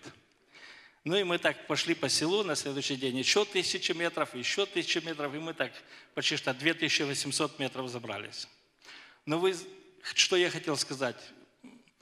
Такое благословение там мы почувствовали. Знаете, у меня был врач, и он размахивался всегда руками. И говорит, Саша, говорит, мы здесь ничего не можем сделать, э- этих надо везти в больницу. Я говорю, Дима, не, не это самое, не разводи руками, это так смотрится, как будто мы ничего не можем сделать. А еще был с нами этот Юра, баптист, он говорит, братья, вы же пятидесятники, а что у вас веры нету? Да помолитесь и все, и выздоровят они. Вот, думаю, искушение. Еще и он мне тут э, подкалывает. Ну и вот, и мы так очередно, он там что-то там мажет, там что-то слушает и все, а мы за, за, за этого больного молимся. И вот опять подходит молодая девушка, и он мне говорит, Саша, говорит, у нее уже три месяца не идет месячная. Ее надо, или не перестает месячная, не перестают месячные. Ее надо в больницу везти. А моя очередь молиться. Я вам скажу, я там молился, как никогда. Как никогда. Я так молился, я так Бога просил. Я говорю, Господь, если бы ты здесь был бы, мы, я бы сказал бы, возьми за его ткань одежды и выздоровеешь. Но ты здесь, а, но мы тебя не видим, и поэтому мы тебя просим. Вы знаете, конечно, я приехал домой уже через неделю, опять набрал это самое телефон номер и спросил, как там та сестра. И говорит, слава Богу, все хорошо. Я думаю, Господи, слава Тебе, это не моя заслуга, но, но там просто э, нам не стыдно стало, что мы пятидесятники и что мы могли помолиться. Так что очень интересная жизнь. И вот сразу после того я поехал, а, они меня там интервью снимали, Саша, ты еще, еще такую поездку будешь делать? Не, я говорю, один раз, и она хватит. Я говорю, я уже излечился. Приехал в Америку, меня Славик Рачук взял в одну церковь, и там взяли с меня интервью, я тоже самое рассказывал. И он мне спрашивает так же самое, ну ты бы сделал опять такую поездку? Я говорю, пускай мне те простят, которые сказал, что я такую поездку больше делать не буду. Но теперь я уже готов опять такую же сделать. Знаете, такие поездки вдохновляют. И был такой, здесь вспоминалось про талантов, да, что Бог раздает таланты. Одному там пять, другому два, а третьему один. И я так часто чувствую, что у кого-то Бог забрал этот талант, который он закопал, и мне дает. Я думаю, Господи, знаете, теперь опять В прошлом году мы как раз с Кривого Рога приехали, и один молодой там с Германии встретил меня, говорит, брат Саша, говорит, вы делаете поездки разные, могли бы взять меня с собой? э, Меня с собой? Ну, я говорю, без проблем. И он раз-два набрал сразу э, э, больше количества, и мы сразу э, в Индию полетели в феврале месяце в этом году, а в мае месяце в Кривом Роге уже 20 с лишним человек было. Но, слава Богу, для славы Божьей это делаем. Что вам пожелать? Мое время, конечно, кончается. У нас был такой девиз буквально две недели, да, брат Виктор, назад была конференция. И такой девиз был, и этот девиз у нас был 2 Тимофея, 1 глава, 13 стих. Здесь написано, «Держись образца здравого учения, которое ты слышал от меня с верою и любовью во Христе Иисусе». Образец – это, даже не знаю, как вы объясните образец. Это образец, знаете, метр, например, метр лежит в Париже в одном месте. И я всегда думал, для чего этот метр там лежит? Чтобы иногда года в год вытягивать этот метр и сравнивать, не отошли бы мужа чуть-чуть дальше. И брат Петр Больш там такой пример хороший приводил, он мне очень понравился, я вам тоже его расскажу. Говорит, его сосед делал забор дома и резал доски. И говорит, он нарезал доски, но он брал всегда последнюю доску и резал по последней доске. И забыл, что эти три миллиметра от пилы, она все нарастает и нарастает. И когда нарезал, сделал забор, то на 50 метров он ушел на 15 сантиметров. На 15 сантиметров. Были здесь и такие, знаете, спрашивали, а, э, э, кто, кто был вам примером, ну и там говорит, тот миссионер или тот миссионер. Нам надо смотреть на первые примеры. Может, какой-то миссионер добавил что-то, и мы чуть-чуть добавим, а после нас еще что-то добавит. Держаться образца, держаться образца. Пусть вас Бог всех благословит и нас также, а Ему за все будет слава. Аминь.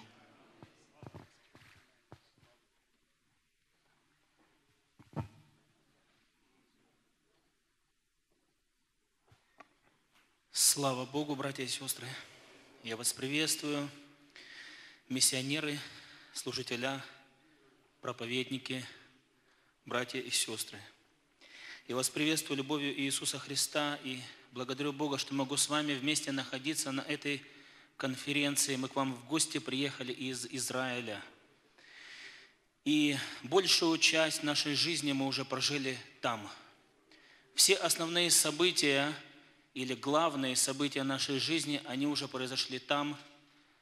Там мы уверовали, там мы покаялись, там мы отслужили армию, женились, там у нас родились дети, и там сегодня мы несем служение. Мы в Израиле живем уже 26 лет с 91 года. И я хотел бы немножко, имея в запасе небольшое время, поделиться, какие благословения и какие трудности мы проходили в нашей жизни. Но перед тем, как я поделюсь этими трудностями и благословениями, которые мы имели и до сих пор имеем, я хотел бы прочитать одно место из Священного Писания, которое говорит нам Господь Иисус Христос. Когда ученики шли за Иисусом, не всегда это было просто. У Христа были какие-то требования – Христос чему-то их учил, Христос к чему-то их готовил. Это была серьезная школа. Это не была просто такая вот прогулка. И когда мы даже людям говорим о том, что мы идем по дороге в Небесное Царство, то по дороге в Небесное Царство не идут в припрыжку. Это дорога. И порой дорога непростая, нелегкая, но трудная, на которой мы встречаем испытания и борьбу. И Христос в разговоре со своими учениками и с теми людьми, которые подходили к Нему и задавали вопросы, и спрашивали, интересовались, Он однажды сказал такую вещь. Это Лука, 9 глава, 63 второй стих. Но Иисус сказал ему, некто подошел, спросил вопрос. Но Иисус сказал ему, никто, возложивший руку свою на плуг и озирающийся назад, неблагонадежен для Царства Божия. Братья и сестры, кто трудится, кто несет служение, кто находится на передовой, кто едет на миссионерский труд, я вас могу понять, это непросто. Это очень непросто. Когда ты начинаешь что-то с нуля, когда ты приходишь туда, где все разрушено, развалено, это все равно, что человек пришел на какое-то поле или на развалины, и он должен все начинать с нуля. Это очень непросто. Это большая работа. И, знаете, в течение этих лет, которые Бог нам дал там в Израиле нести служение, мне помогла одна притча. Однажды мне рассказали такую притчу, может быть, вы слышали ее, и я хотел поделиться с вами, чтобы это вдохновило вас, чтобы это помогло вам в том труде, который вы несете. Друзья, это такая иллюстрация, это притча, когда Бог сказал человеку, толкай камень. Перед человеком был огромный камень, и Бог сказал, толкай этот камень. И человек начал толкать этот камень. И он его толкал, и толкал, и толкал, и уставал, и вновь начинал толкать, и руки у него опускались, и он не видел никаких результатов, и опять продолжал толкать, и опять падал, и опять вставал, и опять толкал этот камень, пока он не выбился из сил, пока он не устал, и не возопил к Богу, Господи, я этот камень толкаю, а он не двигается. И тогда Бог сказал ему такие слова, я тебе повелел этот камень толкать, двигать его буду я. Братья и сестры, точно так же произошло и в нашем случае. Вы знаете, около десяти лет назад мы переехали в город – в котором было небольшое служение. Там был один брат, пресвитер, пожилой, который несколько лет назад отошел к Господу. Был мой тесть, который покаялся, и был еще один брат. И когда мы переехали туда, я был четвертым братом в собрании. Из четырех братьев два брата проповедовали, это пресвитер и я. Это была, знаете, маленькая группа людей. Нас было 12 человек – и когда мы туда переехали, мы думали, что мы будем служить Богу, и Бог приведет многих людей, и все так было замечательно. Но именно тогда начинался очень сложный, непростой период, который длился примерно 4 года. Когда ты вкладываешь себя, когда ты молишься, когда ты понимаешь, что ты отдаешь себя на труд, а результатов никаких, просто ноль. Ни одного нового человека. Не было у нас даже гостей. Не было детского служения, не было музыкального служения, не было как таковой евангельской, библейской нормальной проповеди. Когда люди в собрании ссорятся, когда люди уже не знают, чем заняться и уже начинают грызть друг друга. Это ситуация, когда ты стоишь и не знаешь, что делать. И это не то, чтобы день или два или неделя – это изо дня в день, из недели в неделю, из месяца в месяц, из года в год ты видишь то же самое. Никаких перемен, никакого сдвига. И пришел момент, когда я действительно выбился из сил. У меня было много ревности. Бог призвал меня из мира, Бог освободил меня от зависимости. У меня есть свидетельство – и когда я рассказываю, я благодарю всегда Бога, что Он искупил меня, освободил и простил. И я познал Господа, хотя мы и моя жена из еврейских семей, мы чистокровные евреи, и нам тяжело было прийти к Иисусу Христу. Это был серьезный барьер, преграда. Но Бог открылся нам. И у меня было много ревности. Я хотел рассказывать о Боге, но ты что-то делаешь, и у тебя не получается, и это непросто. И вы знаете, пришел момент, когда я выбился из сил, как вот этот человек из этой притчи, который толкал камень, изо всех сил толкал, но пришел момент, когда он просто выбился из сил и опустил руки.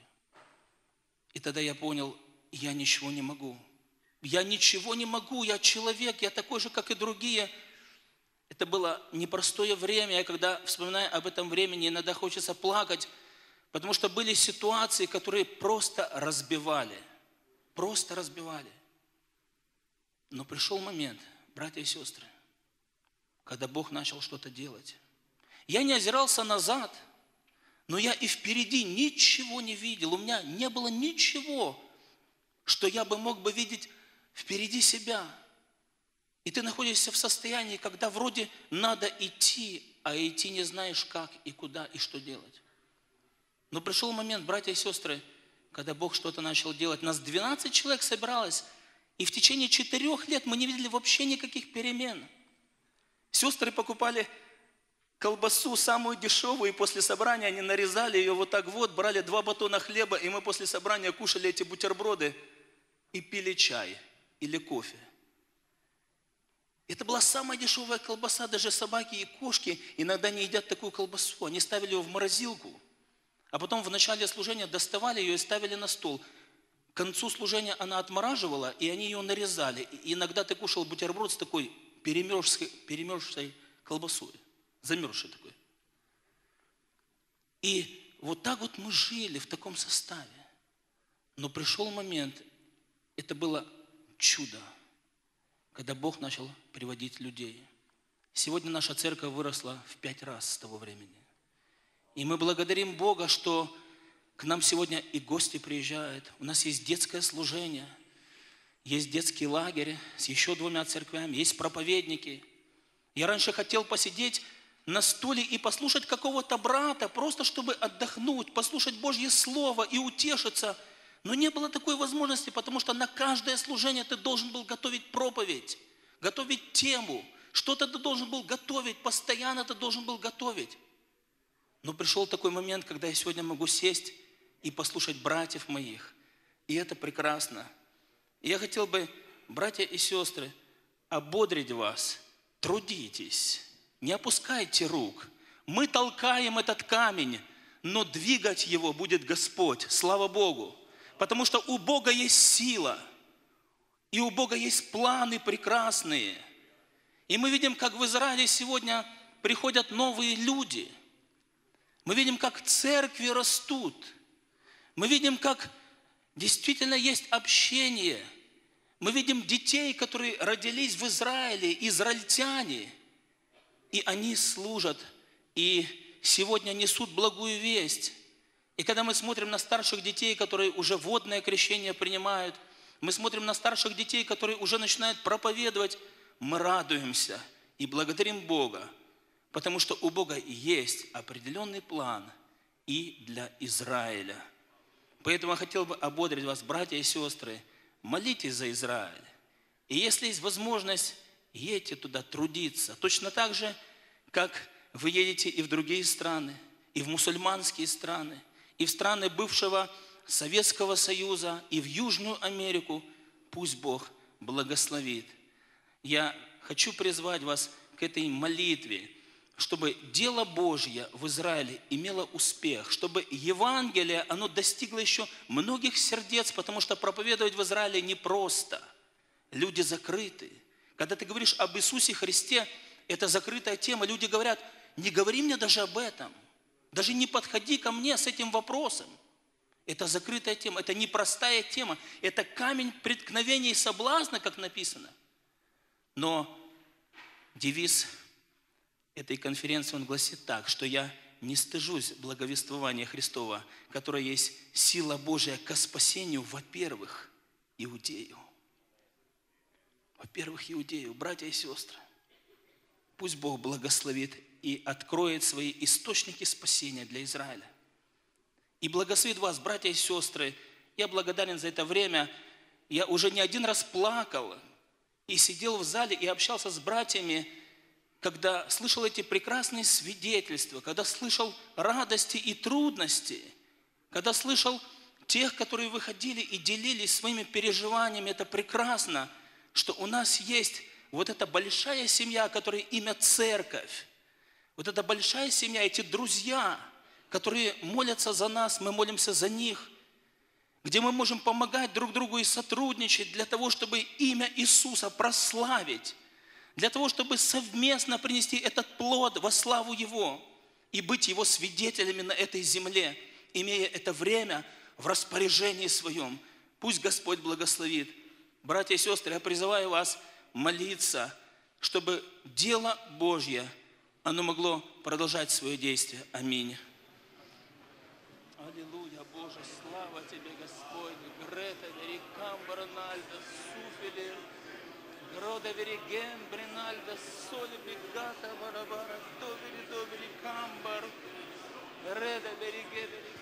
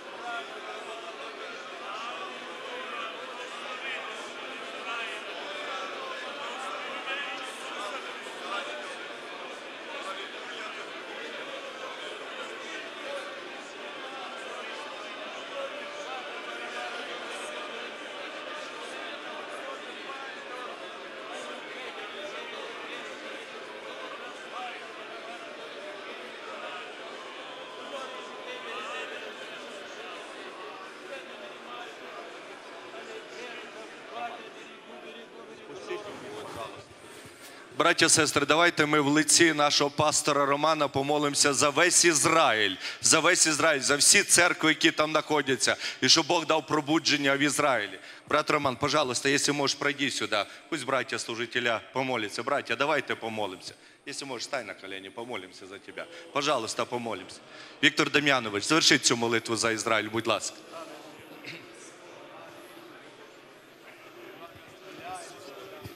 Молимося разом.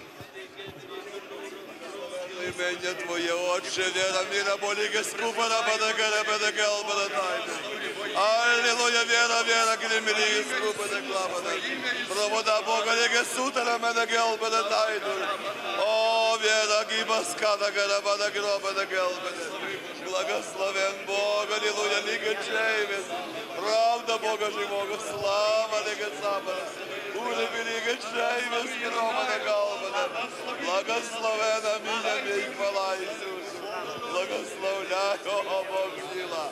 Аллилуйя, віра, Германика, Суда. Благословен, амінь, хвала Ісусу. Отче наш, ми вдячні Тобі. Ми щиро дякуємо за народ Твій, народ Ізраїля. Дякуємо Тобі, Боже. Дякуємо, що Ти визначив Його, Ти вибрав Його, Господи. Дякуємо Тобі. І ми просимо мира Єрусалиму. Благослови, Отче наш, благослови Ізраїля. Ми благословляємо, благослови Ти, Господи Боже наш. Ми молимо Тебе, народ Ізраїля, благослови. І не тільки хто проживає в тій країні, а по цілому світові. Благослови Ізраїля, Отче Небесний, благослови. Також молимо, дай покаяння Ізраїлю. Хай прийме Сина Твого, Христа Ісуса, благослови. Помазанця Твого, хай приймуть і спасаються. Благослови, о Боже наш. Благослови кожну помісну церкву в Ізраїлі, благослови кожного пресвітера, діякона, благослови кожну твою дитину в Ізраїлі, благослови, щоб спасалися люди, благослови пробудженням, покаянням, новим життям умоляємо тебе. Поблагослови, щоб Ізраїль був, Господи, щасливий тобою і спасенний для вічності. Благослови Ізраїля в ім'я Ісуса Христа. Просимо Тебе, Отче наш Небесний. Амінь. Амінь.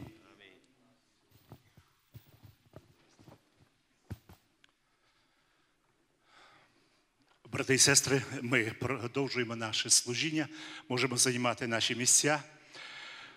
Ви знаєте, е, настільки це гарні такі свідоцтва, які ми чуємо. Те, що робить Господь, використовуючи наших братів і сестер для своєї слави. І брат Саша згадував про те, що прийшла конференція там в Німеччині. Держись образця здравого учення. Певного часу апостол е, Павло, пишучи післання до Тимофія, він сказав: да не пренебрегает ніхто твоєю юностю. Да? Або іншими словами, нехай молодечим твоїм віком ніхто не гордує. Але будь зразком. Ви знаєте, я хотів би декілька слів до молоді звернутися. Коли ми хочемо, щоб наше служіння було успішним, ми повинні бути зразком, взірцем. Не тільки для світу. Для світу не так уже і складно бути взірцем, правда? А ось для вірних бути взірцем це набагато складніше. Я пам'ятаю, колись я працював, тільки переїхали до Америки, працював в одній компанії. І, ну, ви знаєте, е, ми, українці, в нас завжди свій підхід. І ми робили кришу, строїли, і там треба стропіли, да? крокви по-нашому. І я собі зробив зразок і написав там по-українськи зразок. Мій напарник приходить до мене і каже: Василій, what is it? Що це таке? Ну, а я подивився і стараюся йому перевести. Як це пояснити, що то є? А він читає 3PA, 3OK. А, вон воно що, що його так здивувалося, що я таке написав. І потім, скільки ми вже працювали, ми так підшучували і говорили. І я кожного разу, коли це слово зустрічаю, будь зразком, будь тим високим стандартом. Цього чекає від нас світ. Тому да благословить нас Господь цією ревністю, цим бажанням для того, щоб представити Христа. Найвище світло, найвищий стандарт це є наш Господь. І ми репрезентуємо Царство Боже тут, на цій землі. Група Анвесер, ви готові там служити? Да? І потім наш брат Іаков. Пожалуйста, да благословить Господь. Сестра Таня буде служити також. Пусть Господь благословить. Not yet.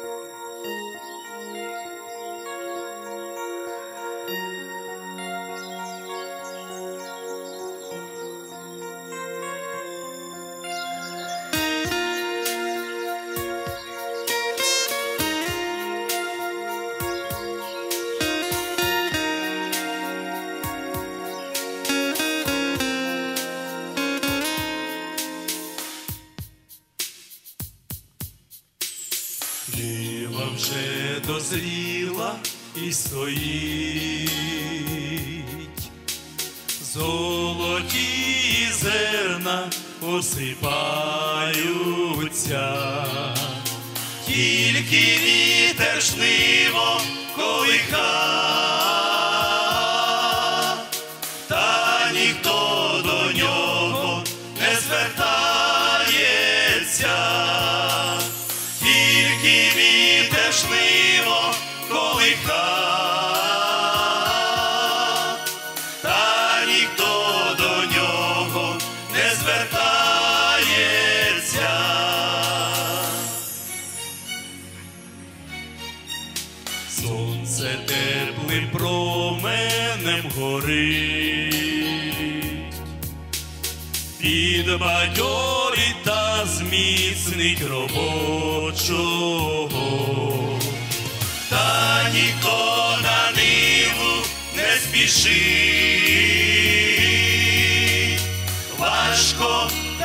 Nike, Nike.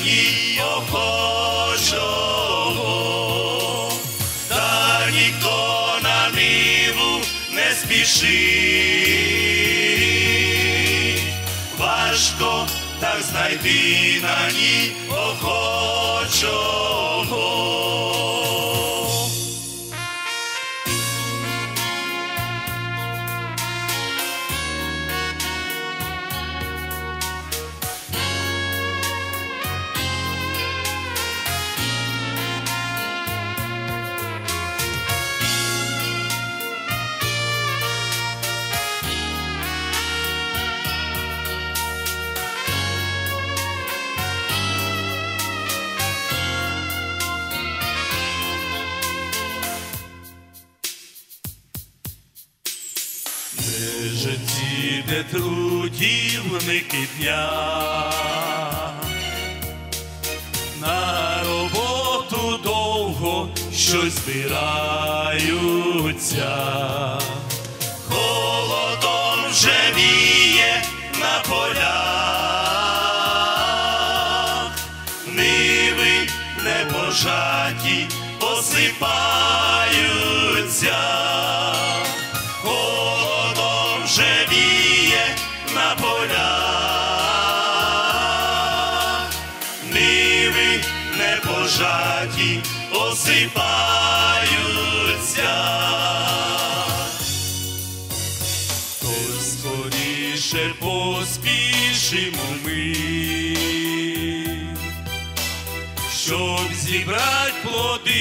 Yeah.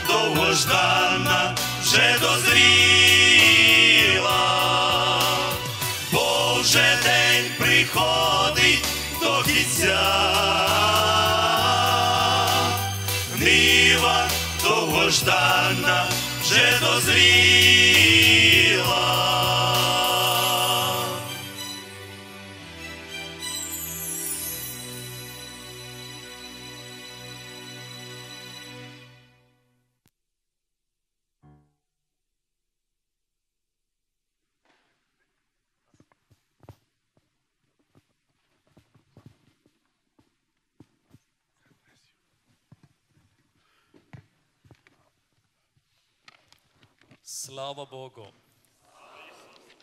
It's a great joy and a privilege to be with you in this Это огромная радость и привилегия быть сегодня с вами в этот день. Every message, every testimony I hear, Каждое слово, каждое свидетельство, что я слышу здесь, I'm truly encouraged and blessed. Это по-настоящему поощряет на то и дает благословение. Thanking the Lord for the privilege of being with you during this И я благодарю своего Господа за эту величайшую привилегию быть сегодня с вами на этой конференции. Just two months ago, I was here in Ukraine for about 16 days. Где-то приблизительно два месяца тому назад я был здесь на Украине. A last part of my visit in Ukraine, we came to Rivna. И последнее мое путешествие в Украине мы посетили Ровно. And we went to visit our dear brother Rachaslav. И мы также приехали посетить нашего дорогого брата э, Вячеслава. And uh, he has given us a good food. И они угощали нас хорошей едой. And brother said, Jacob, we will be having a missionary international conference in June. И он сказал мне, Яков, мы будем иметь международную миссионерскую конференцию в июне. And then he called brother Yuri from America to speak with him. И он позвонил тут же брату Юрию в Америке, чтобы поговорить с ним. And brother Yuri said, "Uh, Jacob, would you consider to come to our international conference? И тогда Юрий говорит, брат Яков, вы смогли бы приехать к нам на нашу международную конференцию? Then I said, then I will reply to you when I go back home. И я сказал, что когда я по приезду домой, я обязательно вам отвечу. Then we prayed about it. И мы молились об этом. Then I called a dear brother and I confirmed that I will come. И тогда я позвонил братьям и подтвердил, подтвердил, что я буду сегодня здесь. But as we were coming closer to the conference, Но так как мы приближались ближе к конференции, gradually the devil tried to develop some problems. постепенно дьявол как-то проявлял такие проблемы. As most of you are aware, today so many Christian active organizations in India are under pressure. Как вы уже знаете, что в Индии много христианских организаций, они находятся под давлением. And even some of the organizations are closed. И даже некоторые организации уже закрыты. More pressure, more pressure coming on.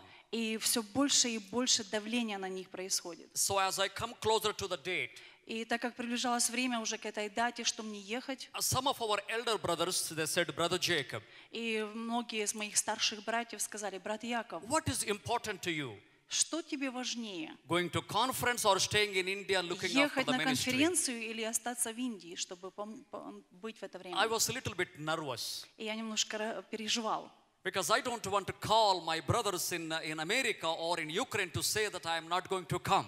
Потому что я уже не хотел звонить моим братьям в Украине и в Америке и сказать, что я не могу приехать. I kept my ticket until last minute. И я э, держала покупку билета на последнюю минуту. On the last day, I, I told to my wife И уже в последнюю минуту я сказала моей and all жене the team, all the team of my people. и всей моей команде, And no matter what happens, I'm still going.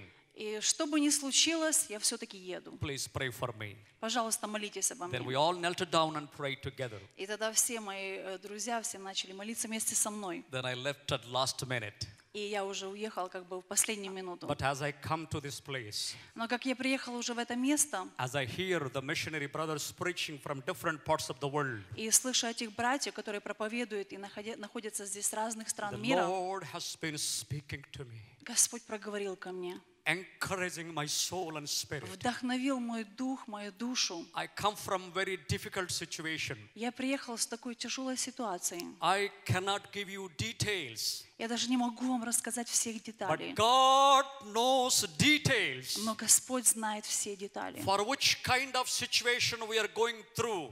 И какие ситуации мы про- проходим, Он знает. But as I came yesterday, И так как я приехал сюда вечером, every single minute, every preaching, и каждая минута, каждая проповедь, it's a tremendous blessing to me. это величайшее благословение для I'm меня. personally believing God has organized this conference for me. И я лично убежден, что Господь организовал эту конференцию лично для меня. I wanted to thank all the heads of the conference and all the missionaries and bishops. И я хочу поблагодарить всех глав и организаторов этой конферен- конференции и миссионеров. Thank you for this conference. Спасибо вам огромное за эту Thank конференцию. you for your kind invitation. Спасибо вам за ваше доброе приглашение, It's a truly encouragement. Это такое поистине вдохновение для меня. I love the Lord Jesus Christ. Я очень люблю своего Господа Иисуса He Христа. is my Lord, my Savior. Он мой Господь и мой Спаситель. And I love the word mission and missionary. И я очень люблю это слово «миссия» и «миссионеры». When somebody tells me I'm a missionary И когда мне кто-то говорит, что я миссионер, or a word mission, или слово «миссия», that makes me to cry. это просто вызывает у меня слезы. Word mission is very close to my heart. Потому что слово «миссия» так близко к моему сердцу. Missionary. Миссионеры. Who is a missionary? Кто они, эти миссионеры? Jesus Christ was the first missionary. Иисус Христос был первым миссионером. He was willing to leave all heaven Он был согласен и согласился come to the оставить все world небо и прийти на and to землю, die on the cross of Calvary умереть на Голговском кресте for me для меня and for all of us. и для всех вас. He is the first missionary. Он был первым He миссионером. is our example. Он наш пример. He is our inspiration. Он наше вдохновение. He is our model. Он наша модель, для по которой подражать. I praise God for my Lord Jesus. И я благодарю Его за, за это имя Иисус Христос. Many years ago, Много лет тому назад two American gentlemen, два американских брата, they hear God speaking to them, Господь проговорил им, and they said to the Lord, и они по- послушали Его. Lord, Господь, we will go мы люди, to India. и- India, to India. и мы едем в Индию. We do not know what will happen there. Мы даже не знаем, что там произойдет. We don't know the language. Мы не знаем языка, We don't know the culture. Мы не знаем их But культуры. yet, Lord, we obey. Но, Господь, мы, мы послушны Тебе. We will go. Мы поедем. And they left their dear ones, И они оставили своих дорогих, families. свои семьи. They could have easily excused, Они, они могли бы очень легко найти извинения для своей поездки. but they were obedient, Но они были послушны. saying, Lord, Они сказали, Господь, we will go. Мы поедем. They came to India, И когда они приехали в Индию, tried to preach the gospel. они старались проповедовать Евангелие. By seeing these white people, И они, э, Индия, ин- индийские люди увидели этих белых людей. people might be running into bushes. Они, наверное, убегали в кусты. Oh, white man coming О, пришли эти белые люди, to take my gods. чтобы они забрать мои I don't богов. want white man God. Мы не хотим этих белых богов, белых людей. I have a 330 million gods. У нас уже э, есть э, 340 миллионов богов. Why should I need one more God? Зачем нам еще какой-то бог? People might be skeptical, И они скептически относились к этому. maybe not coming to hear to them. И они даже не подходили к ним, чтобы слушать их. But one particular evening, Но в один э, такой особый вечер they could come to little Indian village они пришли в одну маленькую индийскую деревню. at about 7 o'clock in the evening, Это где-то было приблизительно 7 часов вечера. right in the pitch dark. Это было в кромешней темноте. No microphone, Никаких микрофонов, no electricity, никакое электричество, no people, никаких людей. but two faithful American brothers Но этих два верных американских with a брата, translation of a local brother.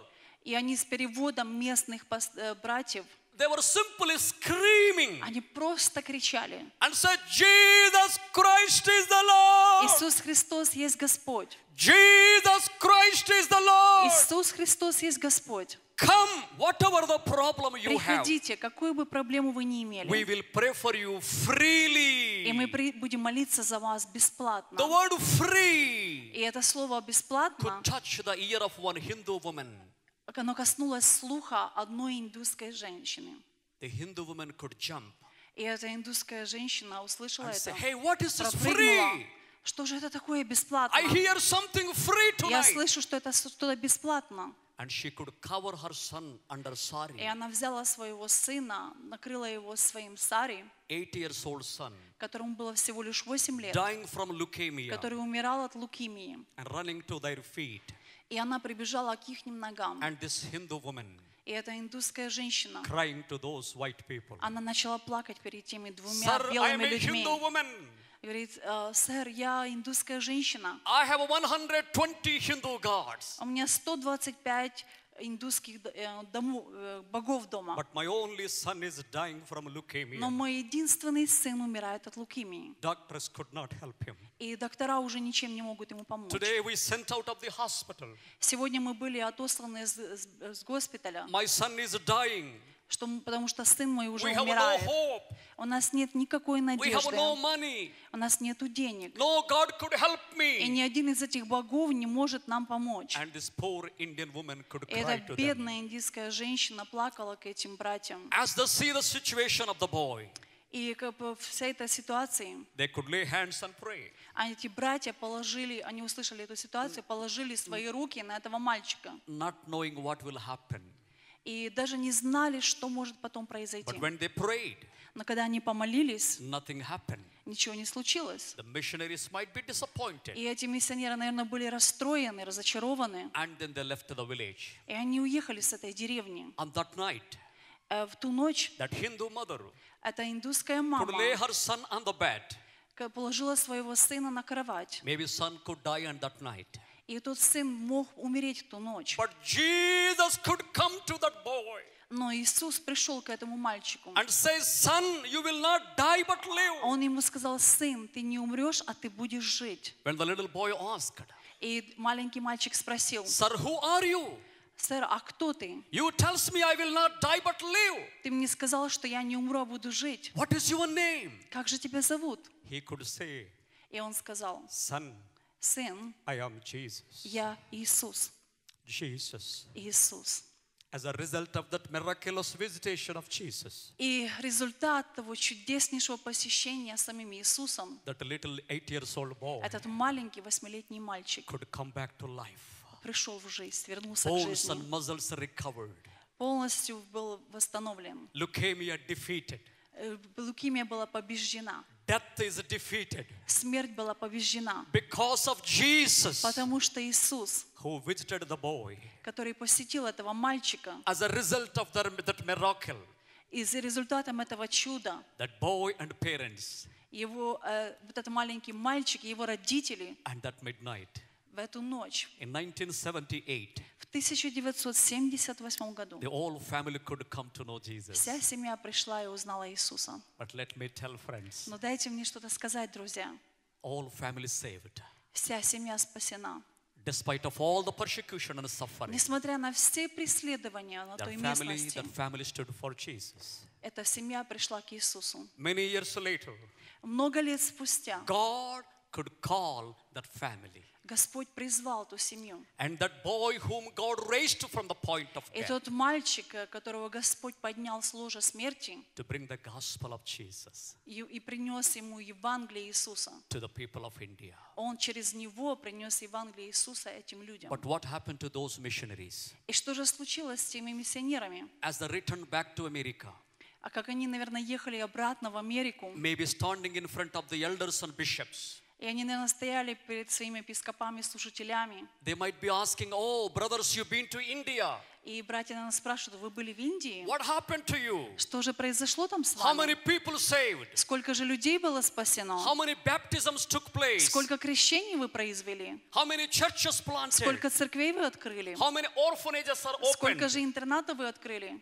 What happened to you? Что же случилось там с We вами? were praying for Мы молились о вас. We sent to you. Мы послали вас. We have invested resources. И мы инвестировали наши деньги в вас. Brothers, what happened? Что же случилось? Those two brothers could stand in front of the church. И те два брата, наверное, стояли перед своей церковью. Simply they could cry Просто, наверное, плакали. and say, И, наверное, We сказали, went to India. мы поехали в ту далекую Индию. We went to many villages. Мы проехали много деревень. We preached gospel. Мы проповедовали Евангелие. We walked village to village. Мы ходили пешком от деревни к деревне. Nobody saved. Но никто не был спасен. Nobody baptized. Никто не был крещен. No churches planted. Никаких церквей не было насаждено. No orphanages opened. Никаких не было интернатов открытых. Nothing happened. Ничего не случилось. Can you imagine Вы можете это представить себе такое? how bishops were thinking about these brothers? Как эти епископа смотрели на этих How братьев? the church was thinking? Как и церковь на них смотрела и думала? They might be thinking that, the, that their mission trip is simply failed. Они, наверное, подумали, что эти просто братья поехали просто так. All the prayers they have prayed, И все, все за них молились. all the money they have spent, А все, все, которые они поехали, просто так протратили all время, the деньги. effort they have И made все их усилия, их усилия были seems like поглощены, failed. просто провалились. Seems like no fruit. Просто как ни- никакого плода не было. Brothers and sisters, bishops and missionaries. И братья, сестры, епископа, служителя. This is thing. This is what happening many times. И это случается много раз такое. Sometimes we see the fruit immediately. Иногда мы видим плод сразу же. We send missionaries. Мы посылаем миссионеров, We support мы missionaries. их поддерживаем, We help them to go to different lands. и мы помогаем им, чтобы они поехали на другие миссионерские поля. And when they come back Но когда они возвращаются, and they give us a report они дают нам отчет, and they say how many people saved. и они нам рассказывают, сколько же людей было We say, Lord, thank you for the wonderful report. И мы благодарим Господа за такой чудесный Слава репорт. Богу! Слава Богу за такой Слава. Богу! Слава Богу. Слава Богу! Слава Богу. But sometimes Но иногда no fruit. никакого плода. Maybe seems failed. И это выглядит, как будто акция провалилась. I would humbly say something to Но all the я в смирении sisters. хочу сказать всем братьям и всем епископам, братья и сестры, our mission is not in vain. наша миссия, она не, не, не нарушена, не потеряна. Our labor in Christ is not in vain. И наш, Our labor in Christ is наш not in труд vain. во Христе, он не нарушен, он не, не Our потерян. tears never vain. И наши слезы никогда нам не напрасны. The Bible says Psalms 126 verse number 5 and 6. Библия в Псалме говорит, Those who sow the seed with the tears те, которые э, э, сеют со слезами, shall bring the sheaves with a будут joy. пожинать с радостью.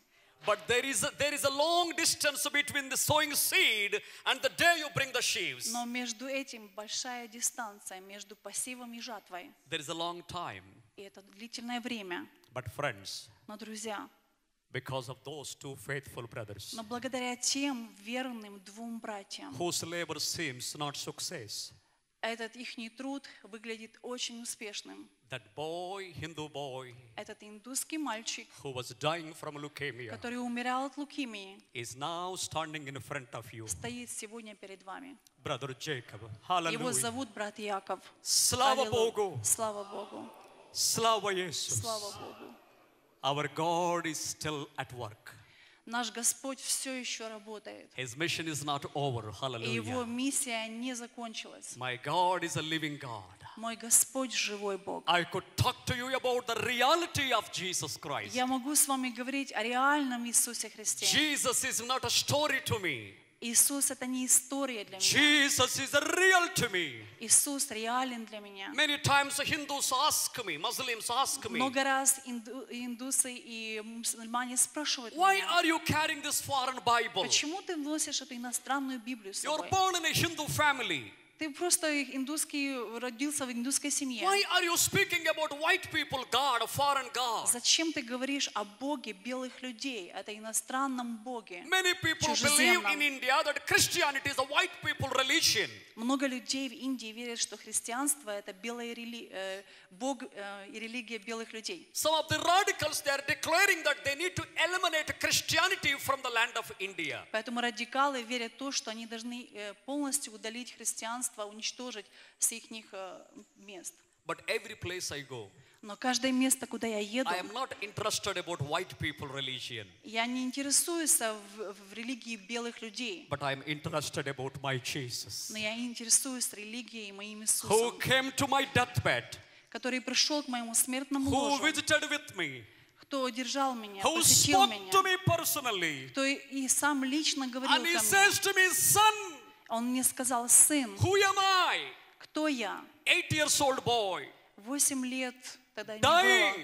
Я умирал. skin and bones, Только шкура и кости. and mother and father wondering where they could bury me, Даже мать и отец, наверное, думали, когда они, где меня похоронят. worshipping idols, Они gods. поклонялись идолам. But he comes, he calls me as a son.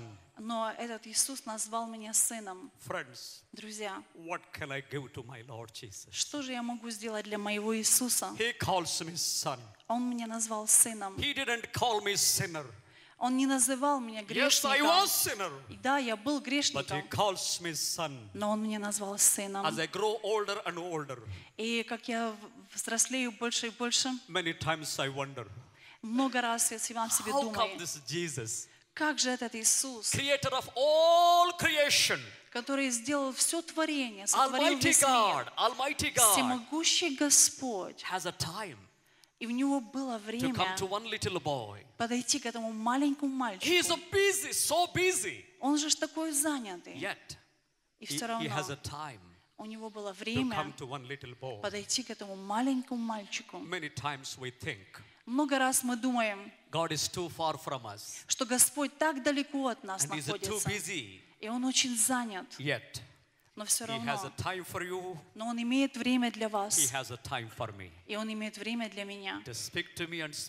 Он может говорить с вами, Он может говорить со мной. Он мой Господь. He's my God. Он мой Господь. Every place I go, Каждое место, где я посещаю, friends, I have only one story у меня только одна история. the story of Jesus. История Иисуса. The reality of Jesus. Его реальность. What, Реальность what Иисуса. can I do? Что же я могу сделать? నేను కూడా ఉన్నానయ్యా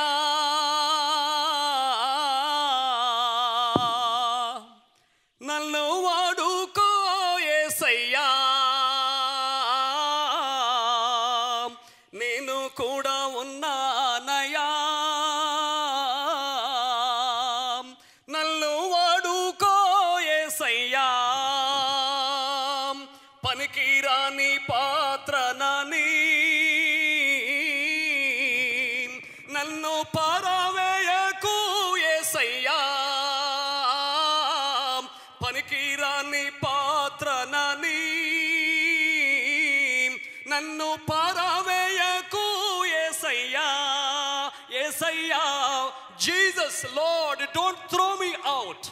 Иисус Господь, не выбрасывай меня. Lord, would you use me? О Господь, Ты используй меня, употреби меня. Можешь, Ты можешь сделать меня полезным сосудом в Твоих руках. Dear Jesus, Дорогой Иисус, would you use my life? можешь Ты пользовать мою жизнь. This is my prayer. Это моя молитва. As I stand in front of you, И так как я стою перед вами сегодня, I feel myself unworthy to stand in front of you. я стою в таком большом смирении, чувствую себя I смирением, have no перед Christian вами. heritage. У меня нету никакого христианского, Heritage, family background or history, как бы я не родился, да, у меня нету истории христианской за моими плечами. But my Jesus, Но мой Иисус, graciously, Он великолепно, He trusted me with His holy word. Он дал мне это. The Bible, the living word of God. И дал мне Библию, это живое слово. About 26 years ago, Где-то 26 лет тому назад this word of God это Слово Божье, came to my hand, оно вошло в мои, я взял его в руки, fasting and praying, постясь и молясь. and asking, Lord, И я спросил, Господь, what can I do? что же я могу сделать? My little frame Моя маленькая такая плоть burning, hallelujah. горела. And asking, Lord, И я просил, Господь, here am I. вот я. I have no church behind me. У меня нету церкви, которая поддерживала бы меня. There is no Christian to go with me. И нет христиан, которые бы пошли за мной. But Lord, thank you for Bible. Но, Господь, спасибо Тебе за эту Библию. Thank you for the word of God. Спасибо Тебе за Твое Слово. Thank you for two feet. Спасибо Тебе за две ноги. No wallet in the pocket. Никакого кошелька в кармане. No friend to go with me. Никаких друзей, которые пошли бы со But мной. praise God for two feet. Но слава Богу за две ноги. In the year 1991, И в, в 1991 going village to году village, я, проходя от деревни к деревне, gospel. проповедуя Евангелие, singing songs поя песни. in 1991, И в 1991 humble году beginning. Это было смиренное начало.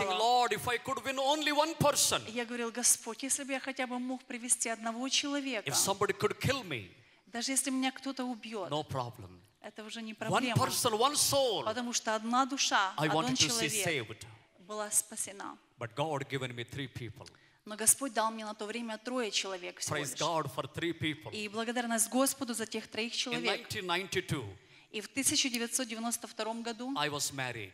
Я женился, I thank God for a man of God и я благодарен Господу за это. who is dare enough to give his beautiful daughter to this wild preacher Благодарю Господа за такого Божьего мужа, который дал мне свою прекрасную дочь. who has nothing but Bible И у нас было ничего, кроме Библии and two feet. и две ноги. No toilet, no restrooms, Даже нет ни туалета, No bed ни to sleep. комнаты ванны, никакой кровати, где спать.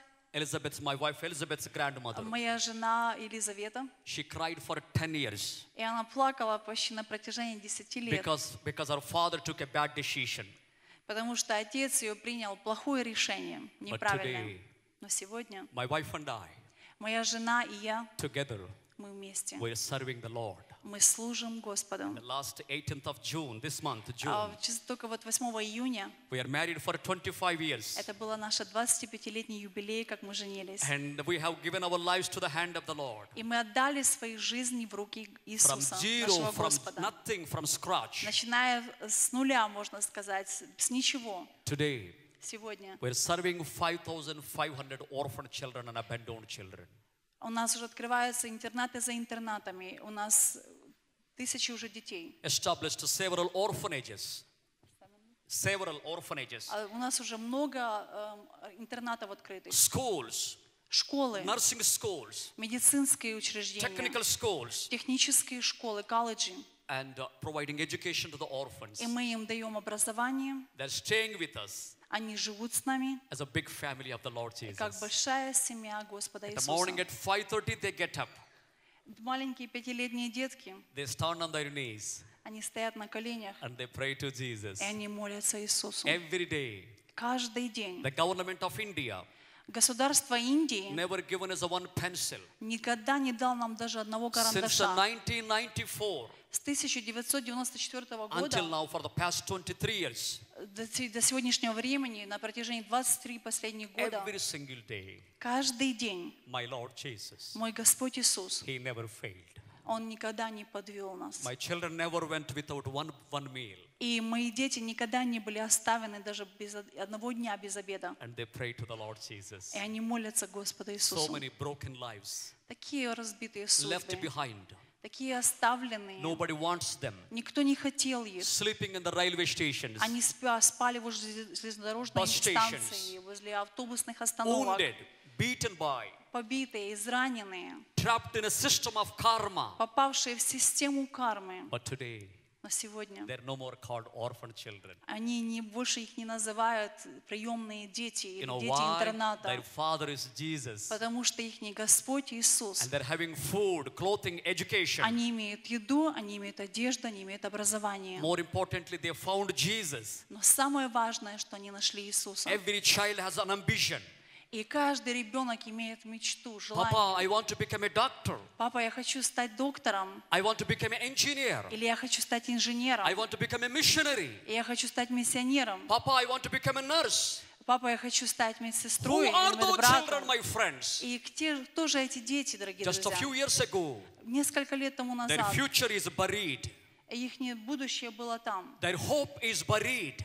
И их надежда была похоронена. No hope. Никакой надежды. But today, Но сегодня they're with a full of hope. они имеют полностью надежду. And more importantly, И they самое found Jesus. важное, что они имеют Иисуса.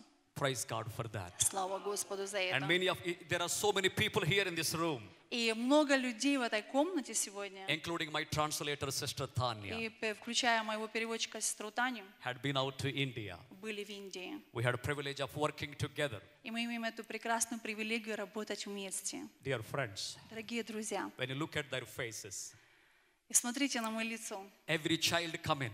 Каждый ребенок, который When приходит, we open the door, когда мы открываем двери для них, maybe tears, может слезы у них, или порватая одежда, maybe tired.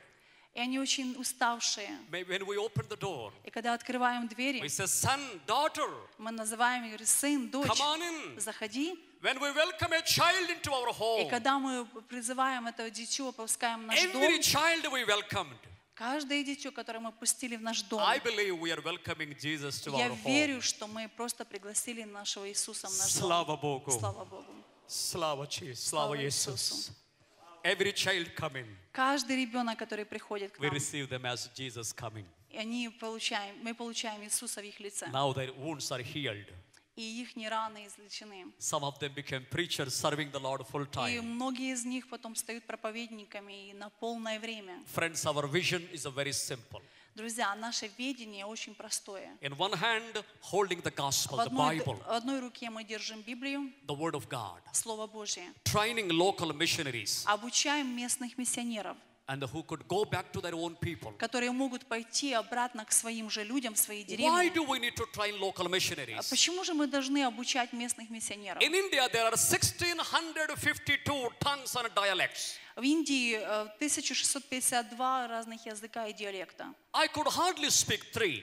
Я даже три не могу говорить. Maybe my nephew could speak four, Может, мои, мой племянник может говорить четыре. but we cannot speak 1,652 Но мы не можем говорить 1652 языка и наречия. How could we bring the gospel to them? Как же мы можем принести им There Евангелие? is no Bible in their language. И нету Библии, переведенной на этот язык. There is no gospel track. И никакого госпита, это, Евангелия не записано на, 23 на кассету. About 23 years ago, Но приблизительно 23 года тому назад Господь проговорил мое сердце обучить местных миссионеров, местных братьев. Просто начать такую маленькую программу под деревом для них, э, там, в их Just место. a two months training program, Где-то два месяца это обучительная программа, чтобы обучить их Слово Господне. Молился, постился с ними. At the end of the two months, И в конце двухмесячного периода God Господь, Дух Святой, filled them by His power, за- наполнил их своей силой. kneeling down and crying. И они упали на колени и плакали. Says, Brother Jacob, Они говорят, брат the Яков, Lord shows me this side. Господь показал мне знак. The Lord shows me this side. Господь показывает мне этот The знак. Lord shows me this village. Господь показывает мне эту деревню. I am going there. И я туда пойду. They're not saying we will go next week. Они не говорят, что я пойду на следующей неделе. They're saying we are going, Они говорят, мы идем leaving everything behind, и все оставляют. Все taking their оставляют. families, берут их семьи, going to the places where there is no church, идут в то место, где нет никакой no церкви, gospel before. никакого Евангелия никто не слышал раньше. As they went to those places, И когда они идут в те места, in a few months' time, а где-то приблизительно в нескольких месяцев времени, followed. начинаются страшные преследования. И э, children starving, а, no дети, food. дети голодают, нету еды. Going through physical beatings. И их просто избивают. And one brother, I called Esuratnam, we call him bishop. Один брат, его имя назвал. The people broke his leg, эм, people, э, broke his leg. люди пришли и побили его так Twice. по ногам, что они поломали ему ноги дважды. Still is alive. Он просто еще живой был. He has no knee cup, he just walk like a, like, like a stick. И он так идет, знаете, как э, хромает. Those humble, simple people, И они такие простые, смиренные люди. filled by the power of the Holy Spirit, Они наполнены силой Святого Духа. a simple obedience to the Lord Это такое простое послушание Господу Иисусу Христу. They became like apostles in the New Testament days. И они сегодня стали как апостолы, Each- которые each one говорят of them. Новый Завет. Each one of them И каждый из них established more than 20 churches. уже восстановил и основал где-то больше, чем 20 церквей. Simple methods. Просто такое, простая вещь. Preaching the gospel, Просто проповедовать Евангелие. casting out demons, Выгоняя бесов, healing the sick, исцеляя больных, planting churches. насаждая церкви. Very basic principles. Очень такие простые принципы. And the Lord is using them. И Господь употребляет их. As I see these 15 brothers, И так как я вижу этих 15 братьев, through the years we have trained about 1448 students in our Bible school. а, с- через эти э, года, которые у нас были в наших библейских школах, мы обучили One, yeah, 1448. 1448 студентов. Out of which today 1006 of them working in full-time mission field as a missionaries. 1006 из них работают как полное время миссионеры. When those missionaries comes to me sometimes, we have a meeting once in a while. И как мы встречаемся иногда э, по временам, эти миссионеры приходят ко мне и говорят, Sometimes missionaries could walk a long distance, они могут идти иногда такие длинные дистанции, maybe 15-20 miles, даже 15-20 миль, coming with the dirty feet, приходя грязными своими ногами, sweaty, tired. очень потные, уставшие. And when they come to me, И они подходят ко мне they ask me, Nana, и говорят, отец, I'm only 47 years old. мне только всего лишь 47 лет, Some of them could be 55, 60 и years old. некоторые из них могут 55 и 60 лет быть. They ask me, Nana, Они меня Father, называют отцом. would you give me a bicycle? Фадер, можешь дать мне, отец, можешь дать мне велосипед? Friends, Друзья, when you see their feet и когда вы увидите те ноги, walking dozens of miles которые пришли столько много and километров, the gospel of чтобы принести Евангелие, I feel myself humble.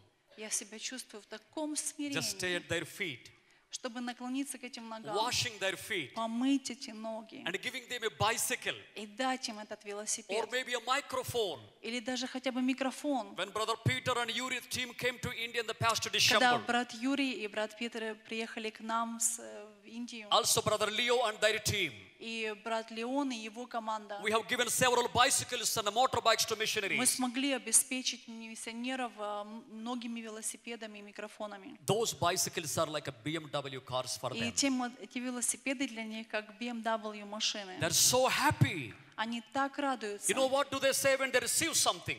И когда они смотрят это все, They receive that gift with the thanks and tears. когда они получают и увидят этот подарок, они получают его как от Господа, со слезами, с And some благодарностью. of, some of those missionary families says, И некоторые из этих миссионерских семей говорят, Father, отец, I am praying for 10 years for this я bicycle. молился 10 лет за этот велосипед. Brothers, brothers and sisters, Братья и is сестры, it important to pray for bicycle 10 years? как вы думаете, важно молиться о мотоцикле и велосипеде 10 лет?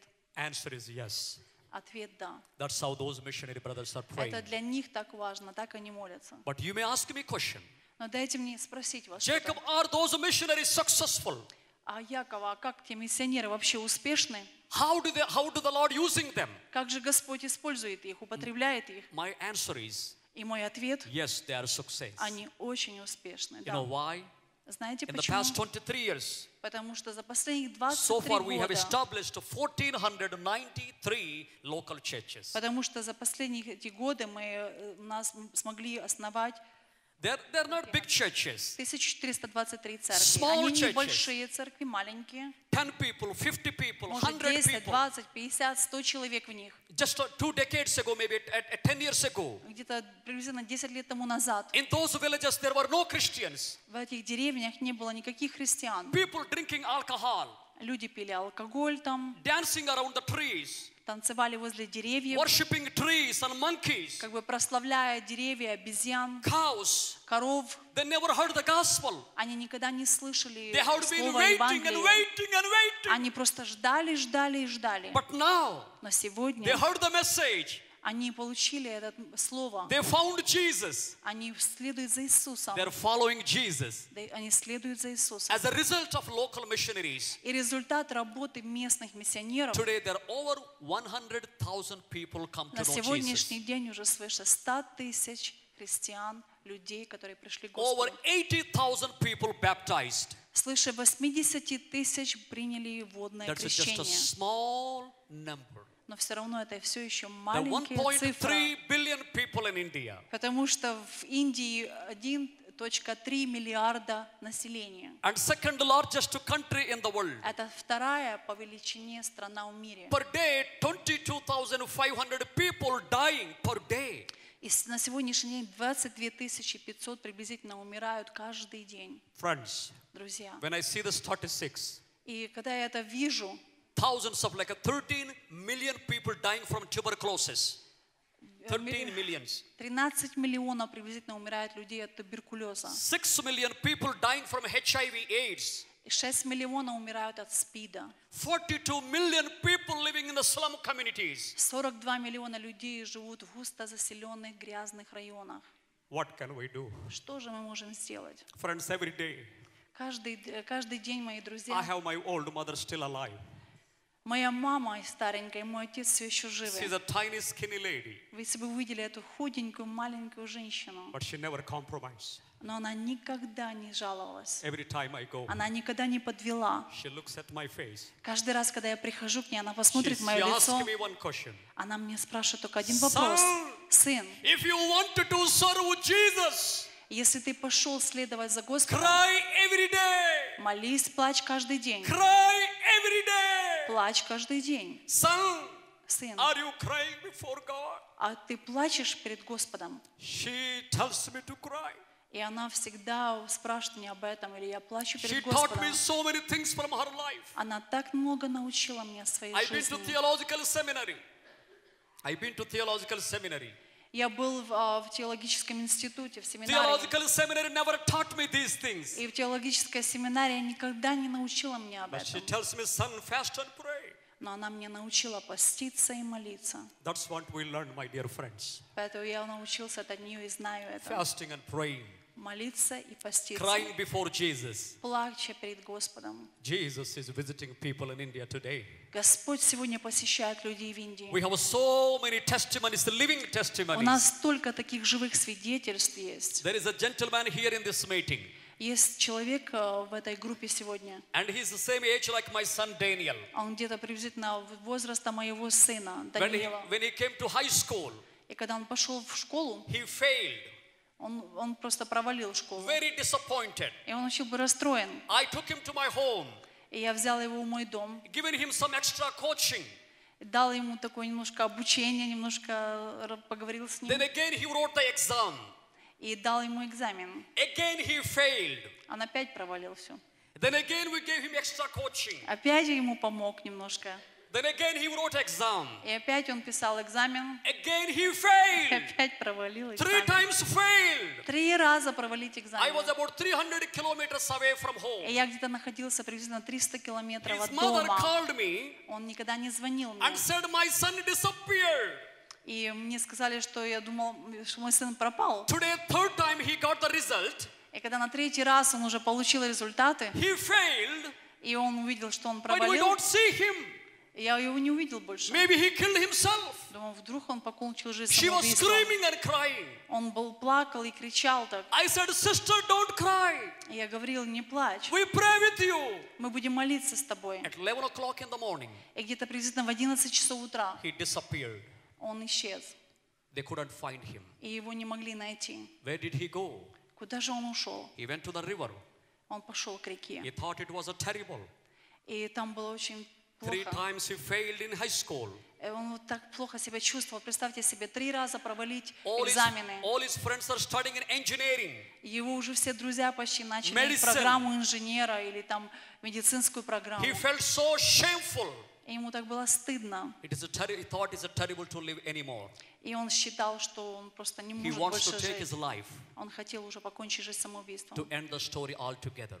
чтобы всю историю эту He went закончить. to the bank of the river, И он пошел к берегу реки, ready to jump чтобы прыгнуть уже в реку, and kill himself. убить себя. Friends, Друзья, before he jumped into the river, и прежде чем он прыгнул в ту реку, about 30 meters deep, the, the где-то была глубина, глубина приблизительно 30 метров, there he met a man он увидел там who человека, held him by hand, который взял его за руку, took him by hand, провел его за руку little distance, небольшую дистанцию, talking to him all day, который говорил с ним весь день, with him, обсуждая с ним все, talking to him поговоря с ним. at 7 o'clock in the evening, И где-то приблизительно в 7 часов вечера brought him привел его, right to his door. Привел его к, своей дом, к его дому, к двери своего дома. When he turned back, И когда он повернулся, there is no man. он увидел, никого не было, никакого человека не было. Where is this man? И где же этот человек? What's his name? Как его зовут? No idea. Никакого человека, He даже не знаю, где он. Он просто исчез. All day, Целый день, speaking to him. разговаривая с ним. 7 o'clock in the evening, И только в 7 часов вечера brought him home. привел его домой. That young lad, Но он stand этот... up. Paul, stand up. Пол, ну, he's right there. Пол, вот этот, He was, его born in a, племянник. he was born in a Christian family, Он родился в христианской семье, but it doesn't mean really saved. но он не был еще спасен. He knows Jesus. Он знает Иисуса. He was about 17 years old, Ему было где-то 17 лет, but not knew Jesus personally. но он не встретился лично с And that Иисусом. day he cried out to Jesus. И до сегодняшнего дня он плакал перед He said, Иисусом. Lord, I am sinner. Он говорил, Господь Иисус, я I believe грешный. you died for my sins. Ты же умер за мои грехи. He surrendered his life to Jesus. И он отдал свою жизнь Иисусу. And he gave his heart to the Lord Jesus. Он отдал свое сердце Иисусу. His life is completely changed. И его жизнь полностью изменилась. And the fourth time, И на четвертый раз he wrote exam again. он написал экзамен опять. And this time he passed with the first class marks. И он сдал его с отличными оценками. Why he failed four three times before? Как вы думаете, почему он провалил первых три раза? There is a purpose. Потому что была цель в There's a этом. purpose behind. Была цель за этим Then всем. after he passed high school, Чтобы он, он- он сдал свою э, школу. I took him to theological seminary. И я его э, взял в теологический институт, семинарий. And he finished his bachelor's in theology. И он закончил на бакалавра по And теологии. came back И приехал опять. teaching in our Bible school. И сейчас он преподает в библейской школе. Precious Jesus. Slava Bogu. О, драгоценнейший Иисус, Glory слава Богу, Jesus. слава Богу. My brothers and sisters, Мои дорогие братья и just I сестры, read only one verse in the Bible. я имею одно место Священного In Писания. India, we preach a long time, В Индии мы проповедуем очень длинное время. but I know I'm in Ukraine, I'm not in India. Но я знаю, что я на Украине, а не в Индии. Book of Philippians, chapter 2, А Филиппийцам вторая глава verse number 7 to 11. и э, стих с 7 по 11. Но уничижил себя самого, приняв образ раба, сделавшись подобным человеком и по виду став как человек. Смирил себя, был послушным даже до смерти и смерти крестной. Посему и Бог превознес его и дал ему имя выше всякого имени, дабы пред именем Иисуса преклонилось всякое колено небесных, земных и преисподней, и всякий язык исповедал, что Господь Иисус Христос в славу Бога Отца.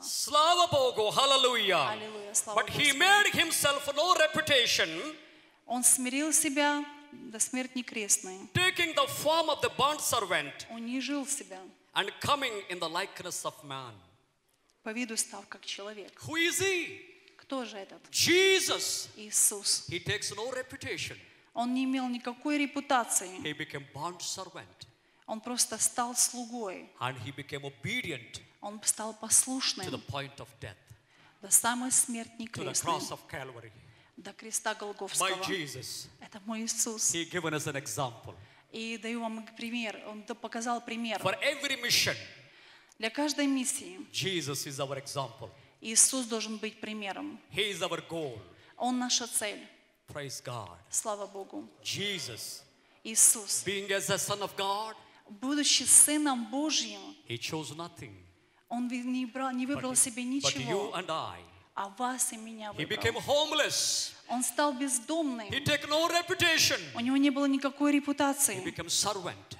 Он стал He слугой. gave us an example. Он дал нам пример. Missionary brothers and sisters, Дорогие братья и сестры миссионеры, today, сегодня let us take our Jesus as example. давайте мы возьмем нашего Иисуса как What пример. makes us to go to leprosy colonies in India? Одна сестра пришла в колонию прокаженных в Индии. Only Jesus. Jesus is our Только. Иисус наш, э, наш, наш пример. Why do we go to those villages and drill water wells? Зачем мы ходим э, в деревни и просверливаем колодцы воды? Only Jesus. Потому что Иисус. Friends, Друзья, 1997, В 1997 on году, 26th of January, это было где-то с 6 января, I never forget that day. а я никогда не забуду тот день, Meeting a woman suffering from leprosy. А когда я встретил женщину, которая страдала проказой. Deformity caused blindness. У нее эта, эта прока- проказа уже сделала так, что она потеряла зрение. Проказа съела уже ее все пальцы и на руках и ногах. Такой ужасный запах. И она жила под деревом. И люди отворачиваются от нее. У нее просто чуть-чуть было зрение. Как-то на одном глазе только. И в тот день, я когда увидела эту женщину, traffic, и а, проходило возле нее много людей, и много машин проезжало. И я там проходил, и вопрос прошел в моей голове. What if my Jesus would be here today? Если бы Иисус сегодня был здесь рядом, I stood проходил, still, Он бы остановился. and there was a fighting inside me. И я внутри как бы имел такое борение. Jacob, go, go, go. Яков, иди, иди, иди. Many people watching you. Все люди проходят, ви- видят ее. This is the leper woman. Они видят эту прокаженную How can you женщину. stand here? Как же ты можешь тут останавливаться? But that day, Но в тот день Holy Spirit of God Господь, э, Дух Святой проговорил ко мне, me убедил to меня, go by close to this lady, чтобы я подошел близко к этой женщине. kneeling down by- close by her. Я наклонился на колени очень Asking, близко к ней. Mama, И я спросил ее, мама, Mama, where do you come from? откуда ты пришла? She looked at me. И она так посмотрела, She yelled at me. она закричала ко мне. She said, Who are you? Кто ты? Закричала. You call me Mama. Ты назвал меня мамой. Nobody ever spoke to me. Никто никогда в жизни не говорил со мной. I'm here for more than 13 years. Я здесь больше, чем 13 лет сижу. Nobody asked me. Никто никогда не, не спросил Where do меня, I come from? откуда я пришла. Why do you ask me? Почему же ты спрашиваешь меня? I said, Mama, И я тогда сказала, мама, только потому, что я люблю Иисуса. Mama, Jesus loves you. И Иисус любит тебя, мама. She began to yell on me again. И она опять начала кричать ко мне. She said, There is no God. Она сказала, что нету никакого I have no, Бога. I have no respect to any God. И я не уважаю никакого Бога. If there is a God, why I become a leper? Если есть Бог где-нибудь, то почему же я стала прокаженной? I said, Mama, no, no, no, no. Но я сказала, мать, Jesus нет, died for you. Иисус умер за тебя. Then she cooled down. И она тогда немножко успокоилась, She asked me, и она спросила меня. Son, Она спросила, are сын, you Jesus? а ты Иисус? My brothers and sisters, Мои дорогие братья и сестры, so many people in the world today, сегодня так много людей в мире, including Ukraine, даже включая в Украине, people looking for Jesus. ищут Иисуса, все еще ищут Looking Иисуса. for Jesus. Они все еще ищут My Иисуса. missionary brothers and Мои sisters, дорогие миссионеры, братья и сестры, you are вы, representing Jesus вы представители этого облика Иисуса в вашей нации, to your people. для ваших людей. There may be still so many people Они увидят много людей, who are waiting for you. И вы увидите много людей, которые ждут вас. That lady asked me, the leper Эта женщина в тот вечер прокаженная спросила Son, меня, son, сын, why are you so late? Why are you so late? почему ты так поздно? Why did you not come early? Имеется в виду, почему ты так поздно сейчас пришел мне сказать об этом so Иисусе? Так много людей, прокаженных в моих колониях. Они просто They умирают. do not know this Jesus. Они не знают Иисуса. They do not know there is somebody who loves them. Они даже не знают, что есть тот, который очень любит их. She asked me, И она тогда спросила Son, меня, что же я могу сделать? Said, Mama, я сказала ей, мать, if you say, "Son, Lord Jesus, если ты скажешь, Господь Иисус. Я грешник, I believe you died я for my грешница, sins. и верю, что ты умер за мои грехи. Jesus would forgive your sins. Господь Иисус простит твои грехи. She said, Is that all I need to do? И она говорит, это все, что я должна сделать? I said, Yes, Mama. И я сказала, да, мама. Right at the tree, И прямо перед тем she деревом found Jesus она нашла Иисуса. and she said, Son, И она сказала, would you come to my leper colony tomorrow? она сказала, сын, можешь прийти завтра в мою There колонию 130 прокаженных? families Там suffering from 130 leprosy. семей прокаженных, которые так They need страдают. to hear this story. Они, они, они должны услышать эту историю. Son, would you come to our leper Сын, можешь, пожалуйста, прийти в нашу колонию Friends, прокаженных? On the following day, И на следующий день, we went друзья, to the leper colony. мы пошли в колонию прокаженных. About 30 people giving their hearts to И тогда Jesus. приблизительно 30 людей отдали свои сердца Иисусу. Today we are working in 46 leprosy И на сегодняшний день мы уже работаем в 46 колоний прокаженных. Why do we do this? Как же, почему мы это делаем? Answer is very simple. Ответ очень прост. Jesus is coming very soon. Иисус скоро грядет. Friends, when Jesus comes, Друзья, когда Иисус when придет, he see you and me, когда Он увидит вас и for меня, many people it will be a day of crying. Многие люди будут плакать, увидя It Его. will be a shameful day. Это будет день, когда они будут постыжены. And he will ask an account of every one of us. И Он потребует отчета из каждого из I них. have given you every Он opportunity. скажет, я дал тебе любую возможность, I всякую have given you возможность. time. Я дал тебе время. I have given you money. Я дал тебе деньги. I have given you health. Я дал тебе здоровье. I have given you everything. Я дал тебе все. But what did you do? Что же ты сделал всем этим? And that day, И в тот день it will be sad day for so many people. это будет очень печальный день для But it's многих my людей. prayer. It's my prayer. Но сегодня моя молитва, чтобы этот день не был печальным для As вас и меня. Face face, Чтобы когда мы увидим Его лицом к лицу, of и Him, мы будем стоять перед Ним, say, Он скажет, well верный раб, Come зайди, and receive the crown. войди, получи корону, The Lord получи is coming награду. very soon. Господь грядет очень скоро. But friends, Но, друзья, what shall we do? что же мы должны делать? Shall we stand on our feet? Давайте встанем на наши Let us ноги. pray a small prayer. Давайте мы помолимся And if there просто. is somebody to this this afternoon, Если здесь сегодня в этот вечер Lord, I am ready.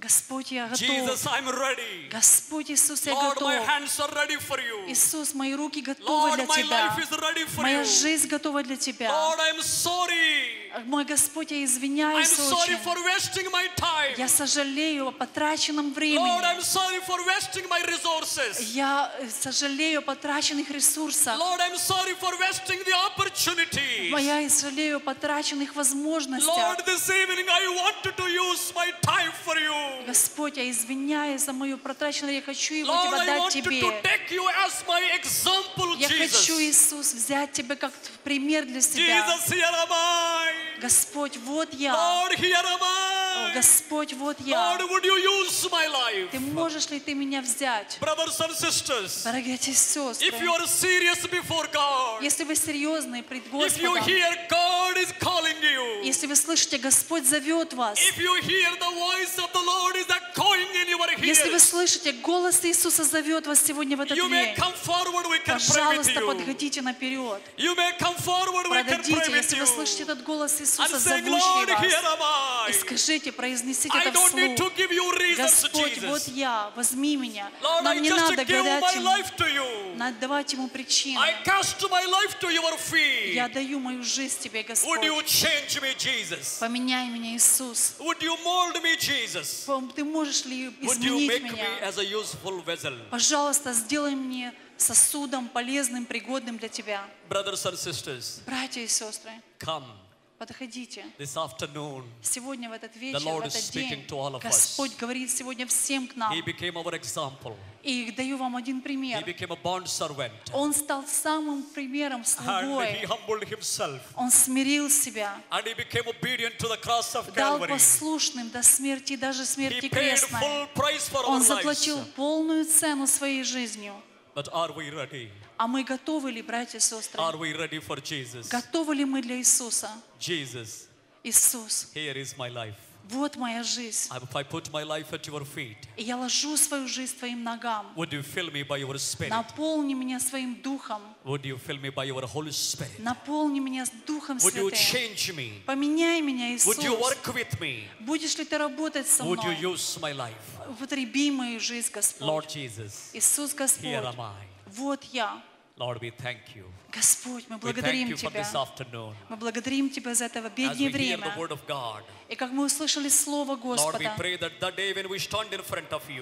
тот день, когда придет, и мы станем перед Тобою, мы не будем постыжены. Мы будем стоять прямо, чтобы мы увидели Тебя с радостью. И мы получим награду, Господь, от Тебя. Мы благодарим Тебя, Иисус. Мы возвеличиваем Твое имя, Господь. И Господь, когда мы подходим Поэтому это время к Наполни нас силой Духа Святого. Давайте мы вместе все помолимся. Аллилуйя. ఈ యొక్క మధ్యాహ్న కాల సమయంలో ప్రభువ నీ పరిశుద్ధ నామమునకు స్థుతులు స్తోత్రములు వందనములు చెల్లిస్తున్నాము స్వామి. నీ బలమైనటువంటి నీ పరిశుద్ధాత్మ శక్తి ద్వారా నీ యొక్క అభిషేకము ద్వారా ఈ యొక్క సాయంకాల సమయంలో ప్రభువ ప్రతి ఒక్క పిటతో కూడా మీరు మాట్లాడమని ప్రార్థన చేస్తున్నాము. రిమల రమందల రమసి రిమంతల రబబబబబబల రబసల రబషల రమందల రమ లిమల రమందల రబషల రమందల రమసి ribalarai ikantalaraba ribalaraba şalaraba ribalarabandalaraba şalarabandalaraba seyim. İbebe baba kolaraba şalabandalaraba rimantalaraba şalaraba baba baba kolaraba şibalarabandalaraba seyim. Şibalarabandalaba si. దేవానికి స్తోత్రములు వందనములు రచ్చా పరిశుద్ధుడానికి స్తోత్రములు వందనములు చలిస్తున్నాము ఈ సాయంకాల సమయంలో ప్రభువా మీరు మాతో కూడా మాట్లాడండి. మీ పరిశుద్ధాత్మ ద్వారా నింపండి. మీ అభిషేకము ద్వారా నింపండి. ప్రతి ఒక్కరితో కూడా మీరు మాట్లాడమని ప్రార్థన చేస్తున్నాను. అభిషేకించమని ప్రార్థన చేస్తున్నాను. మీ శక్తితో నింపమని ప్రార్థన చేస్తున్నాను. సహాయం చేయమని ప్రార్థన చేస్తున్నాను ప్రభు ఇప్పుడే ఇప్పుడే ఇప్పుడే ఇప్పుడే ప్రభు నీ యొక్క శక్తి ద్వారా నీ యొక్క ఆత్మ ద్వారా నీ యొక్క అభిషేకము ద్వారా ప్రతి ఒక్కరిని కూడా మీరు నింపమని ప్రార్థన చేస్తున్నాము. ప్రియమైన పరలోకపు తండ్రి ఏసయ్యా! జీజా దేవాని పరిశుద్ధాత్మను నీ బిడ్డల మీద కుమరించండి నీ ఆత్మశక్తిని కుమరించండి నీ అభిషేకమును నీ బిడ్డల మీద మీరు కుమరించమని ప్రార్థన చేస్తున్నాను సహాయం చేయండి నాయన. సహాయం చేయండి ప్రభువా. సహాయం చేయండి యేసయ్యా నీ ఘనమైన నామమునకు స్తుతులు స్తోత్రములు చలిస్తున్నాము మహిమ కలిగిన రాజు పరిశుద్ధుడా పరిశుద్ధుడా పరిశుద్ధుడా ఎస్సయ్యా నీకు స్తోత్రములు. Oh, hallelujah, hallelujah, hallelujah, hallelujah. Ribalaramandalarabam, Rikantalarabashalaramandalaraba, Rimandalarabashalarabamantalarabasi. Lord, this evening, Lord God, you are our example. You are our example to every mission. Lord Jesus, we praise you. Lord Jesus, we thank you. Lord Jesus, we worship you. Lord Jesus, we magnify you. Thank you, Jesus. Thank you, Jesus. Thank you, Jesus. Thank you, Lord. Dear Lord, we thank you for this evening. Дорогой Господь, мы благодарим Тебя за это вечернее время. Lord, we pray that you be our example. Господь, мы молимся о том, чтобы Ты был нашим примером. You became bond servant, Ты стал тем. homeless, Ты стал бездомным, Господи. and you obedient to the cross of И Calvary. Ты стал послушным до самого креста смер- Therefore, Голгофского. your holy name is exalted. Поэтому Твое имя так возвышено. Lord, help us Господь, to take you as our example. и мы берем в смирении Тебя как наш пример, Your perfect example. потому что Ты есть самый лучший пример. This evening, Jesus, Твое имя we Иисус. thank you for your, your mind, Благослови, благодарим Тебя, the Господь, model that you have given to us, за, за то, что Ты дал нам это so слово, that we can follow you. чтобы мы шли за Тобой. Jesus, we thank you. Слава Тебе, In Иисус. Jesus' name. Во имя Иисуса. Amen. Аминь. Браті і сестри, дуже хотілося б на цій хвилі нам і приходити до закінчення сьогоднішнього дня конференції. Є записки тут, деякі поступили записки. Ми будемо молитися. Ми будемо молитися і молитвою. Thank you, thank you, brother. Ми будемо молитвою, браті і сестри, е, приходити до закінчення, за нужди. Але я хотів би до вас сьогодні звернутися. От Бог ложить на серце. Звернутися до тих, у кого вдома є невіруючі, тато, мама, брат, сестра, рідні ваші, які не знають Бога, які чули про Бога, але все-таки не покаялися, можливо, недобрі справи роблять, гріхи роблять і живуть разом з вами в вашому домі. І ваше серце скорбить, вам по правді боляче. Воно до глибини душі торкає вас. Ви молитеся, просите, і може навіть руками, і кажеться, відповіді немає. Чи є такі люди, хто хотів би, щоб за нього помолилися? Чи є такі люди? Браття, сестри, от давайте ми просто помолимося за це. Добре, помолимося. Бажаєте вийти допереду? Вийдіть, будь ласка, вийдіть. Воно буде, воно буде не, не зле в нашу, на нашій конференції. Бажаєте за ваших рідних. Отак тримайте руку і молитесь за вашого тата, маму, брата, сестру. Це ходотайственна молитва. Ходотайственна молитва. Ціль нашої конференції, що піднялися нові місіонери, нові браття, нові сестри, які пішли проповідувати, проповідувати на Україні, проповідувати, можливо, на Донбас, другі місця. Може, в другі країни це ціль конференції, але ваша душа плаче, вона скорбить, бо ваші рідні вдома ще не віддали серце Ісусу. І так багато вони чули про Бога. Хто стане в проломі? Хто стане в проломі за рідних і близьких? Будь ласка, можете вийти допереду. Ходотайственна молитва, ходотайственна молитва перед лицем вічного Бога, щоб прийшла відповідь від Бога. Прийшла відповідь і прийшло покаяння для їхніх сердець і переміна для їхнього життя. Во ім'я Ісуса Христа ми будемо молитися. Во ім'я Ісуса Христа. Друзі, будь ласка, тримайте отак руку, тримайте. І ми молимося, ми молимося, ми молимося. Я просив би всіх служителів Божих, будь ласка, протягніть руку в сторону цих людей. Вони нуждаються, вони потребують допомоги. І тільки Бог може змінити, тільки Господь може. Перемінити ситуацію їхньої сім'ї і дати покаяння рідним, кровним, які дуже близько до серця. Алілуя! Молимося, браття, сестри, молимося. Я дуже прошу, хто знаходиться на балконі, щиро молимося і просимо Бога благословіння. Господь, во ім'я Ісуса, во ім'я Ісуса Христа, ми сьогодні звершимо молитву. Ти бачиш цих людей, хто вийшов допереду. Це твої діти, це твої сини і дочки, місіонери. Можливо, хтось із служителів Боже, але проблема велика в сім'ях, велика проблема, тому що рідні не знають тебе. І роблять гріхи, роблять беззаконня, і далеко від тебе, і від церкви твоєї. Господь, ми умоляємо тебе сьогодні во ім'я Ісуса Христа, во ім'я Ісуса Христа, Боже, нехай Твоя сила Святого Духа зійде, Твоя сила Святого Духа на покаяння і на руйнування всяких твердинь. В ім'я Ісуса Христа, в ім'я Ісуса Христа, Боже наш милий, торкнися, переміни серце, дай перемогу Твою. Господь дорогий, дай покаяння, даруй покаяння, даруй покаяння, Боже, але милості не лиши, алілуя. Фарабідагел бітані, алілуя. Карамалаба караміне германа. Фарабідалаба чадараміне гербатані, алілуя. Алілуя, алілуя, алілуя. Господи, я умоляю Тебе, нехай Твоя сила Святого Духа наповнить кожного, хто знаходиться на цій, на цій конференції.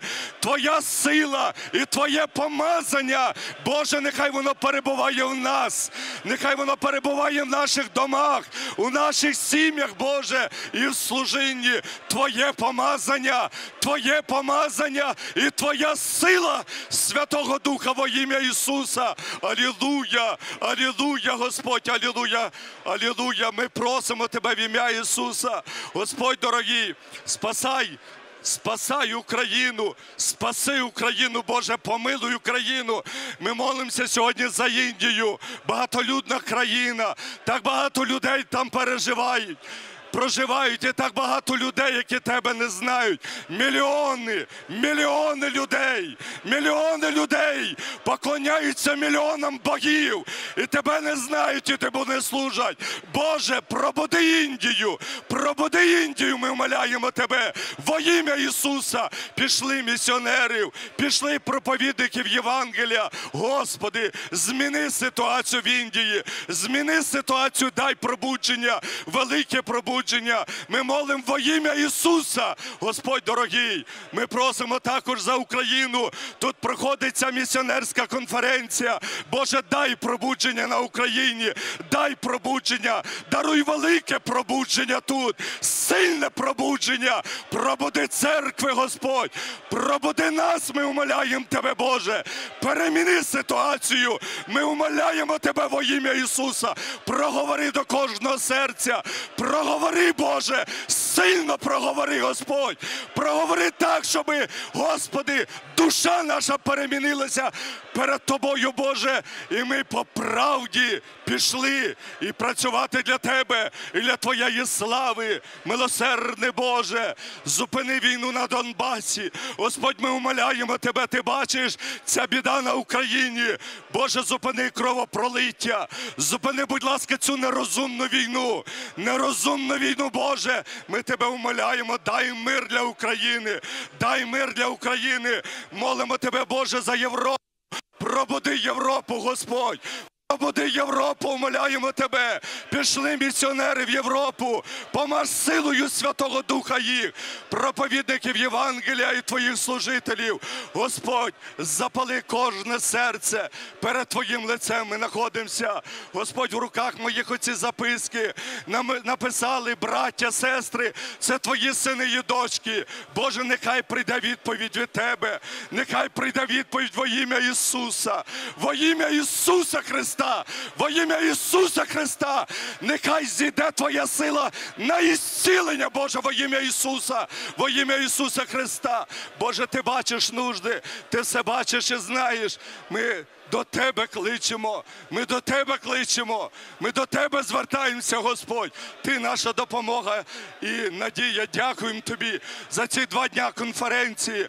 Ми просимо Тебе благослови євангелізацію на сім годин вечора на стадіоні. Розположи серце людей прийти туди.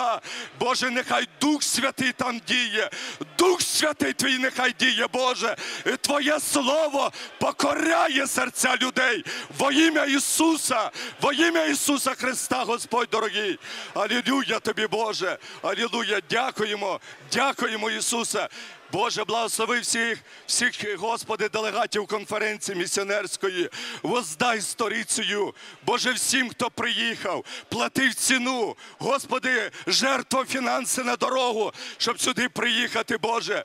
Дякуємо Тобі за те, що вони приїхали. Благослови кожного місіонера, кожного служителя і воздай сторицею. Воздай сторицею, Господь. Хвала Тобі, хай буде наш вічний добрий Бог, Отець, Син і Дух Святий. Амінь.